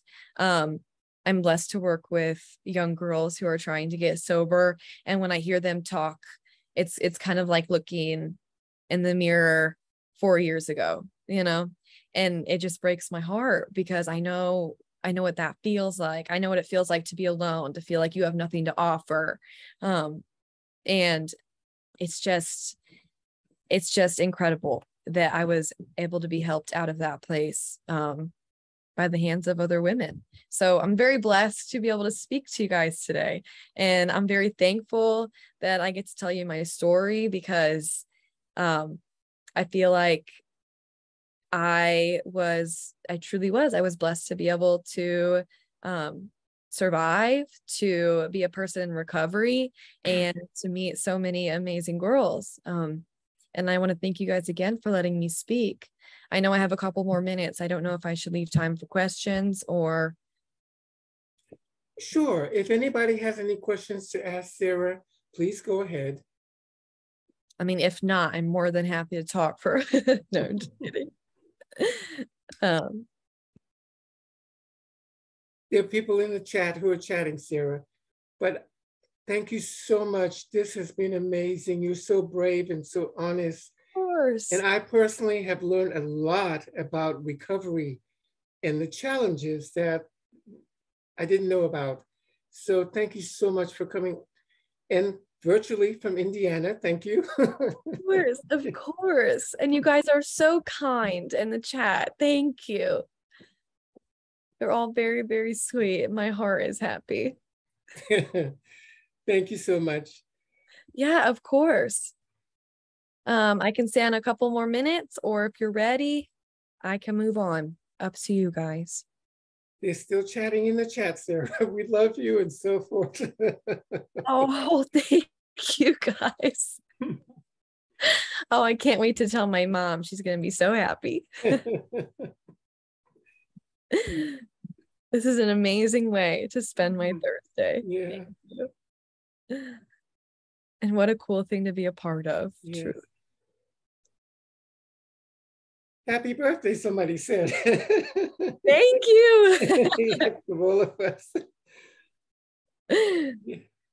It's not my birthday yet, but I'll take the happy birthday. Is it someone? but I do have five years in February, you guys. Hopefully, I'll get a really good gift. I'm just kidding. No. well, I'd like to hear that you are you will be sharing your experiences and that you're interested in helping other young people. And that's so important so that you, you've arrived at this place where your journey is still going, but you're strong enough and confident enough that you want to share and help other young people Thank with you. their recovery. Thank you so much. Oh, of course. And it keeps me sober, being able to help others. It it keeps me going. So Well, there is something to say then for peers being very important in Yeah. the recovery of people with Oh. um, addiction. You have confirmed that today. Yep. yeah, Yeah. it really is. Okay, that's it. Sarah, Thank thank you. you so much. The next Thank panel you. is model programs for mothers with alcohol use disorder, other, other substance use disorders, and children with prenatal substance exposure. And Mary Kate Weber will be the moderator.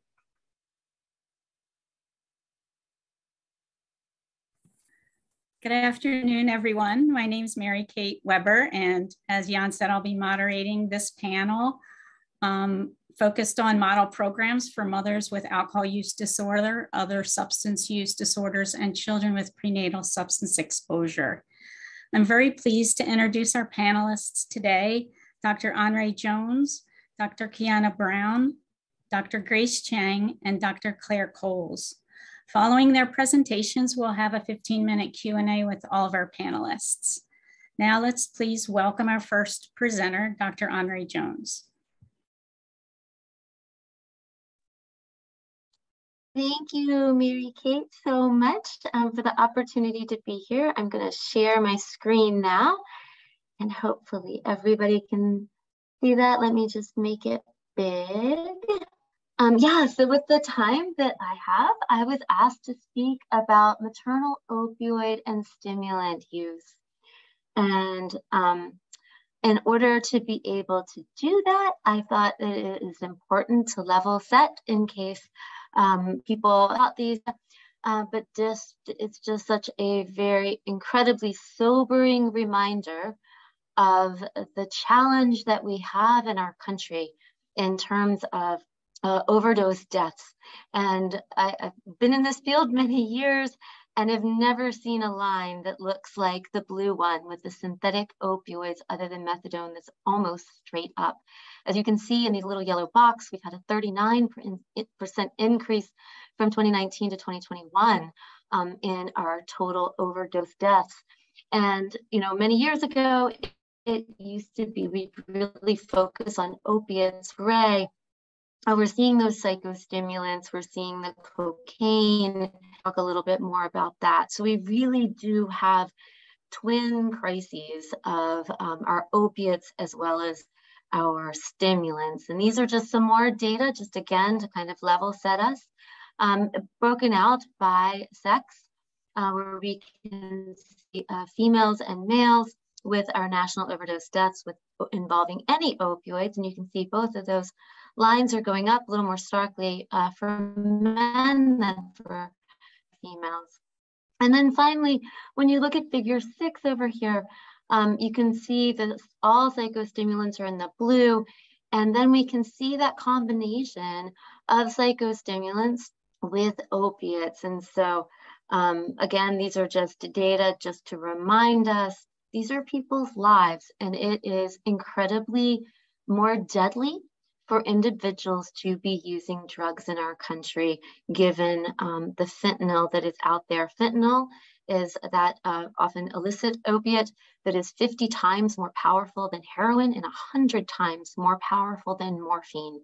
Um, and it seems to be in everything. I can tell you that the women and pregnant individuals that I have the honor and privilege of, of serving every day, they come in and to our prenatal care clinic, and the vast majority of individuals have urines that are testing positive for fentanyl or the fentanyl um, uh, metabolites. And many of them are not even aware. Many of them are saying, I thought I was just using methamphetamine, and they're coming up fentanyl positive. So it is something that is happening in the state of North Carolina, and I'm hearing across many other places in the country. And this is um, just methamphetamine. We can see the overdoses uh, per 100,000 individuals. In the quote unquote old days, you can see the um, more dense version or the more dense data happened out west. Um, and now it is really swept across the United States into 2018. And we can see in West Virginia that they have um, the greatest density of uh, methadone overdoses. And then you can see here in this other part from Millennium Health that we've got methamphetamine positivity in urines, drug testing rose by 42%, fentanyl by 75%, which is just sort of that sort of a underpinning of the anecdotal data that I just shared with you. And um, the combination, look at that, rose 153%. And there's lots of reasons why fentanyl is now more prevalent and methamphetamine is more prevalent. A part of that was accelerated uh, because of the COVID pandemic and changes in the way uh, the illicit drug manufacturers and distributors made their drugs and, and got them um, to folks across borders and um, during the lockdown and things like that, which we could have a whole nother conversation about. Uh, just to, again, kind of uh, remind us of the concerns that we are, are facing in our country, particularly for all people, including pregnant people, is fentanyl contamination. You can see this is just another piece of data to show that um, there was an increase in methamphetamine and positive um, fentanyl tests together. And a lot of the cocaine overdoses that we're seeing are also intertwined with fentanyl. And so why might uh, people be using fentanyl? One, it's the um, drug dealers are contaminating with fentanyl. It's easy, easier to get people uh, addicted to fentanyl. They'll come back for more. Um, and then the other piece too is when you use these in combination, it can kind of take away um, the harshness of either substance. So it kind of it evens you out, which can be incredibly dangerous because then you're in a situation where those drugs are masking the high of each of the individual drugs. And um, we, as you can see here on this slide, we've got somebody saying, you know, it also helps me function. The other problem too is in many places, heroin's not even available. Fentanyl is the only thing. And so being, and sometimes when fentanyl's not available, uh, what people will use the only thing that is available to them, which might be methamphetamine. When we talk about pregnant individuals, these again are our national data. These are uh, self-reported past month use. This is not use disorder, uh, but this is self-reported use. And as you can see, 2016 in the light blue, 2017 in green, 2018 in gray, and 2019 in the dark blue, you can see that the most commonly used substances are tobacco and alcohol. I know that there will be more talks about alcohol in just a minute. Um, and so I wanted to just remind you all that we need to be talking about these fully illicit substances. And then with the arc of marijuana legislation changing um, in terms of its legality across the country, we're seeing more, um, more, mar more cannabis use. Um, so you can see that reflected uh, and when we have more cannabis use, we have more people that are using cannabis during pregnancy. And um, while we've just talked about the fentanyl and the methamphetamine, um, what we can see here is that in terms of our self-reported use, we have many fewer individuals during pregnancy that are reporting use, but that is not to say that it is something we should ignore. Um, it is something that is quite a concerning challenge for for us and we need to embrace people and help support them um, in many different ways to help them consider life changes or to be able to support them in the best ways possible so that they have the healthiest uh, birth outcomes and long-term outcomes for themselves as well as for their children. And so here we can see why this is important. We know that uh, the identification of neonatal abstinence syndrome has increased in the United States and since 2004. As you can see those numbers on the screen, 1.5 per 1,000 deliveries were identified in 2004, up to 7.3 out of every 1,000 deliveries in 2017.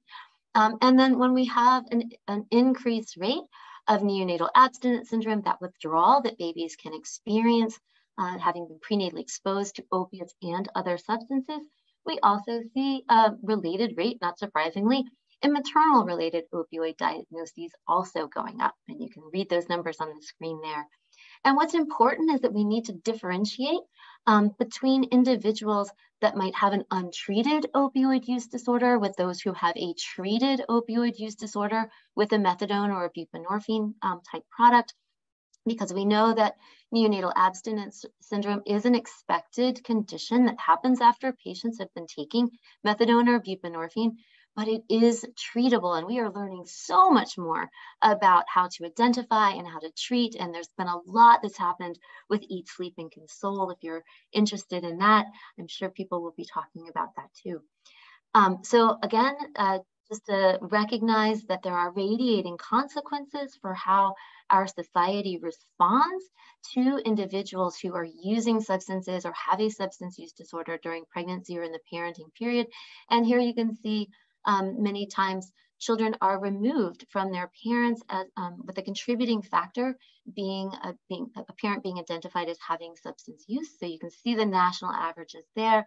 There's wonderful conversations happening now about um, how to best care for children and how to best support and reimagine support for um, parents who are using or have use disorders and making sure that children are safe and parents are safe too.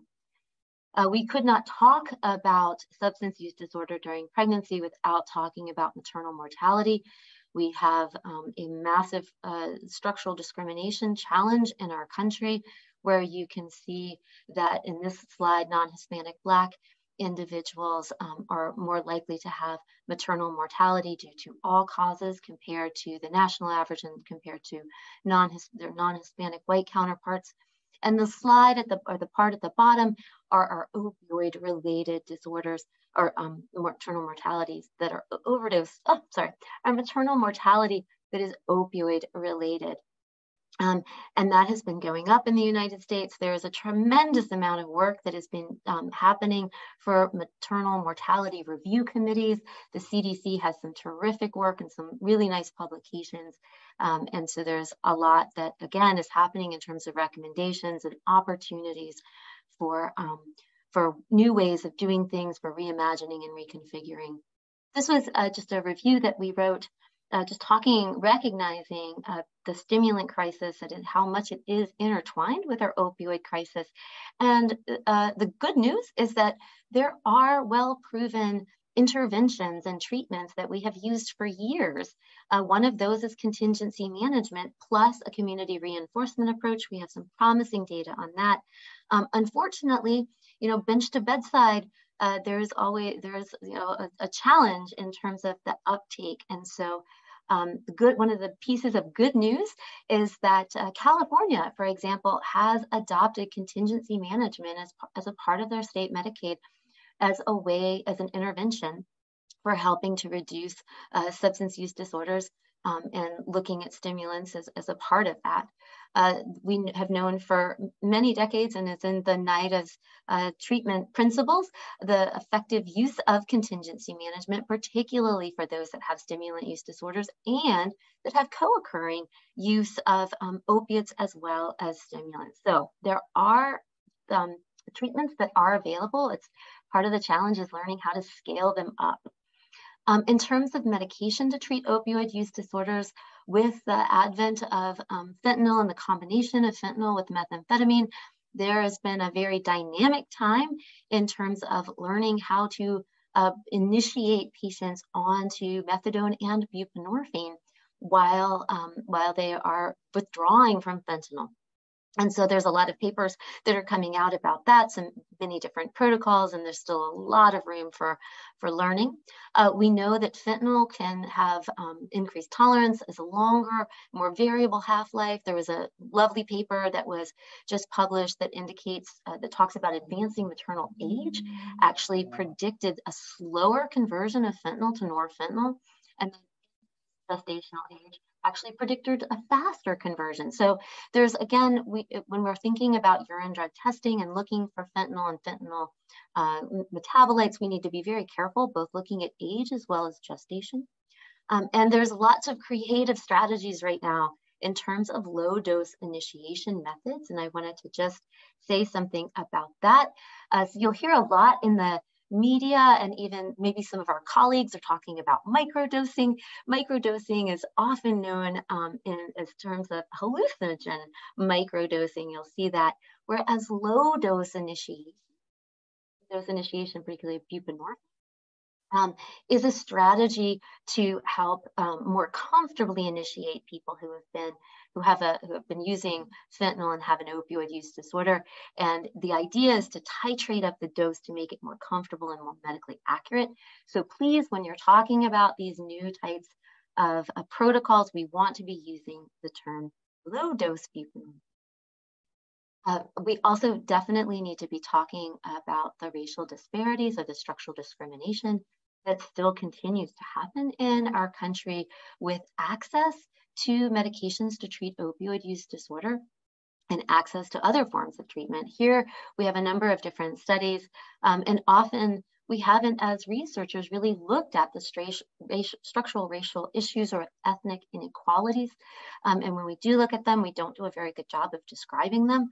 Uh, Schiff and her team has been looking at this, and we certainly know uh, basically that um, compared to uh, white women, non-Hispanic Black women have a, a, harder time accessing medications, particularly buprenorphine, and are less likely to be remaining on those medications in large parts uh, because of differences in, with, uh, in structural racism. And when um, Black women are able to receive the medication, there was a paper that came out of um, Pennsylvania that showed that when they do, they are Black women are getting a lower dose of methadone than their white counterparts. So this is an opportunity for us to look with an equity lens uh, how we are, how we, uh, how our protocols are for medication um, initiation, for access, for outreach, for all of those things. Um, and so when we think about this twin uh, crisis of opiate and stimulant use disorders during all individuals and particularly during that perinatal period, there are a couple of things that we can continue to do and do a better job of doing. First and foremost, um, making sure that we are universally verbally screening people, normalizing the idea that it is okay to say, yes, I am using substances and our response to it is what matters most. So when we say, thank you for telling me, let's get you some support, um, we're gonna have a much greater opportunity to have trust. And I am uh, convinced that change and honesty happens at the speed of trust. And so to, to be able to assess in a non-judgmental way, to have OB clinics that have not like if you miss, if you come to your OB clinic two hours late, we're still gonna see you. That's what we do at Horizons. We are so thankful that you got transportation to make it in. So having those flexible times, more frequent visits, so not carrying on the model of, oh, I can't see you until next month. We see everybody every two weeks. We have whole family care making sure that we're involving the pediatric um, colleagues as well as our social service colleagues. So when our patients come into our, U our UNC Horizons program, it is an integrated clinic. They see not only the obstetrical provider, they also see a peer support specialist or a case manager and a therapist. So our visits are longer. They're not the 15 minute prenatal care checks. They could be 45 minutes to an hour, but that's what our patients need. We've actually looked at our outcomes um, in terms from a racial lens, and we do not have differences in maternal mortality or in birth weight or um, uh, estimated gestational age differences. So We want to be able to provide for all individuals a safe and dignified and compassionate care approach. We can use a shared decision-making approach to talk with patients, even something as small as, would you like the curtain open or closed when I leave? Making sure that we're knocking on the door and announcing our name before we walk in. Um, being able to make sure that we are really truly assessing people's pain and believing them when they say that they have pain and appropriately treating them for, um, for that postpartum labor and delivery pain. Making sure that we're talking about breastfeeding and helping give people the support, helping give people peers. So uh, the best thing it, we, we ha that happens is when we have a real breastfeeding champion at Horizons and she ends up talking to everybody else and gets everybody else excited about it. And breastfeeding is hard and recognizing that. Um, and then of course, connecting to childcare and recovery and housing, which is by far the biggest challenge that we have. So just to summarize, um, we know that the drugs that people are taking are more deadly these days, and we need to give people supports um, for how to make it safer for them to live a whole healthy life. And we need to be able to act on the recommendations that all of these maternal mortality review committees are coming out with, um, both on the state level and, the, and more nationally. We've got good treatment principles. We know what to do. Our buprenorphine dosing, methadone dosing may be more of a challenge, but everything else we've known how to do for 30 years, and we need to make sure that we're doing that to provide the compassionate care, to use our behavioral treatments that NIDA has invested um, in us and our taxpayer dollars has invested in us to be able to create these. So what can we do to help get them out to the general public that so might desperately need these? And then finally, just a reminder that when we provide safe, dignified, and compassionate care, we will have better healthy outcomes, healthy moms and healthy babies and healthy birthing persons. Thank you so much.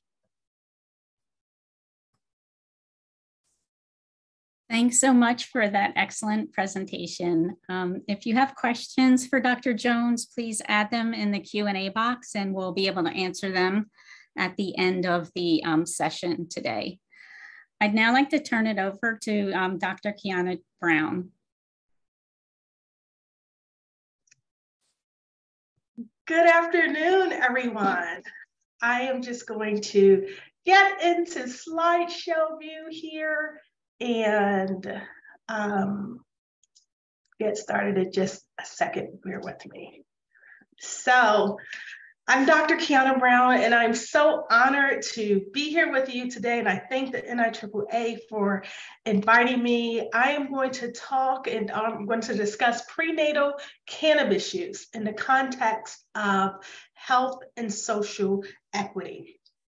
Like many of you, I am a scientist practitioner. I began my career as an Army nurse where I didn't treat many patients with substance use disorders. I eventually founded and directed a community based nonprofit substance use disorder treatment center for women, Jane's House of Inspiration, named after my beautiful late mother, Jane, who suffered from substance use disorders on and off throughout her life. And there we are pictured together celebrating a moment of her recovery. And like any mother, while the celebration is for her, she's bringing me gifts to the party. but nevertheless, um, fast forward to today. I am a substance use disorder epidemiologist, translational scientist, and social worker. And I'm here with you, the collective, the collective of people who have dedicated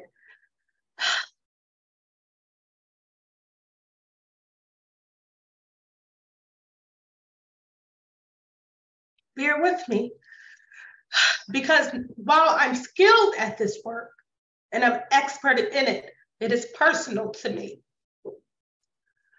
We've dedicated our careers to addressing substance use disorders amongst women and girls.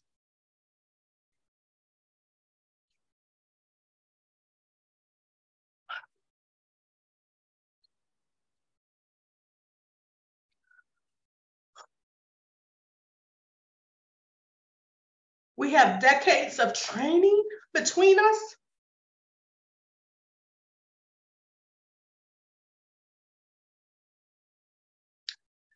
Thousands of publications.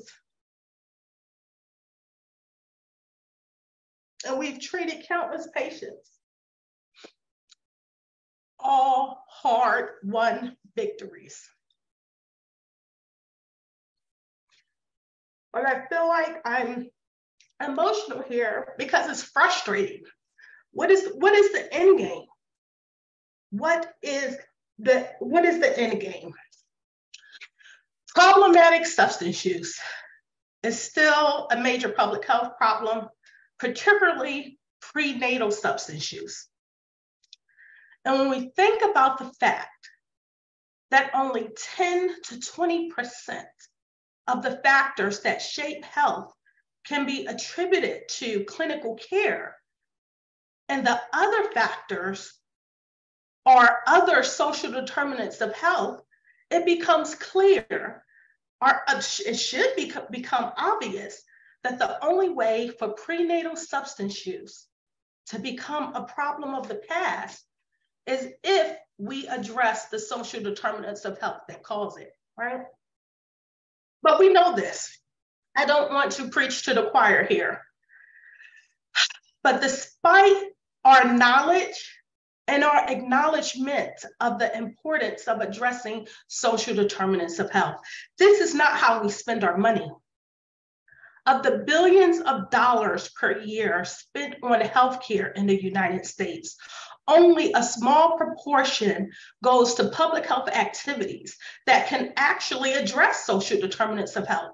While there was an increase in public health spending from 2.6% to 5.4% from 2018 to 2020, this is still dismally low compared to spending in other areas. And it's certainly doesn't represent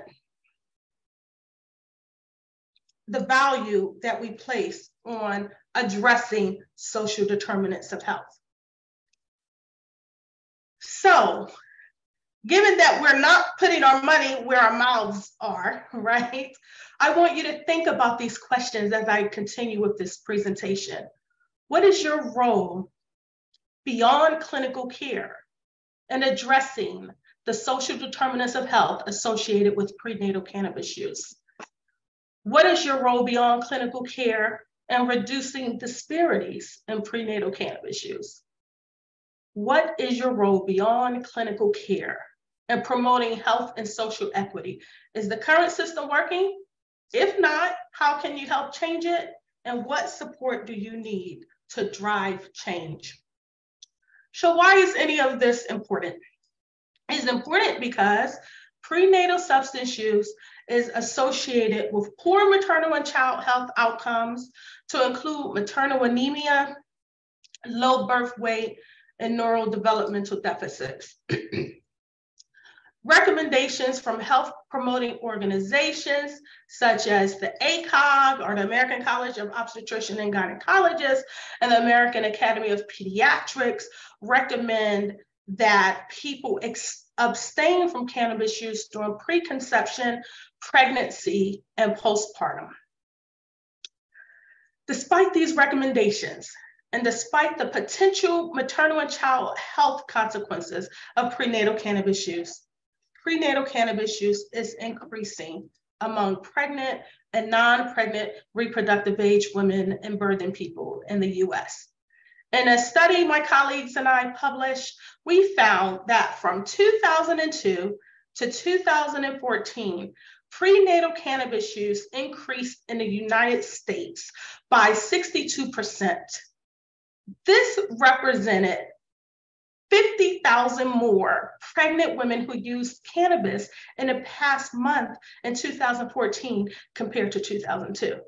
During the same time frame, we found a 47% increase in cannabis use amongst non-pregnant reproductive age women and birthing people. representing nearly, nearly 2 million more non-pregnant reproductive age women and birthing people who used cannabis in 2014 compared to 2002.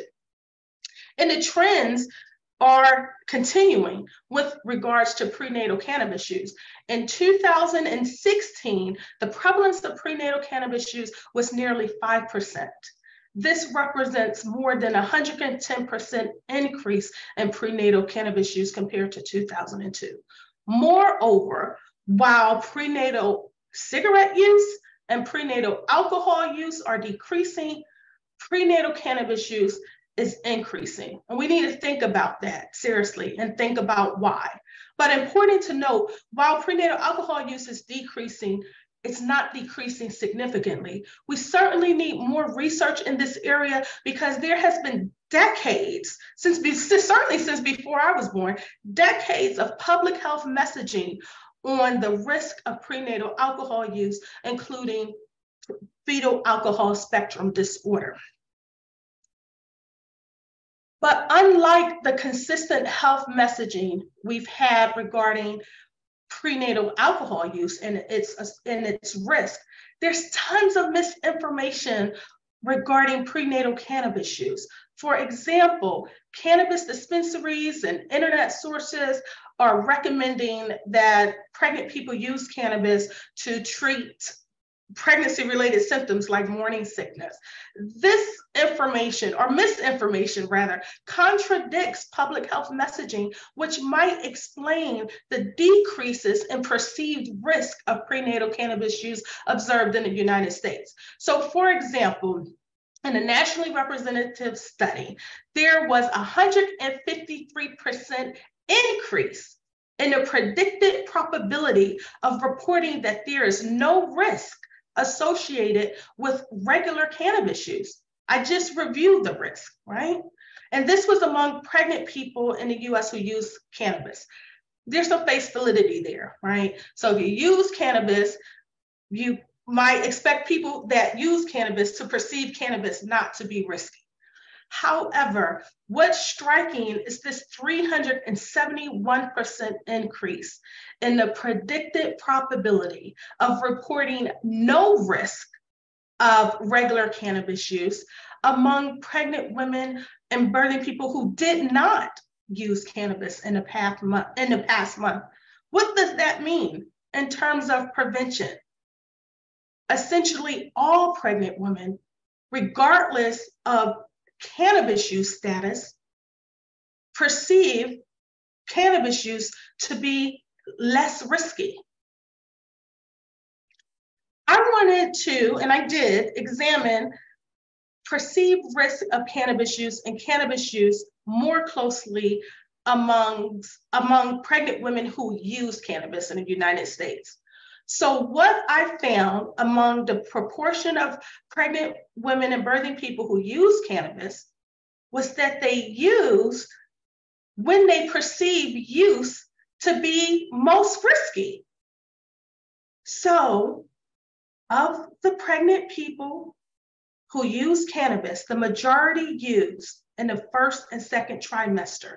Nearly 54% used in the first trimester, 31% in the second trimester.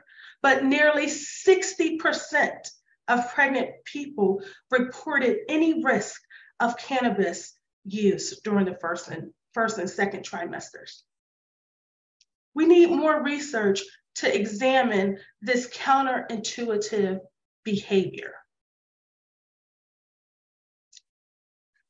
Moreover, perceived risk is a significant correlate of prenatal cannabis use, particularly in the third trimester, where the odds of past month cannabis use was over 14 times higher amongst pregnant people who perceive no risk of cannabis use compared to those who receive perceived any risk. So what are we going to do? This is a population level problem. What are we going to do and how are we going to do it in a social political environment that puts more emphasis on criminalizing prenatal substance use to include prenatal cannabis use relative to treating it. 25 states in DC have mandatory reporting laws that require physicians, social workers, and other healthcare providers to report prenatal cannabis use to Child Protective Services. 24 states in DC consider prenatal substance use, including prenatal cannabis use, child abuse, while only 19 states have drug treatment programs focused on prenatal substance use. This makes absolutely no sense. And an, an important question to ask with regard to prenatal cannabis use, given that most states have legalized cannabis for medical or recreational purposes, is if cannabis use legalization will result in increases in mandatory reporting for prenatal cannabis use we certainly need research and research funding to explore this. And it's not just mandatory reporting laws. I live in New Jersey. I'm a professor in New Jersey. There's no mandatory reporting laws. There are voluntary reporting laws. I, I teach social work students. My students come to me who have been social workers longer than I have. They're just coming back for, to school for advanced degrees. They tell me constantly that they're in family court because of prenatal cannabis use with their clients. This is in a state without a mandatory reporting law.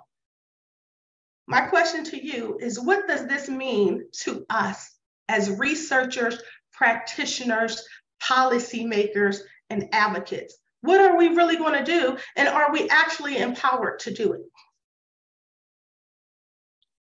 So it might seem overwhelming and a bit abstract. How do you get started to address major population level health issues?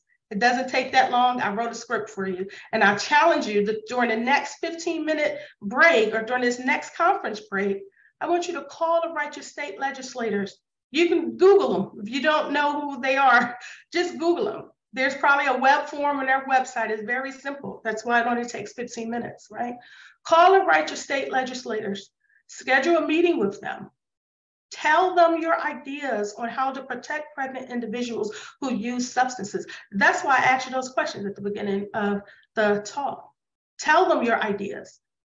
Give them specific examples of what's needed regarding equity driven policy in this area and ask them to sponsor a bill and hold them accountable to that ask them to repeal mandatory reporting laws that criminalize prenatal substance use if you live in one of those 25 states. The American College of Obstetrician and Gynecologists have been working for a decade to get the over a decade to encourage physicians and other healthcare providers to work with policymakers to repeal these laws. Does it really take that long? Clearly, there's some barriers that aren't so easy to address. We have to get suited up for the long haul and the hard work, right? So if you need more examples of what you can do, please read these two articles that I published with my colleagues in Addiction and JAMA Network Open, making recommendations specifically as to how we as researchers, practitioners, policymakers, and advocates can protect pregnant people and their babies with regard to prenatal cannabis use and prenatal substance use in general. Thank you. Thanks so much, Dr. Brown, for sharing your passion and this excellent presentation. Um, if you have questions for Dr. Brown, please add them to the chat to the Q&A box and we'll work to address those at the end of the session. I'll now turn it over to Dr. Grace Chang. Thank you so much for the privilege of presenting on this panel. And I am very humbled uh, to be with such a distinguished group of women. Um, I'd like to talk about maternal alcohol use, our past efforts prologue. And I think this ties in with um, some of the points that have been made earlier about the challenges and maybe how we shouldn't be complacent. I just want to make sure that you all can see my slides. Is that correct? Okay. I'll... Thank you. All right, let's see. Um, but now I have to be able to advance them.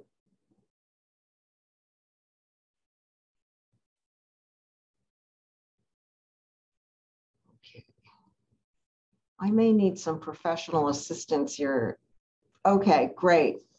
So for the audience, I just want you to know that I got help uh, with reviewing the literature and that I do receive some royalties from UpToDate. This is my plan. I wanted to go over the critical background. I wanted to summarize the past decade of research, and I wanted to talk about the next steps. Dr. Roach asked me to talk about model programs from others with alcohol use disorders. And I told her I wasn't actually sure there was anything particularly model-like, but that we needed to look at the evidence and then figure out what comes next. The critical background is that we really need to know about the consequences of prenatal alcohol exposure, the prevalence, and the recommendations from professional groups. And I think what we're really hearing what we've been hearing throughout the day and through this panel is that there's probably no safe alcohol or any drug during pregnancy. And Dr. Coles, who will be the final speaker for our panel, is the world's authority on the consequences of prenatal exposure. But I'm just going to give you some highlights. Prenatal alcohol exposure is linked to miscarriage, stillbirth, preterm birth, and sudden infant death syndrome. It's the only necessary cause of fetal alcohol spectrum disorders. It's the leading preventable cause of disability. And despite what we've done so far, we can do more. Efforts to reduce prenatal alcohol exposure and the incidence of FASD, fetal alcohol spectrum disorders, are still very much needed. How often do pregnant women drink? Um, Dr. Brown pointed out there's been a decrease, but maybe it's not enough. It's maybe too much. It's been reported that approximately 13.5% of pregnant women will drink, 5.2% will have binge drinking. And we heard earlier this morning that very alarming trend that younger, it's younger uh, girls uh, and teens with the highest rates of binge drinking. The National Birth Defects Prevention Study, which um, looked at a larger sample, actually came up with the number of maybe about a third of pregnant women who drink. Healthy People 2030 goals is to increase the abstinence rate to 92%. And so we're a little bit far away from that. The most prudent recommendation is to abstain because you know what? There's no safe drinking limit during pregnancy. The World Health Organization guidelines was published in 2014, and I had the privilege of working with many of the people who are here today. Um, and the purpose of these guidelines was to, was to enable health professionals to assist pregnant women who used alcohol or drugs. It was a multinational effort. It was amazing. Um, and it used the grade system to assess the quality of evidence and reviewed the literature. Screening and brief intervention garnered a strong recommendation for, despite the low quality of evidence. And psychosocial interventions to prevent prenatal alcohol exposure and the incidence of FASD got a conditional recommendation because of the very low quality of evidence. And examples are motivational interviewing and home visits. That was in 2014. What do the professional organizations say? Well, the American College of OBGYN um, issued a committee opinion and created an ethical framework for doctors and encouraged routine screening methods, brief interventions, and referral to treatment, much like what Dr. Jones described. The Society of OBGYN in Canada said we should ask all pregnant women about alcohol use with evidence-based screening and brief intervention approaches. What does the past decade of research show? There are four major themes of the research in the past decade. We did a literature review uh, beginning in 2011.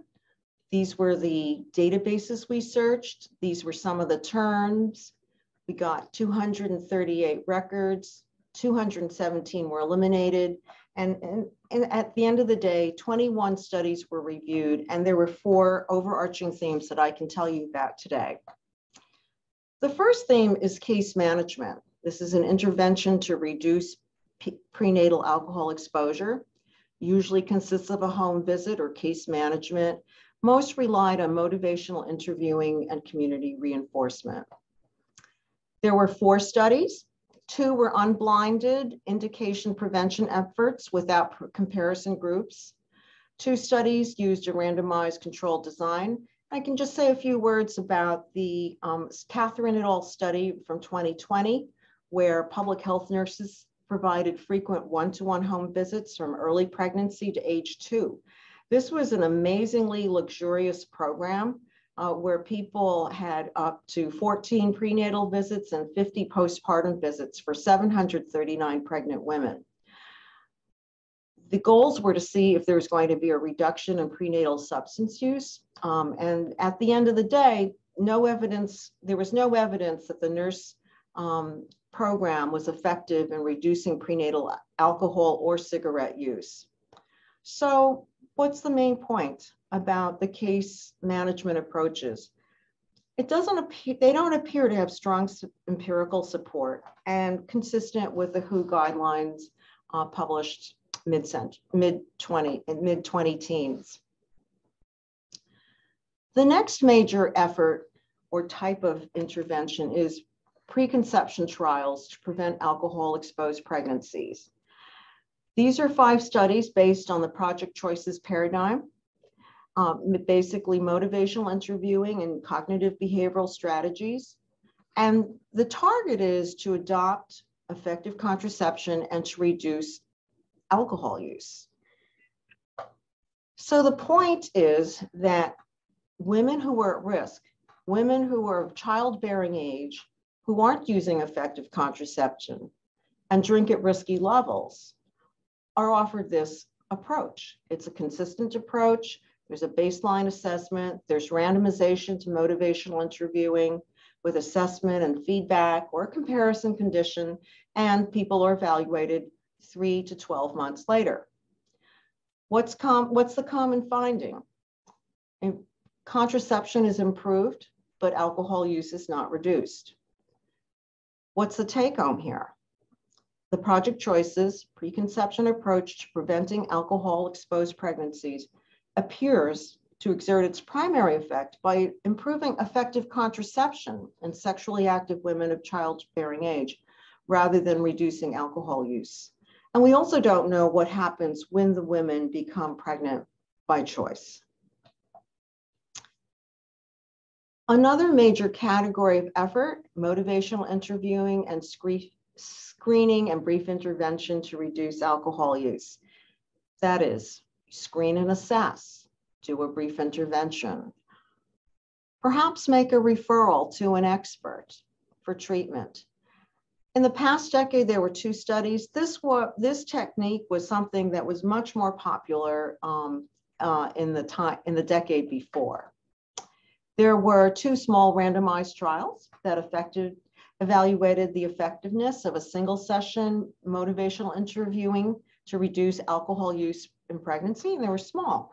Study one had 67, study two had 122 women, and really at the uh, results showed that there were no significant differences between the groups in both studies.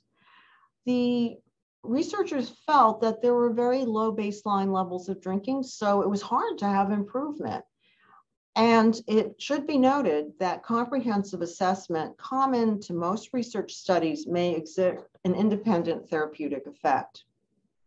Take home. These two small trials do not demonstrate a, that a single session intervention will influence drinking behavior over the course of pregnancy. This last category of research, the use of technology is probably, in my opinion, the most exciting. And there were all these different types of technology that were evaluated text messages, telephone based interventions, computer based interventions, and a very novel application of 4D ultrasound. And I'd like to tell you about them. So there were two, two major studies that looked at text messages. Text for Baby is a social cognitive theory based mobile health program delivering health messages to pregnant women and new mothers. And there were two studies um, that had nearly a thousand women if you combined. They were uh, completed by the same research group. They included baseline evaluations, randomization to text for baby plus usual care or usual care with follow-up. Among the lower income pregnant women, and of 123, there were, were in fact significant there was in fact significant improvement of attitudes toward alcohol consumption and stronger attitudes against prenatal alcohol use. When this same research group tried the study in a larger sample of 943 military women, they didn't find any um, study effects. So how about the telephone? Two studies of a preconception intervention for sexually active women of childbearing age who drank and did not use effective contraception. So as you can see, it's kind of a variation of the theme of the Project Choices paradigm. Uh, Project Early Remote uh, was offered to 46 non-treatment seeking women. Uh, there was no comparison group. It was one session um, and there were reductions in drinking. There was a randomized trial of 132 women where there was a brief two session interview via the telephone or in person. At six months follow up, there were no differences between the groups. So it may be that we've moved beyond the telephone. What about computer based interventions? There were five studies that looked at uh, computer-based interventions in both preconception and pregnant women. Uh, I won't go through all five studies, but I have listed them here for your information and should you want to look them up. Um, one of the most interesting ones is this randomized cluster trial of 60 Dutch midwifery practices com that compared health counseling and computer tailored feedback letters versus usual care. Uh, this was a very difficult study to implement, but it tried to approximate real world practice. So this is something that is very different, 4D ultrasound. This was a very novel randomized trial that included 90 pregnant women who were attending an OB clinic in Finland and the women had either current or recent use of substances, including alcohol. The women were randomized to either get usual care or had the opportunity to meet with an ultrasound specialist and saw the fetus at 24, 30, and 36 weeks. And the idea was that maybe by seeing the ultrasound, the women would feel more connected with the baby. Outcome similar rates of fetal drug exposure and perinatal outcomes.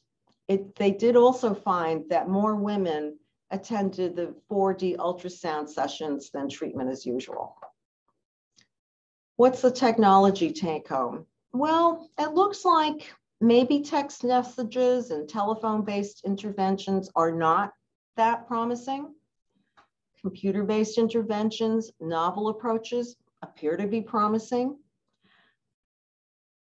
you know, we've gone through COVID. There's been, this has been an inflection point for us as a society and how we offer healthcare. What about virtual interventions? What about larger studies of the most promising approaches? What are the next steps? Well, evidence-based approaches to reduce prenatal alcohol exposure and the incidence of FASD are promising, are pending. There are promising approaches. But I want to echo something that Dr. Brown had mentioned and that Dr. Jones also mentioned. We have to look at a multi-pronged approach. FASD is a complex developmental disability that's determined by not just one thing, a range of lifestyle, sociodemographic, maternal, social, gestational, and genetic factors. And many studies had a very, very narrow focus that did not include the complexity of current childbearing. One thing to think about is, is the demand for evidence-based approaches, has it had unintended consequences? No safe drinking limit some people have interpreted to mean it means you can drink while you're pregnant. I'd also point like to point out some secular trends. There's been increased alcohol use amongst women during and since the COVID-19 pandemic, and that there has been a mistrust, growing mistrust of science and professional advice with historic roots. Thank you very much. Thanks so much, Dr. Chang for that excellent presentation. Um, if you have any um, questions for Dr. Chang, please put them in the chat in the question and answer box and we'll address those at the end of the panel. Um, now I'd like to welcome Dr. Claire Coles.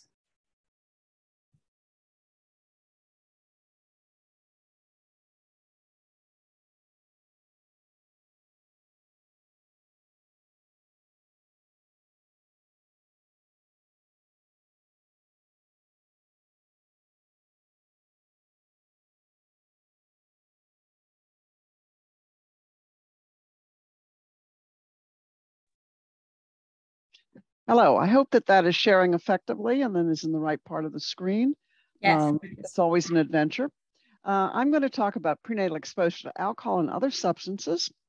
Uh, and I'm going to describe a model for the care of affected children. I, there is so little um, really good research on this that I'm not going to review research. I'm going to talk about a model which we developed and um, the reasons why we developed it. I want to acknowledge the very wonderful people who support our laboratory. This is the Center for Maternal Substance Abuse, the Department of Psychiatry and Behavioral Sciences at Emory University School of Medicine. And as you see, we uh, have both the state um, and various federal organizations, uh, the Organization of Teratology Information Specialists, and so on, as well as the SKK Foundation, who support our efforts and I have no conflict of interest to report. Uh, I'm going to talk specifically about uh, prenatal exposure and specifically about the effects on the child. Um, as everyone else has been saying very cogently, the type of drug use in the last month, when we look at pregnant women, is essentially the most commonly used substances are tobacco, alcohol, and marijuana a great deal of attention legally uh, is turned to cocaine, heroin, methadone, um, methamphetamines, uh, opioids, and prescription medication use, which are illicit. And many people end up in the system as a result of that. But always and consistently, alcohol, tobacco, and marijuana are the most commonly abused substances. When we look at the long term effects of these substances in pregnancy, there is evidence for persistent deficits, even when we account for SES and postnatal environment. And I do not in any way discount that. And I agree with Dr. Chang's statement that there are multiple factors that enter into this. However, even when we are able to control for those things, we still see some effect of the alcohol, particularly alcohol, but also tobacco and other drugs. Um, and there is certainly an effect of those substances on the social status or social circumstances of the woman and her family. And that also has a huge effect on the child's development. So these things are completely interlinked. For some drugs, we find clear evidence of neurological basis for the behavioral findings. For others, this has not been so well established. For some drugs, like alcohol, there may be global deficits. But in addition, there may be specific cognitive problems in a number of areas um, that we look at when we're looking at development motor function, visual spatial functioning, um, cognitive functioning of various kinds, and eventually social behavior and and psychiatric disorders. And we are beginning to discover through uh, following up cohorts of individuals into middle in midlife that there may be long-term effects on physical and mental health. Particularly, we've been looking at alcohol, but this is true uh, in many other areas as well. I'm going to briefly mention um, three important drugs, um, but I don't mean to slight the rest. I'll be happy to ask questions about them. One of the most commonly used drugs, period, and in pregnancy is tobacco. And we talk about prenatal tobacco exposure. The outcomes that we often see include lower birth weight, increased respiratory problems in the infant, more otitis media is reported when the child is in the first year of life. And then we have found specific auditory processing impairments. And this was originally identified by our laboratory in a paper that um, Dr. Kable is the first author on, in which we looked at brainstem functioning and were able to determine that prenatal exposure to cigarettes or nicotine uh, resulted in alterations in the acetylcholine functioning, and that affected the perception of sound. Interestingly enough, in 2021, that uh, particular finding was confirmed in a much larger sample, which I found very gratifying. Um, auditory processing deficits do lead to reading problems and what is called dyslexia. And then there's been multiple um, reports of short and long-term behavioral dysregulation in children whose mothers smoked during pregnancy. And this has included um, alterations during infancy, ADHD in children in midlife, in school age, and even criminal behavior in a sample taken from some of the uh, Scandinavian databases and published by Patty Brennan et al. As you all know, um, I think, there are potential effects of alcohol use in pregnancy, and these include the fetal alcohol spectrum disorders. They include growth retardation, global cognitive deficits in some cases, as well as specific neurodevelopmental impact, which can be associated with academic deficits. They may also include arousal dysfunction, emotional development problems, specific problems with executive function, conduct disorders, and long terms on health. Another area which uh, was uh, Dr. Jones discussed was effects of opioids on the fetus and newborn. And as we know, opioids cross the placental barrier just as they cross the blood-brain barrier. We do see growth retardation in this group, although that usually is overcome as the child is born, after the child's born. Um, there is a higher incidence of fetal loss or stillbirths. And methadone maintenance does often result in development of tolerance or dependence in the infant. And that can lead to, as mentioned, neonatal withdrawal syndrome, which is a in, increasing and uh, persistent problem in children with these kinds of uh, exposures. Very important, in addition, as was mentioned, is the social risk for children of drug abusers. There is a much higher risk for placement outside the home for such children. And this is going to depend not only on the behavior of the parents, but also the specific drug laws within different states or the specific laws in different states about um, maternal substance use during pregnancy. Such children are more likely to enter the foster care system and they're more likely to remain longer in foster care. They also show a higher rate of school absenteeism. And when you look at the statistics on these things, they're three times more likely to be abused and more than four times more likely to be neglected than other children. Obviously, these factors lead to all kinds of consequences themselves.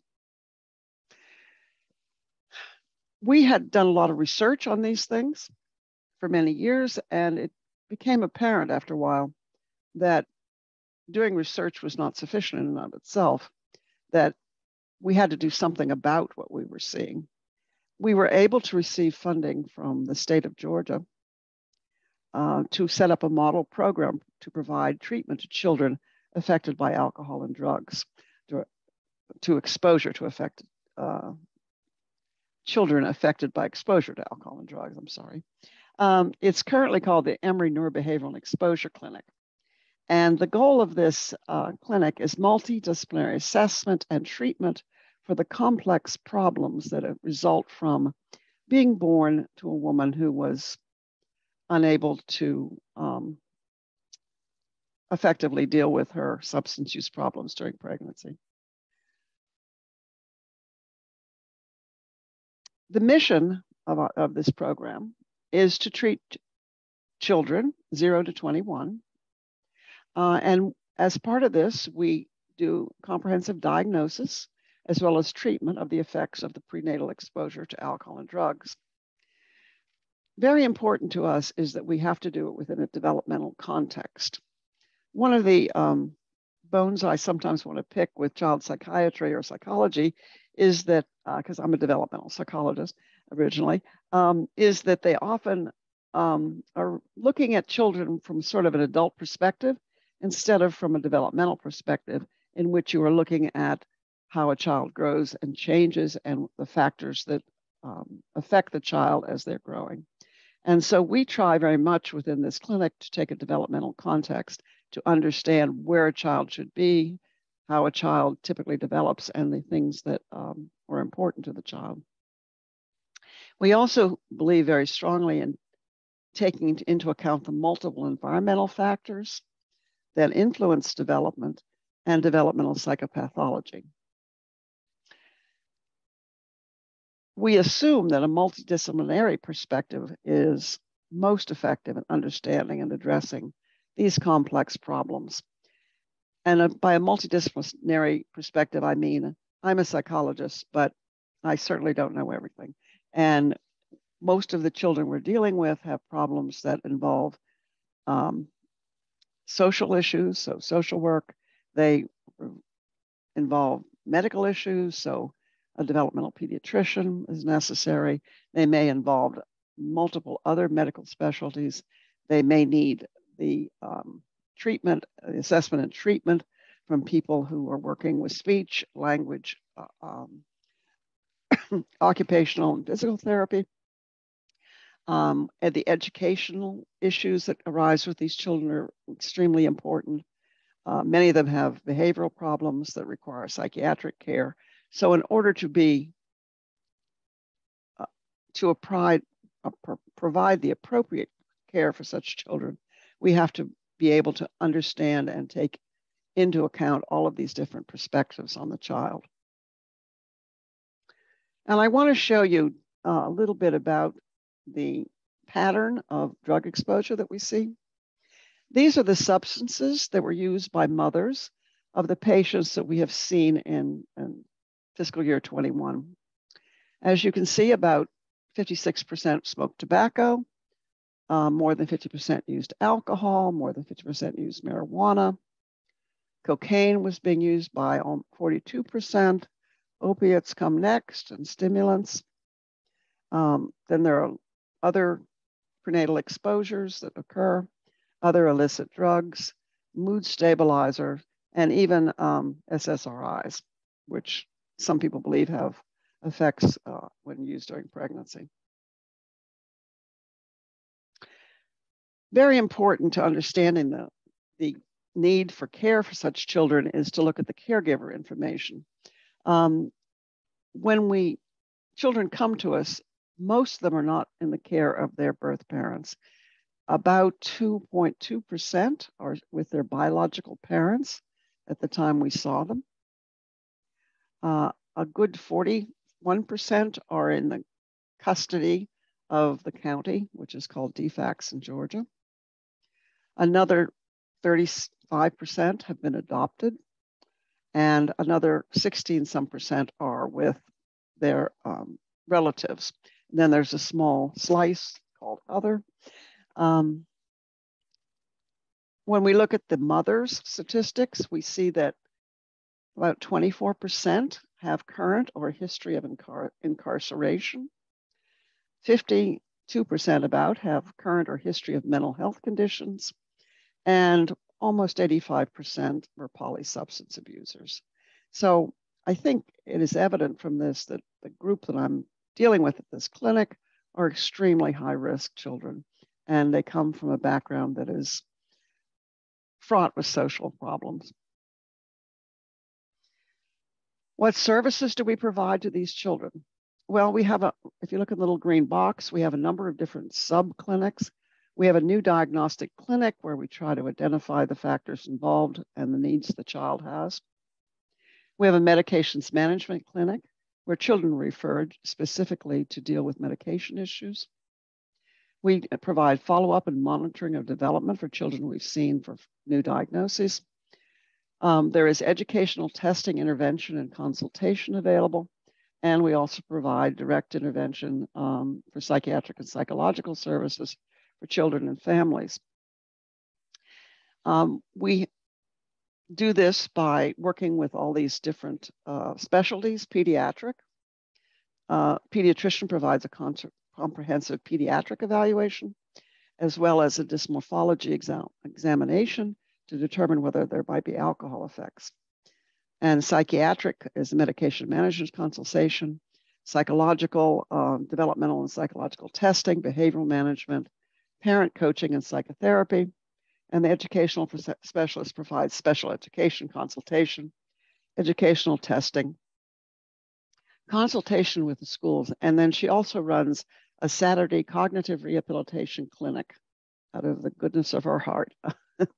which is um, extremely valued by the people who come to it. I want to provide you with um, two case studies that'll give you an example of what the children are like who come to the clinic and what kinds of diagnoses they get. And none of the, these names have all been changed as have the specific details to um, protect the identities of the individuals involved. Uh, this is Elizabeth's mother, and this was, we obtained this information from birth and social service records.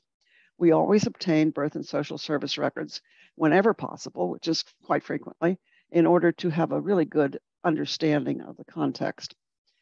Uh, this child, this mother was 33 when she was born. She was homeless when she pre presented for delivery. The birth father was older and was incarcerated. The birth mother had not received any prenatal care during this pregnancy.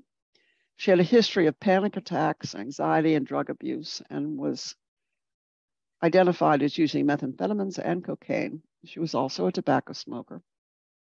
She was diagnosed with depression she began taking Zoloft one week before delivery and was taking codeine. She had a history of infections, including UTIs and hepatitis C. Shortly before her daughter's birth, she had a massive right intracranial, intracranial hemorrhage and, and never recovered. She was in a coma for two months um, with a left sided hemiplegia and a feeding tube, and she survived for a couple of months. It is believed that um, drug abuse was associated with the hemorrhage. The child was born uh, by C section uh, at 38 weeks due to the maternal stroke. She was referred to the neonatal intensive care for observation for neonatal abstinence syndrome.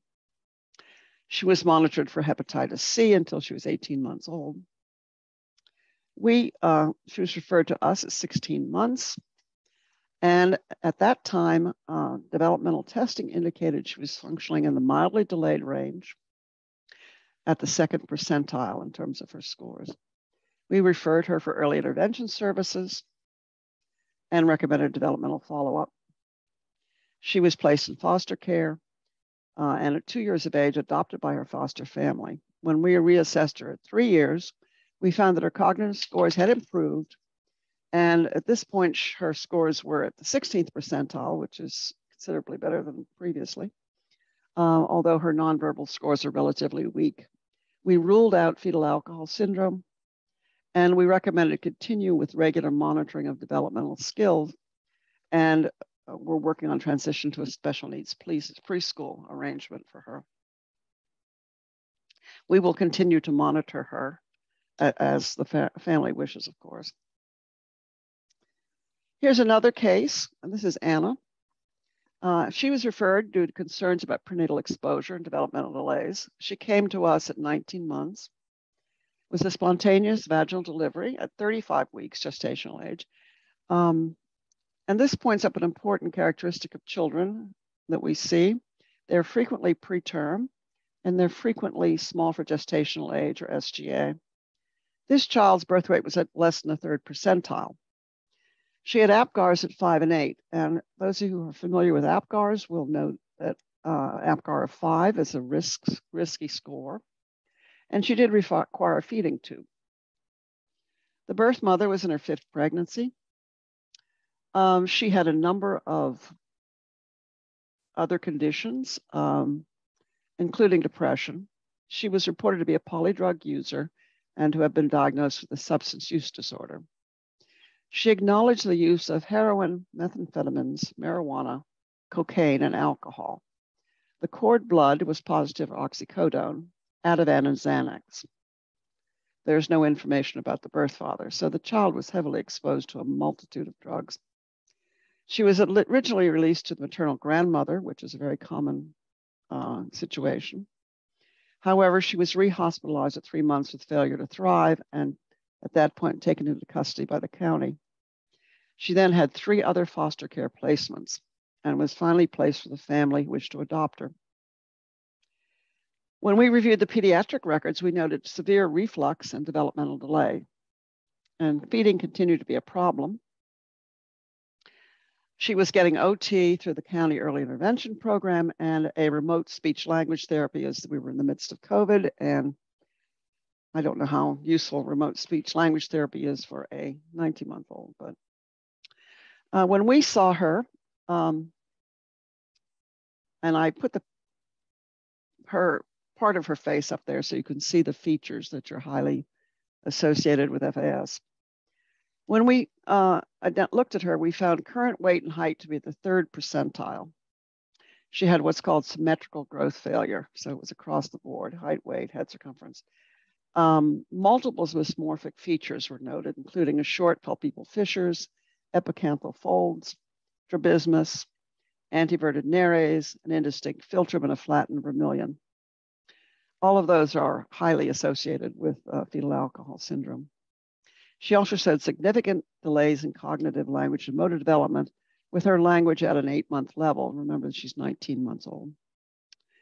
Again, we, we emphasized that she needed OT and speech therapy and suggested that she should be in a comprehensive day program and that Social Security disability should be investigated.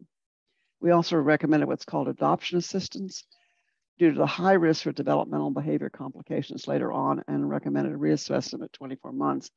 This all um, emphasizes the couple of things. Number one, how very complicated the care of these children is and how important it is to get accurate records and understand the child within the context. And at the same time, to um, monitor the child carefully over time.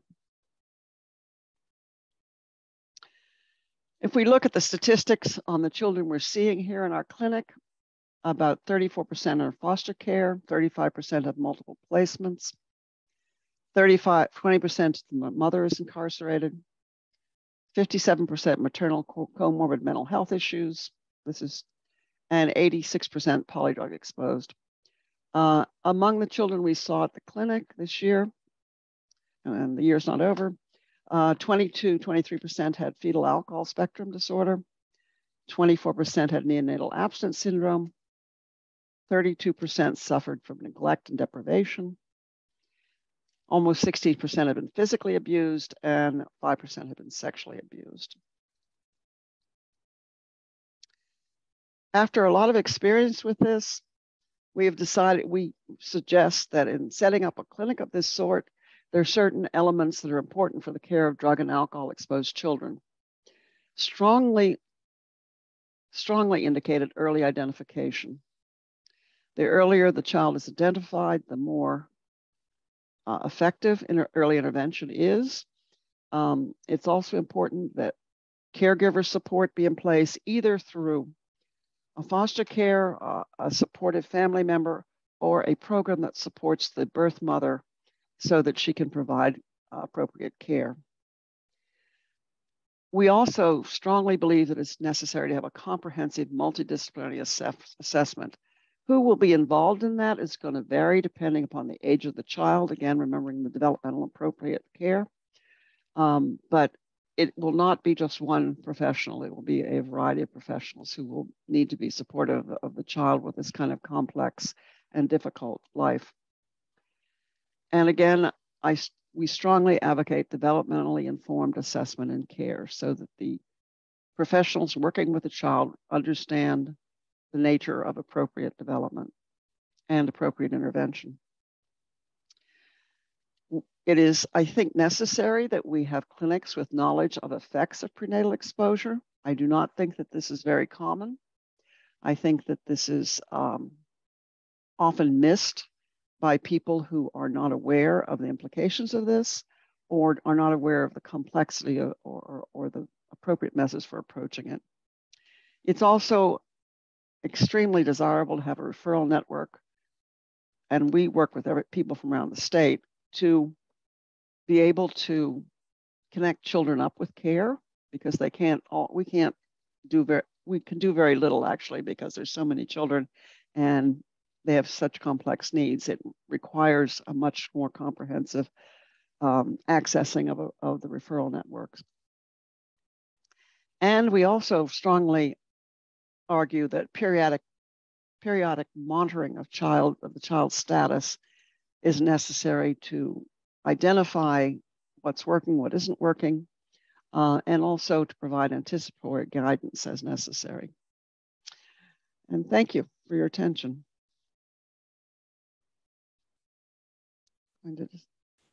Thanks so much, Dr. Coles. And um, thank you again to all of our panelists for sharing their work and insights on this important topic.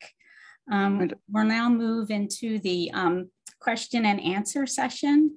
And I invite all of the panelists to turn on your cameras if you so choose. Um, and to the audience, please continue to put your um, questions in the chat. And I know we do have quite a few, which is great. Okay.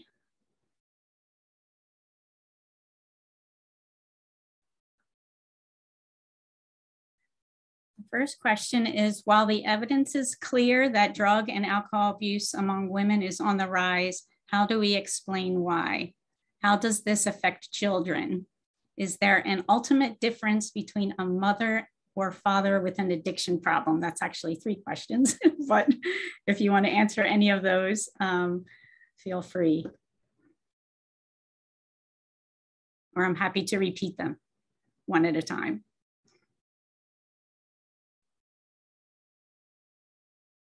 I can I can start with answering part of that question.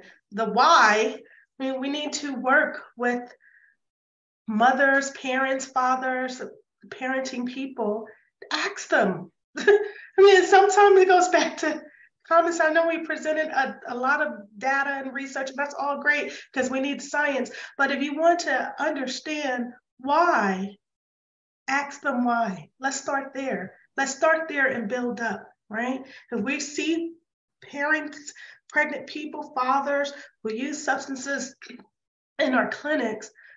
Ask them why are they using? What can we do to help you in a holistic way? Dr. Jones talked about her clinic and how it doesn't just treat the issue, what might for face value seem to be substance use, but it treats the whole the person as a whole you have to address the other needs and then from there your practice experience with finding out why can inform research and we you know the scientists can take it from there. I'll just build on dr brown's very lovely answer and it's terrific presentations all around. It's such an honor to serve on this panel with people i deeply admire. Um, and just to kind of expand i think access I think, you know, the alcohol industry, as well as the cannabis industry, as well as the tobacco industry, have all targeted women. You know, there used to be that traditional old gap of um, women were more protected. And, and that's kind of seems, you know, there's data to suggest that that's gone away. And because women are drinking more, using more tobacco product, products, vaping more, and using more cannabis products. And there are um, there are certainly reports out there to show that the cannabis industry specifically targets women. Alcohol industry, think about all of the labels that are out there, skinny girl, you know, alcohol. And so they, they know what sells and they are they are very well funded um, to advertise in very subtle ways as well as um, not so subtle ways. And so I think when we have more products out there, I think about Disney World. Um, 20 years ago, Disney World didn't sell alcohol in all of their places. Now, everywhere you go, you can't get away from some little vendor, some little something or other where there's alcohol. So there's more of it. When there's more of it, use goes up. Um, so, I, and then in terms of how it affects the children, I mean, I think I'll let Claire Coles answer that, but I, I really think it is, it's so dependent on the family structure, the supports that are there. Um, and so there isn't one clear answer overall about how it affects children, but we know that certainly growing up in an addictive home and with adverse childhood events, um, that the more ACEs that we have, you know, there's a relationship with more mental health and physical health problems later on. So I'll leave it at that.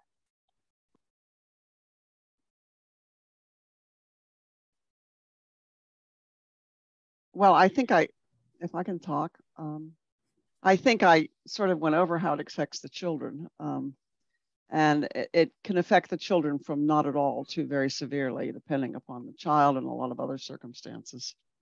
And in terms of a difference between mother or father with an addiction problem, there's very extensive literature on children of alcoholics, for instance, um, which mostly were looking at the children of fathers who were alcoholics. Um, and it is pretty clear that it is not a, a healthy thing to have a parent who is a substance user. Um, that there are a lot of uh, consequences in, emotionally for that. Thanks for that. Um, another question, um, do you each have advice on how to combat what Dr. Brown discussed, the perception that can cannabis use in pregnancy is safe or safer than other substances. And related to that, how to get away from the issue of whether it's legal or not.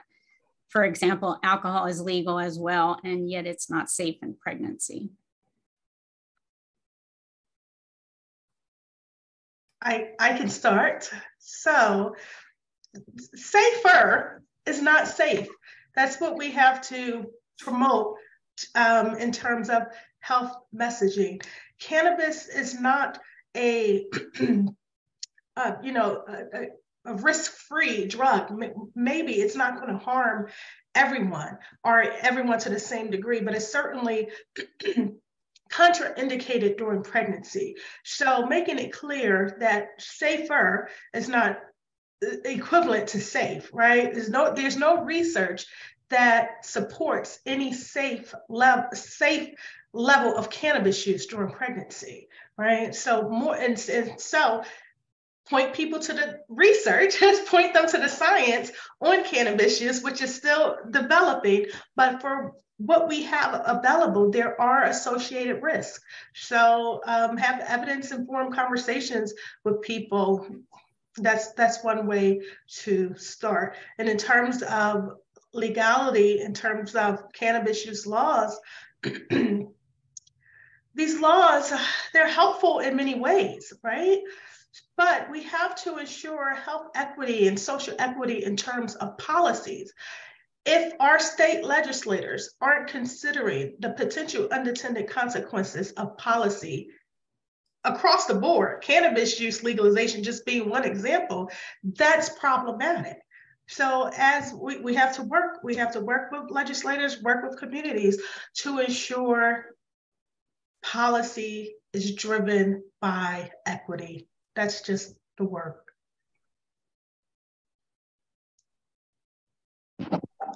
Anyone else have any thoughts?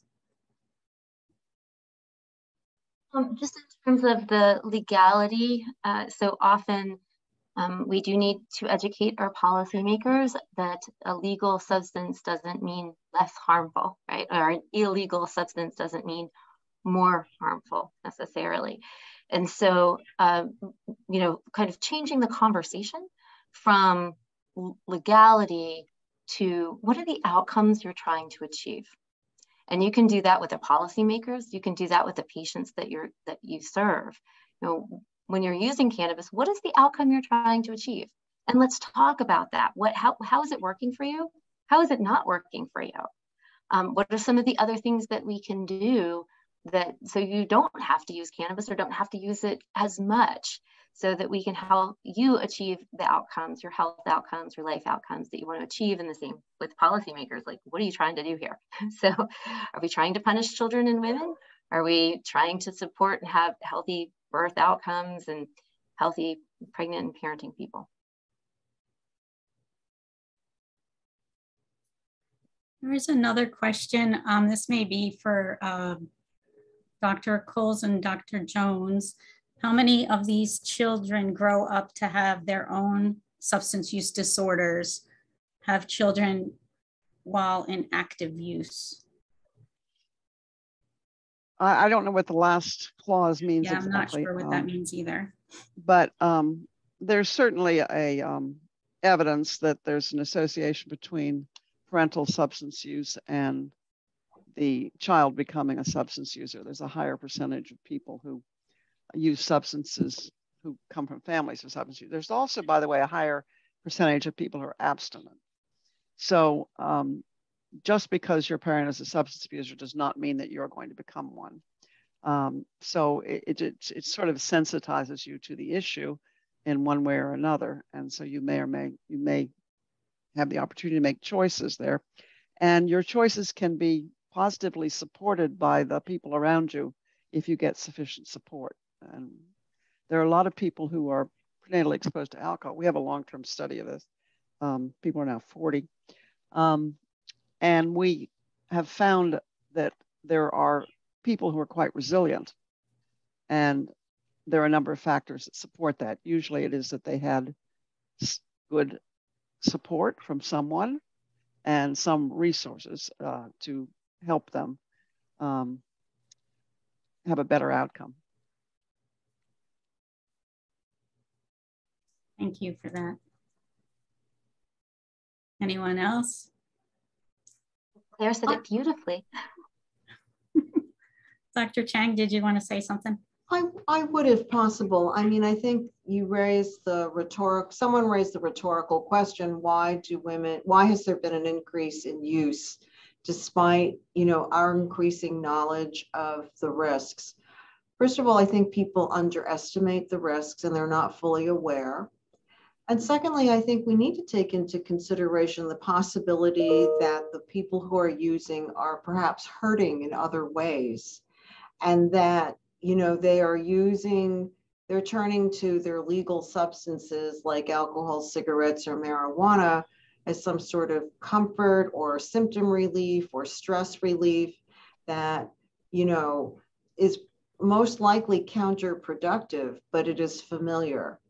And so I just wanted to mention that, you know, we've had a pandemic within a pandemic, which is the crisis of depression, anxiety disorders, and other issues.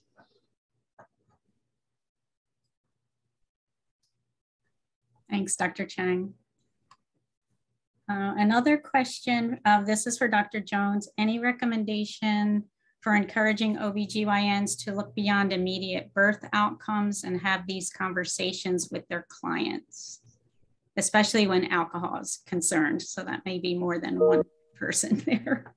Yeah, I'll start off, but I, I know our other panelists would probably like to respond too. So, um, yeah, I mean, I think that uh, many times our OBs are trained to look just until the, the person delivers, right? And so um, getting our whole medical, um, our medical uh, trainees as well as continuing education to really think in a more dyadic way. Um, I think our not only OBGYNs and the medical practices and societies, but also Medicaid and our third party payers. You know, if we had codes, billing and mechanisms to support dyadic treatment, it's very hard in my prenatal clinic, in our perinatal clinic, to get that paid for. We're lucky because we have block grant funding to pay for that. Um, what codes we would begin to bill in that type of environment is a challenge, right? So, and then add the child to it too. So I think that there's some structural things that need to be done, um, as well as in medical schools, as nursing schools, to get, get folks to start to be educated about just the things that um, Dr. Coles talked about so that we can have a more longitudinal lifespan approach to, to what we're doing.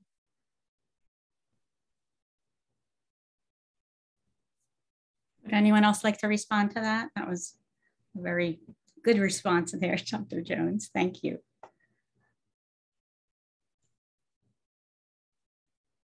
I can respond. I want to share, if I can, just for a second, share my screen uh, again. This is an entirely different presentation for who knows what, but um, it starts with training, right? How do physicians have, OBGYNs included, have these conversations with their clients? Like Dr. Jones said, it, it, it, they are already trained, but we have to think about the new generation. This is Jane's house. I mentioned I started this uh, center in honor of my mom, and these people, other than this person in an orange sweater, he's my husband, but these others, these are physicians. These are physicians from the Johns Hopkins Urban Health Medical and Pediatric Residency Program. They came to complete part of their residency training at Jane's house so they can think about health and women's health and urban health differently. It starts with literally training the next generations of whoever the physicians, the scientists, the advocates eh, eh, eh, to be revolutionary, to be change makers. It has to be second nature. It, it can't be something that we always have to burden existing providers with doing something else. They have to come that way. And in order for them to arrive on day one that way, they have to train that way. So it is, it is certainly possible. Thank you so much for that. And I think we have made it to the end of our Q&A session. I want to thank everyone on the panel today. It's been very informative and really great to hear all of your wonderful work. Um, I always learn something new when, when talking to you and, and it's been great to meet Dr. Brown virtually. Um, so thank you so much. And now we're gonna move into our next session, um, which we will do now. Sorry, I have to transition too.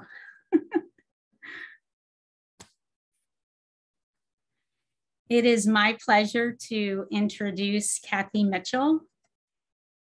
Kathy, are you on? Hello, Kathy. Hey, I'm here. Great to see you. Good to see you. Kathy will be presenting on current and sustainable models that prevent fetal alcohol spectrum disorders by supporting women living with substance use disorders. Kathy has been working with FASD United, formerly known as the National Organization on Fetal Alcohol Syndrome, or NOFAS, for over 35 years, and is currently their vice president and spokesperson. She is a noted international speaker on fetal alcohol spectrum disorders, women in addiction, and stigma. Kathy holds a Master's of Human Services degree and is a licensed clinical alcohol and drug counselor having served as project officer for many government projects that aim to prevent FASD, reduce stigma, and support families and individuals living with FASD. She served on the special committee of the World Health Organization, developing guidelines for the identification and management of substance use disorders in pregnancy. And in 2019, presented FASD, a vision for the future at the WHO Second Alcohol Forum, in 2004, Kathy founded the International Birth Mothers Mentorship Program, the Circle of Hope, and most recently founded Recovering Mothers Anonymous. Please join me now in welcoming Kathy Mitchell. Thank you. Let me get my screen up. Can you see my screen? Yes, you need to put it in that. Yeah. Yeah. Awesome. I wanted to make sure we were all on. Great. Well, hi. Thank you, Mary Kate. Thank you so much. It's really, really an honor to uh, participate in this very important conference. And I just really want to thank um, the whole committee that worked so tirelessly to put this together. And I'm, I'm really, uh, um, again, so honored to participate. So I wanted to share with you today a little bit about, I'm going to minimize that. Um, I, I wanted to share with you some programs that I believe um, are proven uh, to uh, to prevent FASDs um, and and really by providing support to women living with substance use disorders or alcohol use disorders. And again, I am uh, Kathy Mitchell I'm with uh, FASD United. And you know, so the big question is so so many people will say to me, well, everybody knows that, you know, all women know not to drink during pregnancy. And I think it's it's interesting that I think that most women today will acknowledge that they that they know, but these misconceptions and I well, I call them defense mechanisms, but you know, the the rationalizing and kind of minimizing use still goes on. And this 2013 study really kind of again underscored some of the same things that we've been hearing for decades now. That uh, some women still believe, you know, certain types of alcohol are okay at certain times. Certainly, the last trimester as long as I'm not drinking a lot. I've had people say, well, I only drink expensive wine, you know. um, so there's still, you know, some um, some work to do. And um, I guess probably the most disturbing one is the the point, the bullet point at the bottom. You know, they'll continue to drink until they know for sure that they're pregnant, which is really um, a big problem, right? So, and in 2012, um, we surveyed 92 women who had had children diagnosed with um, an FASD. And um, through the uh, work of the Circle of Hope that Mary Kate just mentioned. And, um, you know, again, you know, for the majority of, of these moms, the majority were women that struggled with an alcohol or substance use disorders. Some women were in recovery, others not you know, one of the uh, symptoms of having a substance use disorder is denial. Oftentimes, the person that's living with the issue is the last one to really recognize it or see it, where others in the family recognize it. And we see some of that here too. But the majority of women really um, acknowledge that they c- continued to drink because they couldn't stop. They didn't know how to stop and you know and again this this one i highlighted doctor never said i had to stop so why would i stop? So again underscoring the importance of getting that uh, clear message from uh, their physician and for many of our women by the time they come to grips with the fact that um, you know that they're dealing with an alcohol or substance use disorder and regardless by the way of social positioning or status they do feel um, isolated. There's a lot of shame that goes on with living with an alcohol or substance use disorder, uh, a lot of guilt, um, grief. Um, and um, you know, many have been traumatized, uh, have grown up in an addicted household, so there's at least been neglect, um, if not abuse, and just you know, a lot of fear and hopelessness that is kind of driving uh, the train, so to speak.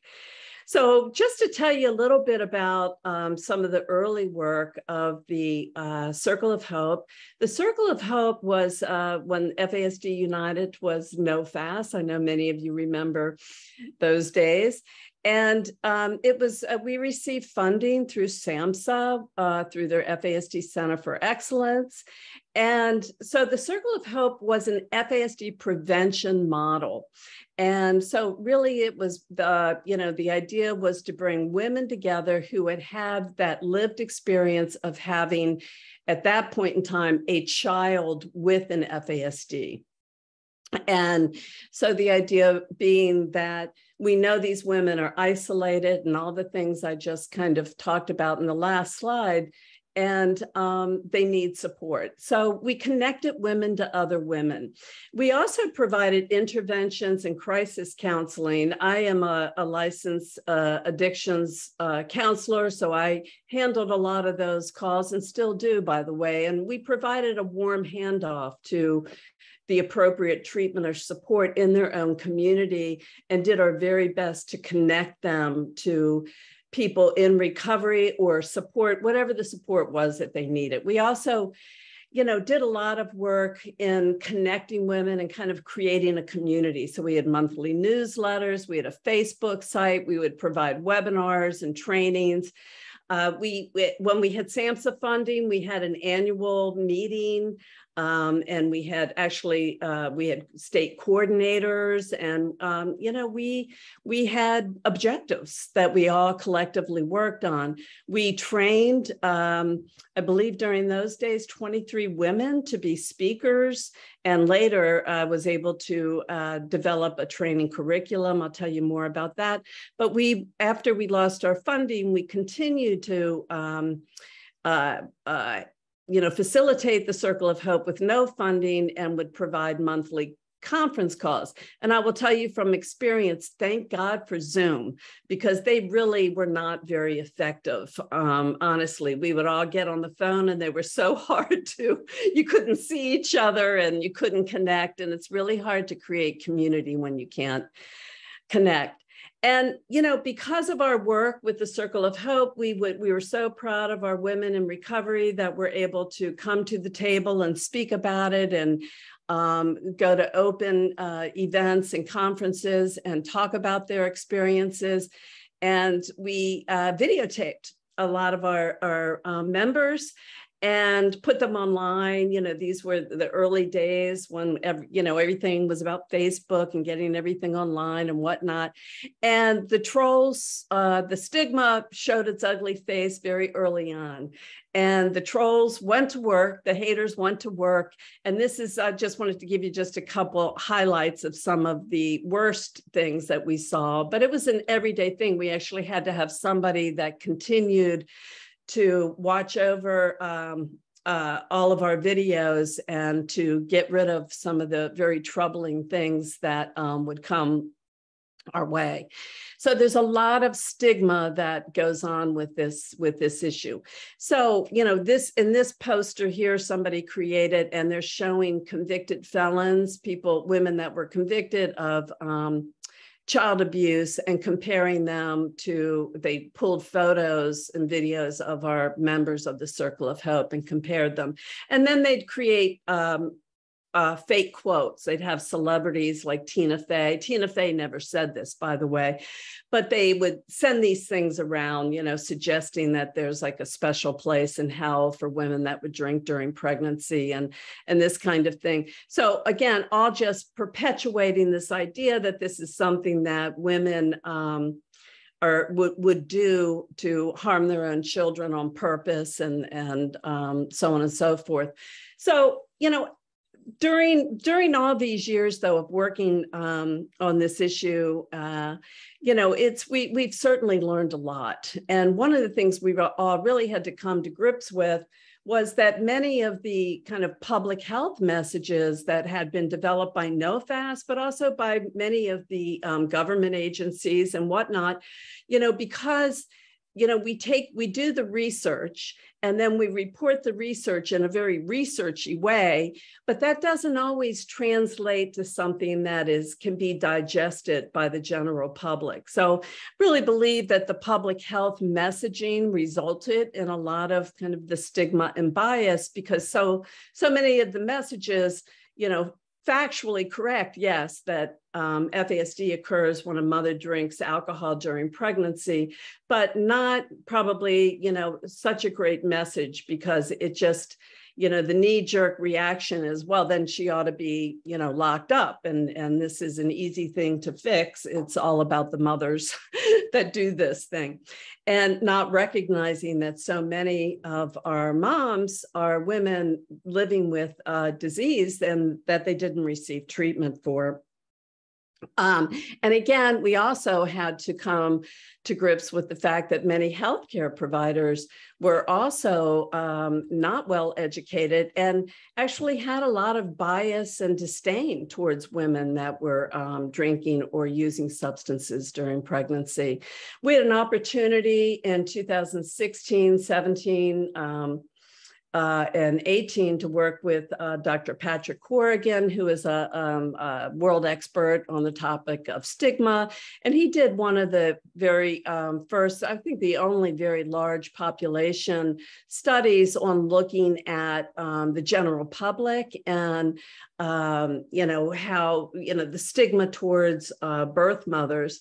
And he compared, asked questions and compared um, birth mothers of children with FASD to women who had been incarcerated and women with um, substance use disorders and mental um, health disorders. And he found that there was a huge, uh, much greater, um, uh, people saw them as much more different with more disdain and a lot more blame. And he was actually very, he couldn't believe the amount of stigma. He said he had never seen a disorder that um, uh, with numbers that high. So again, the problem is, is that stigma leads to discrimination. Uh, legislators are less likely to support policies. Um, and again, past research shows that uh, stigmatized disorders don't get funding or attention or the resources that they need. Um, you know and how how do we act that out in in our world today? Well any stigmatized group is kind of you know put out there as well they're different than me they're less than me. How how do we need how do we control these people that we think of as being less than we are? And you know the way that we do that in at least in the US is we jail a lot of people with um, an alcohol or substance use disorder, certainly with mothers that have used substances during pregnancy. Um, you know, with individuals living with FASDs, it's not uncommon for them to be removed from our systems of care. They get kicked out of school or treatment centers um, and with no kind of uh, assistance to help them to kind of figure out um, that system. We put them in institutions. Um, in our country, we're very quick to remove children. And of course, we always need to you know keep children safe but we're we're too quick to remove children and provide absolutely no treatment uh, for the mother who is suffering with a treatable disease. And um, again, it's not uncommon. I've heard in, in different parts of the country, women that are pregnant with their fifth and sixth child telling me that, well, I lost my first four um, to child welfare, and I'm just really hoping I can just keep one of my children. You know, I, I think there's something really wrong with that system. And um, we need to do a better job. So again, um, harsh laws.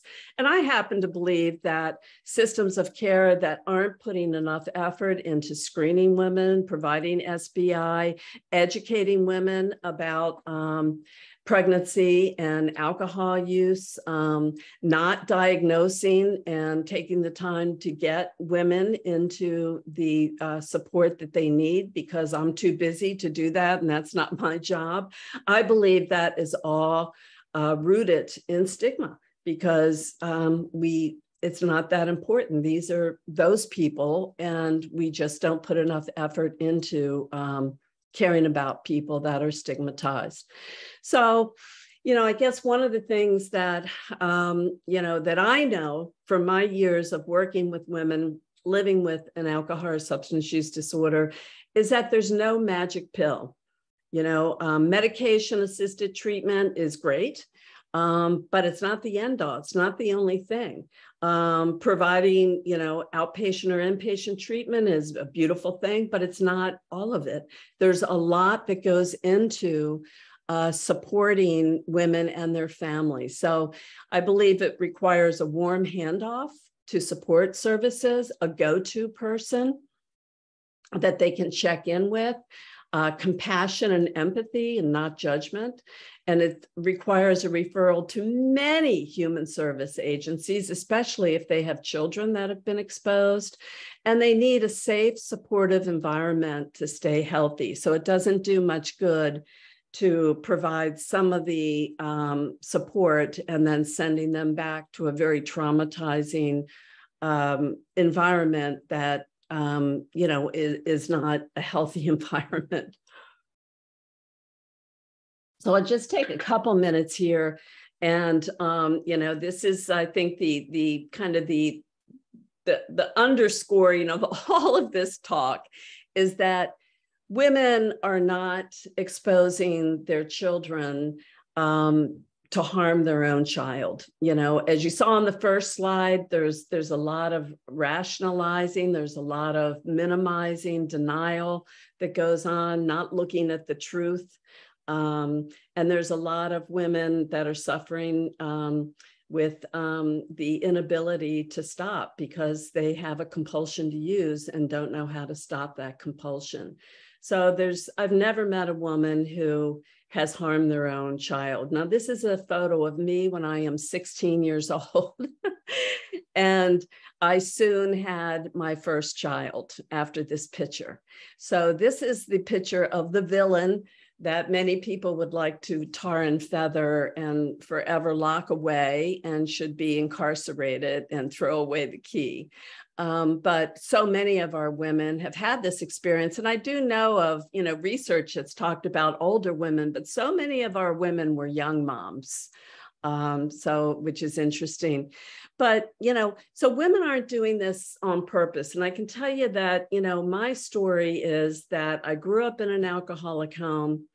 Um, my dad was an alcoholic. There were seven kids. My parents were wonderful people that were living with a terrible disease, and they didn't recognize it till, you know, um, way late. And they raised seven kids with, you know, a father that was really troubled with his alcoholism, and he finally got treatment, and everything changed. Um, but all seven of us kids were affected and um, were harmed um, by my dad's drinking in many ways. Um, my mother did not drink. She was a teetotaler. She might have drank small amounts, but I uh, but I doubt it. but anyway, um, you know that this is a picture of. I went on to have five children and exposed all five. And during the years of my addiction, I had no idea that using alcohol during pregnancy was harming my kids. I went on to have a terrible um, uh, addiction to opioids, to heroin. Um, you know, and a lot of that had everything to do with my childhood and trauma and so on and so forth.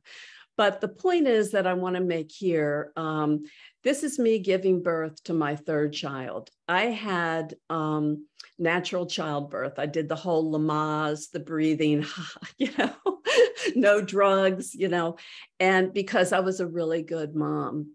But I drank the whole time I was pregnant. I had no idea that I shouldn't be drinking. I grew up in a drinking household and all adults drank.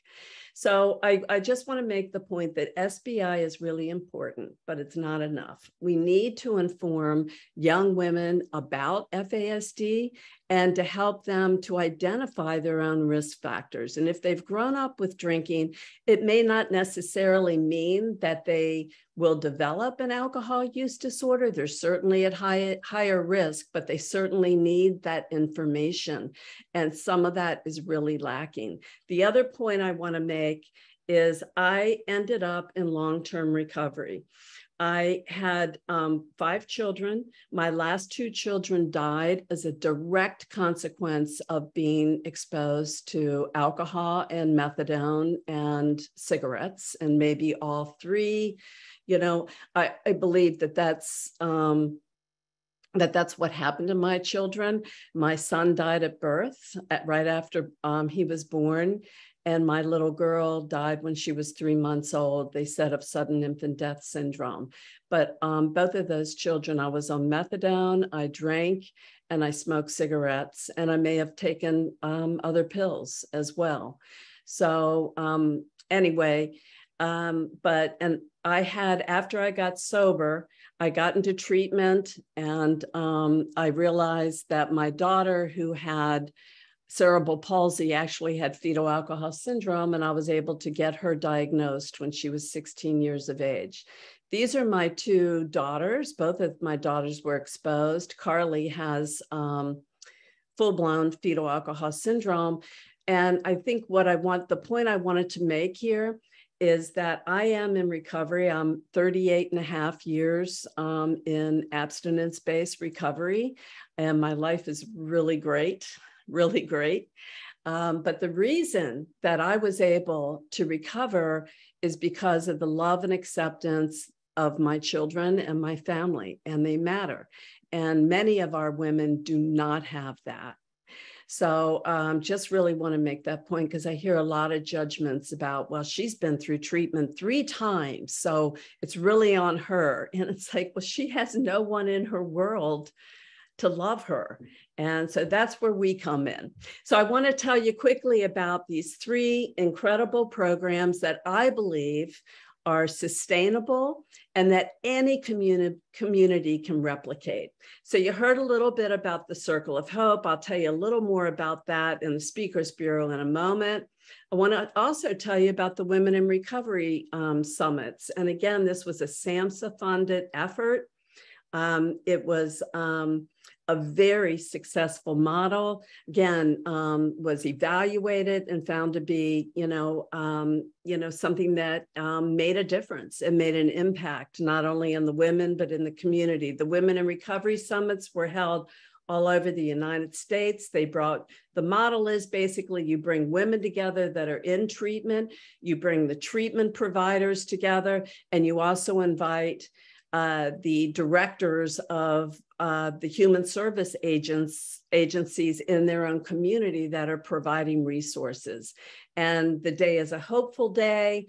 Um, they, you know, learn about FASD. They, you know, and it's all taught by birth mothers uh, to children with FASD. So it's, it's this great model. And um, Recovering Hope Anonymous, and I'll tell you about that in a moment here.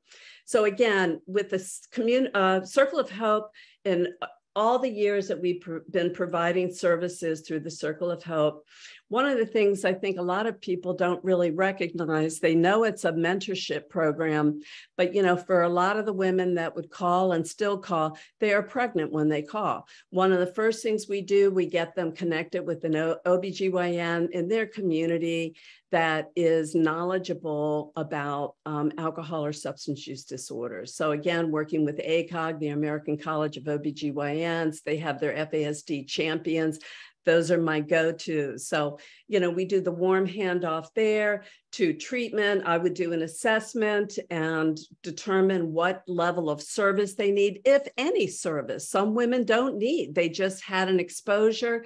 And again, what we do, we talk to them, we give them the facts without scaring them to death. You know, if it's only been, you know, some women will call, they've had two glasses of wine and it's like you know put the bat down you didn't know you know go to your uh, prenatal care take your vitamins you know all of that all of the good things we would tell them. And we don't want to send them off being worried to death about um, having those two glasses of wine. Again there's many levels of treatment so i won't read through all of these but if nothing else we would get them a sponsor get them going into 12 step recovery get them a go-to um, connection if once I refer them to uh, a center and always there's follow-up, always follow-up. Talk to you about the Speakers Bureau and we developed a, a full curriculum in uh, training our moms. Our moms need to have two years of sustained recovery. And, you know, one of the things that that we got to do was that we um, uh, connected. We worked with ACOG to provide, provide grand rounds. We've been doing this for several years now, I think five or six years. But the ACOG FASD champions go around the country and invite one of our speakers from the Circle of Hope to tell their stories. And you know, one of the things that is come out um, of uh, uh, the uh, research, the findings, is it's hugely successful um, dispels the stereotypes and you know, and provides incentive for um, physicians to want to do more to prevent FASD and to get women the treatment and support that they need. And by the way, it's really good for the women. Uh, women report it's they they love doing it, and you know uh, Stephanie said it was one of the best days of her life in in the uh, quote on the other slide. So we've done this these um, online. Um, 2020 uh, of course, we met with, uh, you know, the, the, lovely COVID, and we provided actually in 20 and 21 online women in recovery summits to uh, several tribes in Southern California and had a full day of, um, of uh, information on FASD and recovery and brought in the systems of care, and it was uh, just wildly successful. And our latest uh, program is the RMA, um, the Recovering Mothers Anonymous. Recovering Mothers Anonymous, again, came out of 2020 when I actually um, had four women who were pregnant. And it was interesting because I had two women that had been using opioids and two women that had been using uh, mainly alcohol. And normally I would have taken um, a lot of time to handhold them into treatment. And guess what? All the treatments were closed. So I thought, what do I do? What do I do? I need to bring in my gals. I need to bring in the Circle of Hope. So we uh, went online, um, got Zoom going, and I brought in a lot of the women with long term recovery, invited them to come to a, a meeting that meets weekly to support these young women who are pregnant. And oh my God, we created this beautiful recovering um, network that continues to meet every Thursday at 7 p.m. And we use recovery as a broad term. A person doesn't have to be in recovery from alcoholism or drug addiction. Um, it, you know, it can be any recovery from trauma, abusive relationship, and it's for women with the lived experience of having used during pregnancy. And, you know, I'm sure everyone here is very familiar with Maslow's um, triangle here. Um, and, you know, I think that one of the things with everything that we do, it's built on this whole hierarchy that in order for women to recover, they need all, they need all of these um, uh, elements in their life. And um, the most important, of course, being um, part of a loving and uh, community that they belong to. So again, just some of the basic needs that the RMA, you know, it's not as simple as meeting every week. We make sure our girls, our uh, um, women have safe housing, that we get, you know, the domestic violence. We address all of those things, you know, dental care. There's everything you can imagine that women um, and young women um, or, or even older women might be dealing with. So we all work together as a community to make sure that people are getting all the services that they need. And there's just so much that goes into this. So again, you know, how do I get Social Security for my son. He's 18 now. And lo and behold, we have one mother who's an expert in that. So, you know, we have women who are um, physicians, we have an attorney, we have a woman who's a special education. Um, teacher. So all of those things, um, dealing with child protective services and getting uh, advice about that and just providing natural community supports.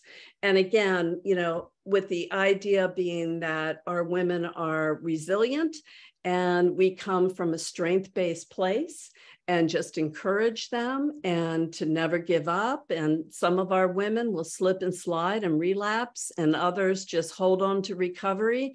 And we have become a community. And I will tell you, since 2020, we have about 65 total members. We have two treatment centers that come every week. And with both of those uh, treatment centers, there's about probably 15 in each of those centers. Um, during the pandemic, we had six pregnant women, and four of them absolutely stopped their use. Uh, we had um, uh, baby showers for our women and sent them uh, presents. And they're part of a recovering community now. Two of the women struggled, but they greatly reduced their consumption. Um, and we've had women, we work with the AAP FASD champions to get our women um, the children screened as needed. So women can and do recover. There's a picture of uh, me with some of my kids and grandkids. And you know, we should do everything we can to support women so that they can be the mothers that they want to be. So, with that, I think that I am going to stop sharing my screen and it's time for me to introduce um, uh, my very good friend, CJ Lutke. So, CJ is 38 years old. She was diagnosed with fetal alcohol syndrome when she was just a baby. She was adopted when she was five, along with an older brother and sister who also have FASD. She is a member of the International Adult Leadership Committee, ALC, of FASD Changemakers and guides much of, of its work. CJ is a well known speaker on FASD, having presented at and participated in many, many conferences, seminars, really all over the world, sharing her um, experience. And mostly, let me just tell you, CJ is the epitome of a mover and a shaker. She is a change agent. She is a role model.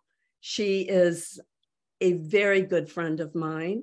She is courageous.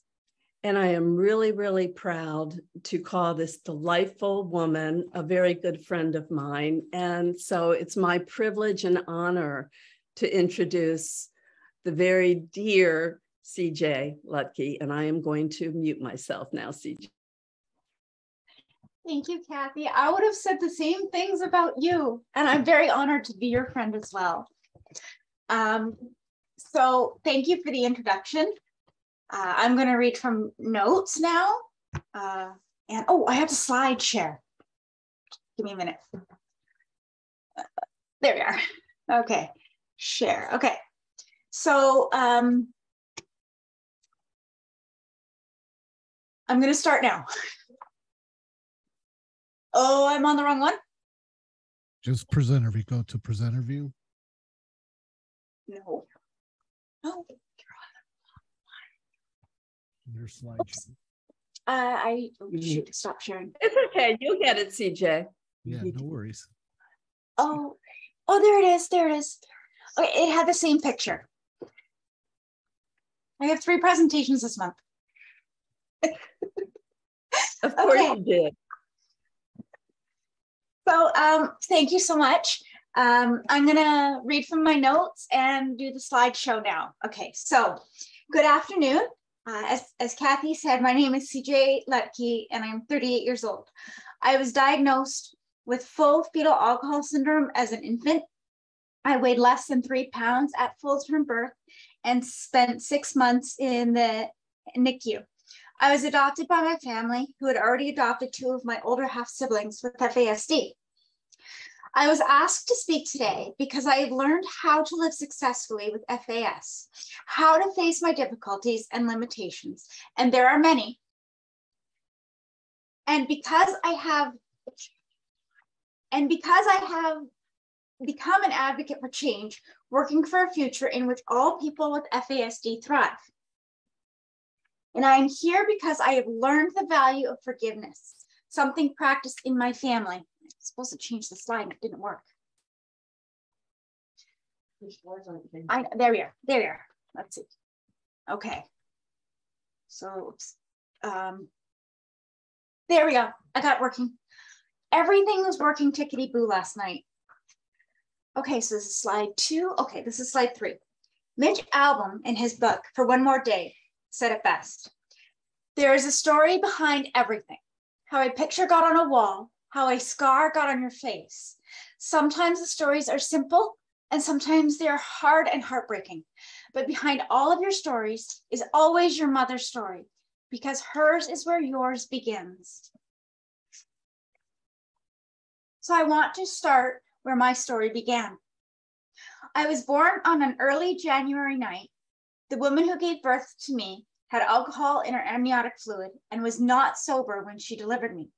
She had nine children before me, and they had all been taken from her at different ages in different places. I was her last child, and at least five of them had FASD. She was severely alcoholic and a disease that eventually claimed her life. And this is all I knew about her for a very long time. I know she died when I was 10 and she was 42 from her alcoholism. Uh, something that I understand now is a terrible disease that can destroy your body and soul. And I did not know that then. I was far too young. I know now that her alcohol use was never a choice, and I did not know that then. And I was far too young and far too lucky to understand trauma. But when you become a teen or an adult with FASD, you grow to be all too familiar with the shame and blame that tears people like us down. We say and do the wrong thing at the wrong time. We make mistakes, lots of them, all the time. And we are all, regardless of our intellectual level of functioning, far too aware of what is said and thought by systems, the media, and the people in general who judge what they do not understand. In my teens and early 20s, as I grew, the disability of FASD made life a lot more challenging than it ought to be. And I really understood what caused my disability, that 100% preventable cause, if you will. My birth mother became an empty vessel for me to blame and to shame and to be angry at, which was easy because I never understood her as a human being. I judged her and dehumanized her and did not understand. And I judged her only through my experiences, which were not hers. I saw it as terribly selfish, but I never understood then that the selfishness I thought she chose was also mine because I was not her and did not even know who she was or what she had experienced as a person. And society gave me that fuel to power my anger, but they never gave me a way out. The unintended consequences of that fuel was not the fire itself, but the smoke damage. And I absolutely did not understand that alcoholism is not a choice for anyone ever.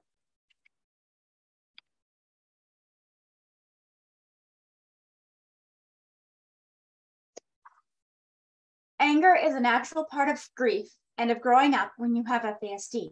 Knowing you are different can be very hard, and learning there is a cause and it could have been prevented was all the reason I needed. Why would she?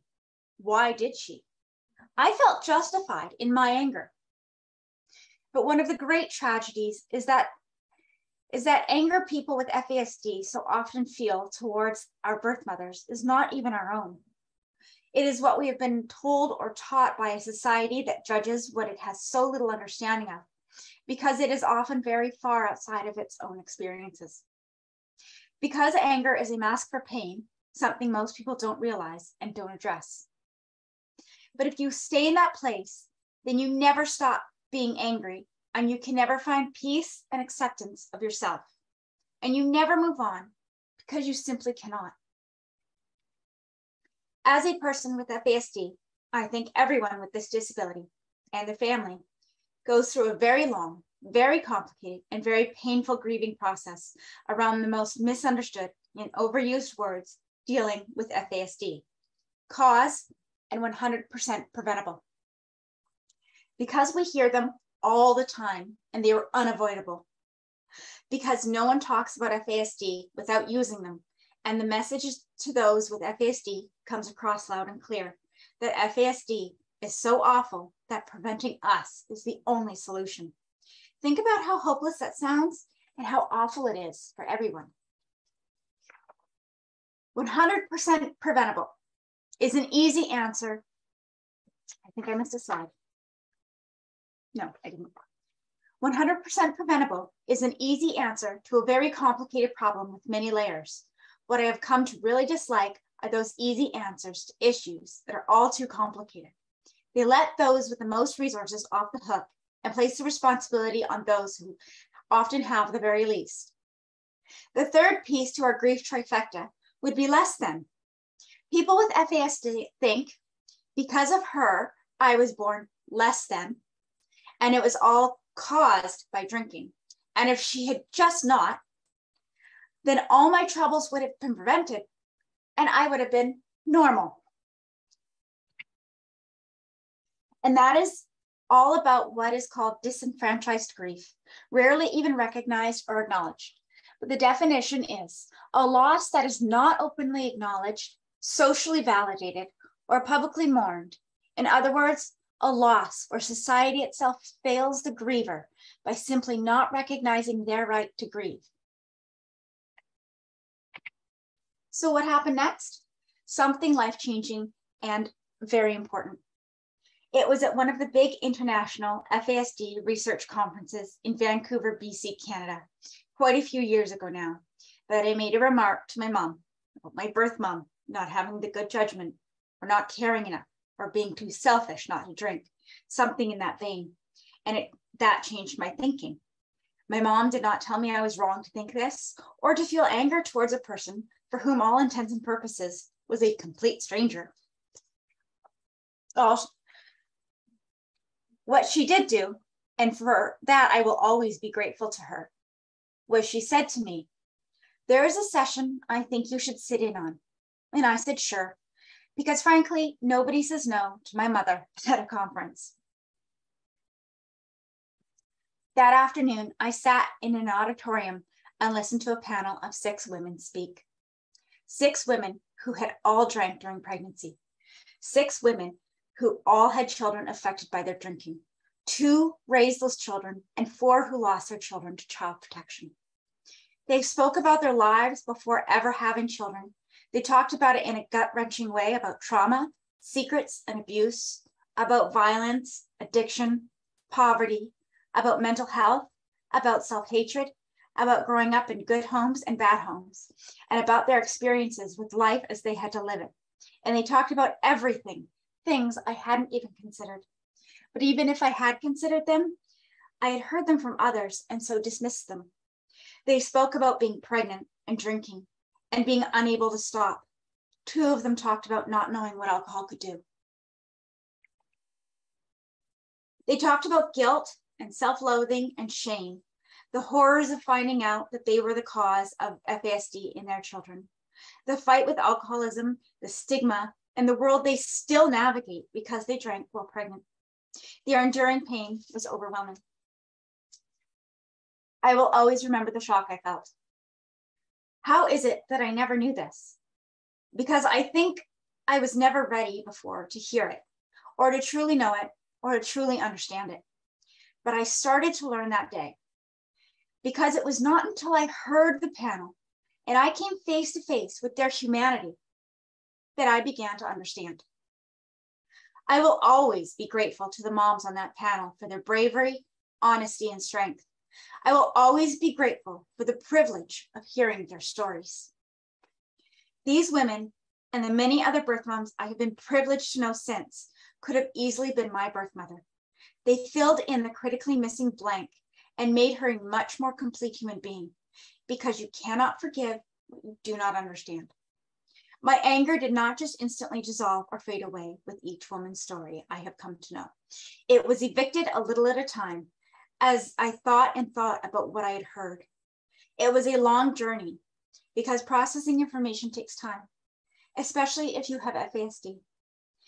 In the end, their examples showed me what I could do because understanding, acceptance, and forgiveness finally replaced anger. And with it came the knowledge that if I could do this for my birth mother, then I could also do it for myself. Because as much as I belong to my family, I am also a part of her. And this is the big missing piece for children, teens, and adults with FASD. Because then, only then, do you truly believe FASD is just your origin story and not your destination. It is not where you will end up. Only then do you move on. There are many things I still cannot do and will never be able to do. My short term memory is absolutely awful. I live by post-it notes that I can never remember to look at. I have a real problem with spatial memory and orientation of all kinds. Left and right is a problem. My math scores are still below the second percentile. And of course, my executive functioning is not great. I cannot ride a bike or drive a car. My attention is disorganized. I don't sleep very well. I have anxiety and depression. and I have many physical health problems. But I have strengths. I am responsible and reliable and considerate. I'm motivated, resourceful, and a very hard worker. I am good with people. And if and I can think and write with the best of them.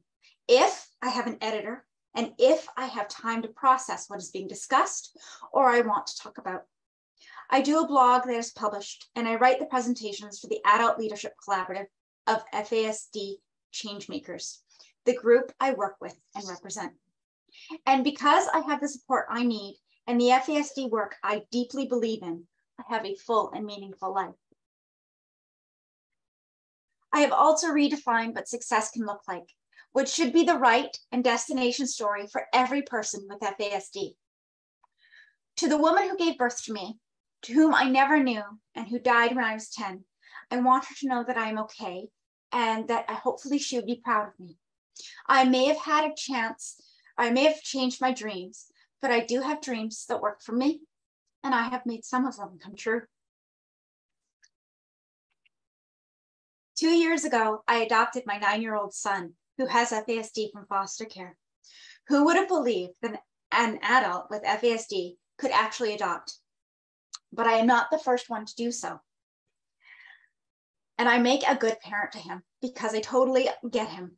I know what he is going to do or what is happening because exactly what I would have done and still do. And I understand the why, so I know how to handle it and provide explanations and supports that will help him. He is the absolute unequivocal joy of my life. And I am one of the founding members of the International Adult Leadership Collaborative of FASD Changemakers, a group of adults with FASD in five countries who have been working together unfunded for over 15 years to change perceptions about FASD, old perceptions about the destination and origin story. Why? Because we got tired of waiting for someone else to do it. Because it, because it is all about perceptions, perceptions that have never actually been tested.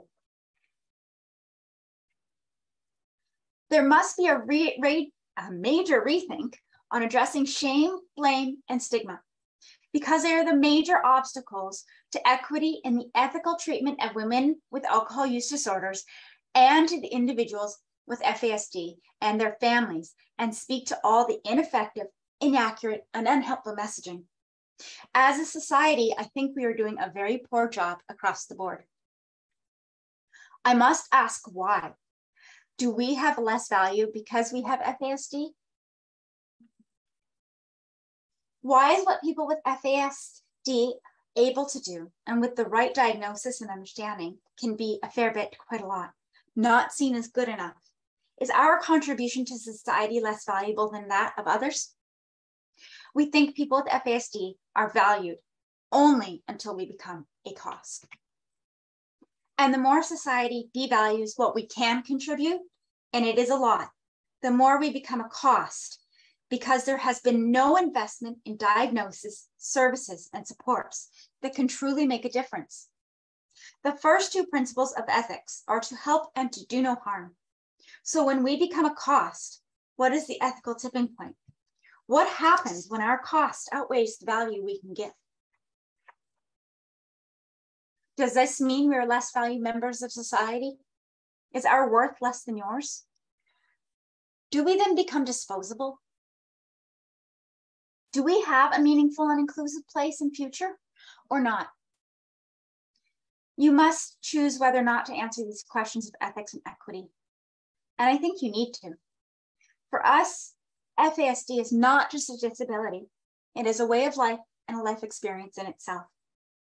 This is why adults with FASD have began to organize themselves as advocates, because we choose to speak up and to speak out and make change happen. All of us in the ALC have overcome poor starts in life and a million things gone wrong. All the bad stuff people usually think about when they think FASD addiction, criminal activity, prison, homelessness, child protection, foster care, no education, unemployment, poverty, mental health, and still struggle every single day with all kinds of problems and issues. But we choose to challenge our thinking and to start a conversation for change because we believe that when you invest in us, we will give you a return on that investment. Who would have ever thought that this was possible? But now we know it is. I know you are listening, but I need you to truly hear my words because untested perception is the problem here. In FASD, there's not much difference between being private and being ashamed. Not talking about it just perpetuates the pejorative labels, the stereotypes, the shame, and the stigma, which should not belong to us or to the women who use or struggle with alcohol, and it helps no one. But talking must start from a place of honesty and respect, and we have to learn from, and we have learned from personal experiences and our experiences with birth moms. To do otherwise shames and devalues us and every other person with FASD and every woman who uses alcohol for any reason in any manner in her pregnancy, because you do not have to have alcoholism to have a child with FASD. And if you truly believe in the idea of quality of life and the right of all people to have and maintain at least some of that, then you need to provide equity to the people with FASD across the lifespan on an ongoing basis. So not just the usual lip service to the idea, but real access, real eligibility, real funding, real support, and real opportunities. On an, and I want to point out that equity is a process, the many actions that must be taken to get to the outcome everyone wants. And if it is not made actionable through funding and access, then what real meaning does it have? Because if it does not lead to positive and meaningful changes in the conditions of the lives of so many people with FASD, what is the purpose? We who have FASD need society to make an intentional commitment to do things differently. If opportunity, along with access, meaningful inclusion, and the chance to meet and maximize our potential and to belong is to be equally available to all of us with FASD and our birth, foster, and adoptive families. Because FASD is an equity issue and equity matters. 10 years ago, no one would have ever believed that those of us in, F in the ALC um, of FASD changemakers could do what we are doing today, but we are. Because as Idowu Koyenikan said, we do not get to choose how we start out in life. We do not get to choose the day we are born or the family we are born into, what we are named at birth, what country we are born into, and we do not get to choose our ancestry. All these things are predetermined by a higher power. By the time you're old enough to start making decisions for yourself, a lot of things in your life are already in place. It is important, therefore, that you focus on the future as it is the only thing you can change. So we choose to change the future, and so too can you. So this is our challenge to you because the future really is in your hands. And finally, we choose to write a new ending to our stories. Because FASD is only an origin story, and it is not a destination, and it is not where our story ends. On behalf of the International Leadership Committee of FASD Changemakers and all the people with FASD, thank you for the privilege of speaking and for listening to my words.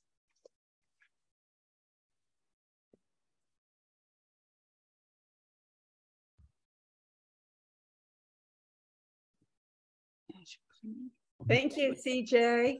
I don't know if Mary Kate comes back on now for questions or or if we are moving to the next.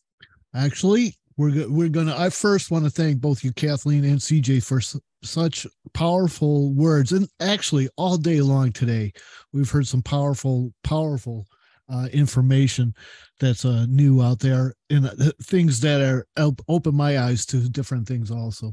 So we do thank you both and all every one of our presenters today for great sessions that you have provided to us. I am now going to go transition everyone over to uh, breakout sessions. They're going to start here pretty soon.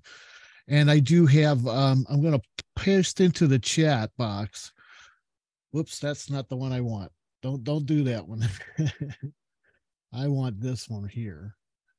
I'm going to go ahead and open up breakout sessions right now. And what you're going to do is you're going to choose from uh, the 10 of these. And of course, you know, technology today, being as it is, does not want to work for me. So let's try this again. And I'm going to go very slow. I'm going to paste this into a document is going into the chat. You can take that document and open that document up. There'll be a link to 10 different rooms.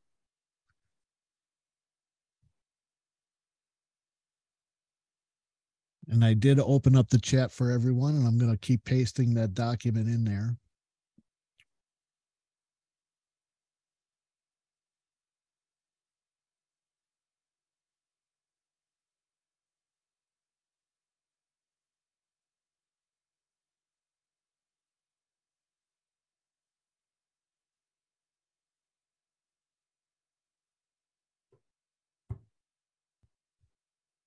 Let me go ahead and put that in there again. There are there are folks already. Uh, the rooms are open, so all you have to do is click on the one you want, and then you'll be brought to that actual breakout session. You'll actually end up leaving here this uh, session altogether. It's telling me to save it when I click on it. Yeah, it'll you save it to your desktop. Okay. And then then you can open that document up and it should be able to bring those in for you.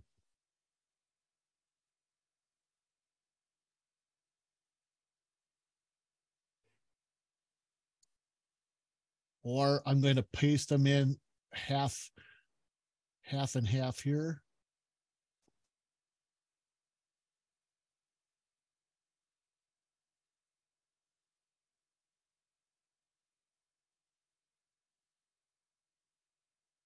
Okay, I just pasted in the links into the chat box there.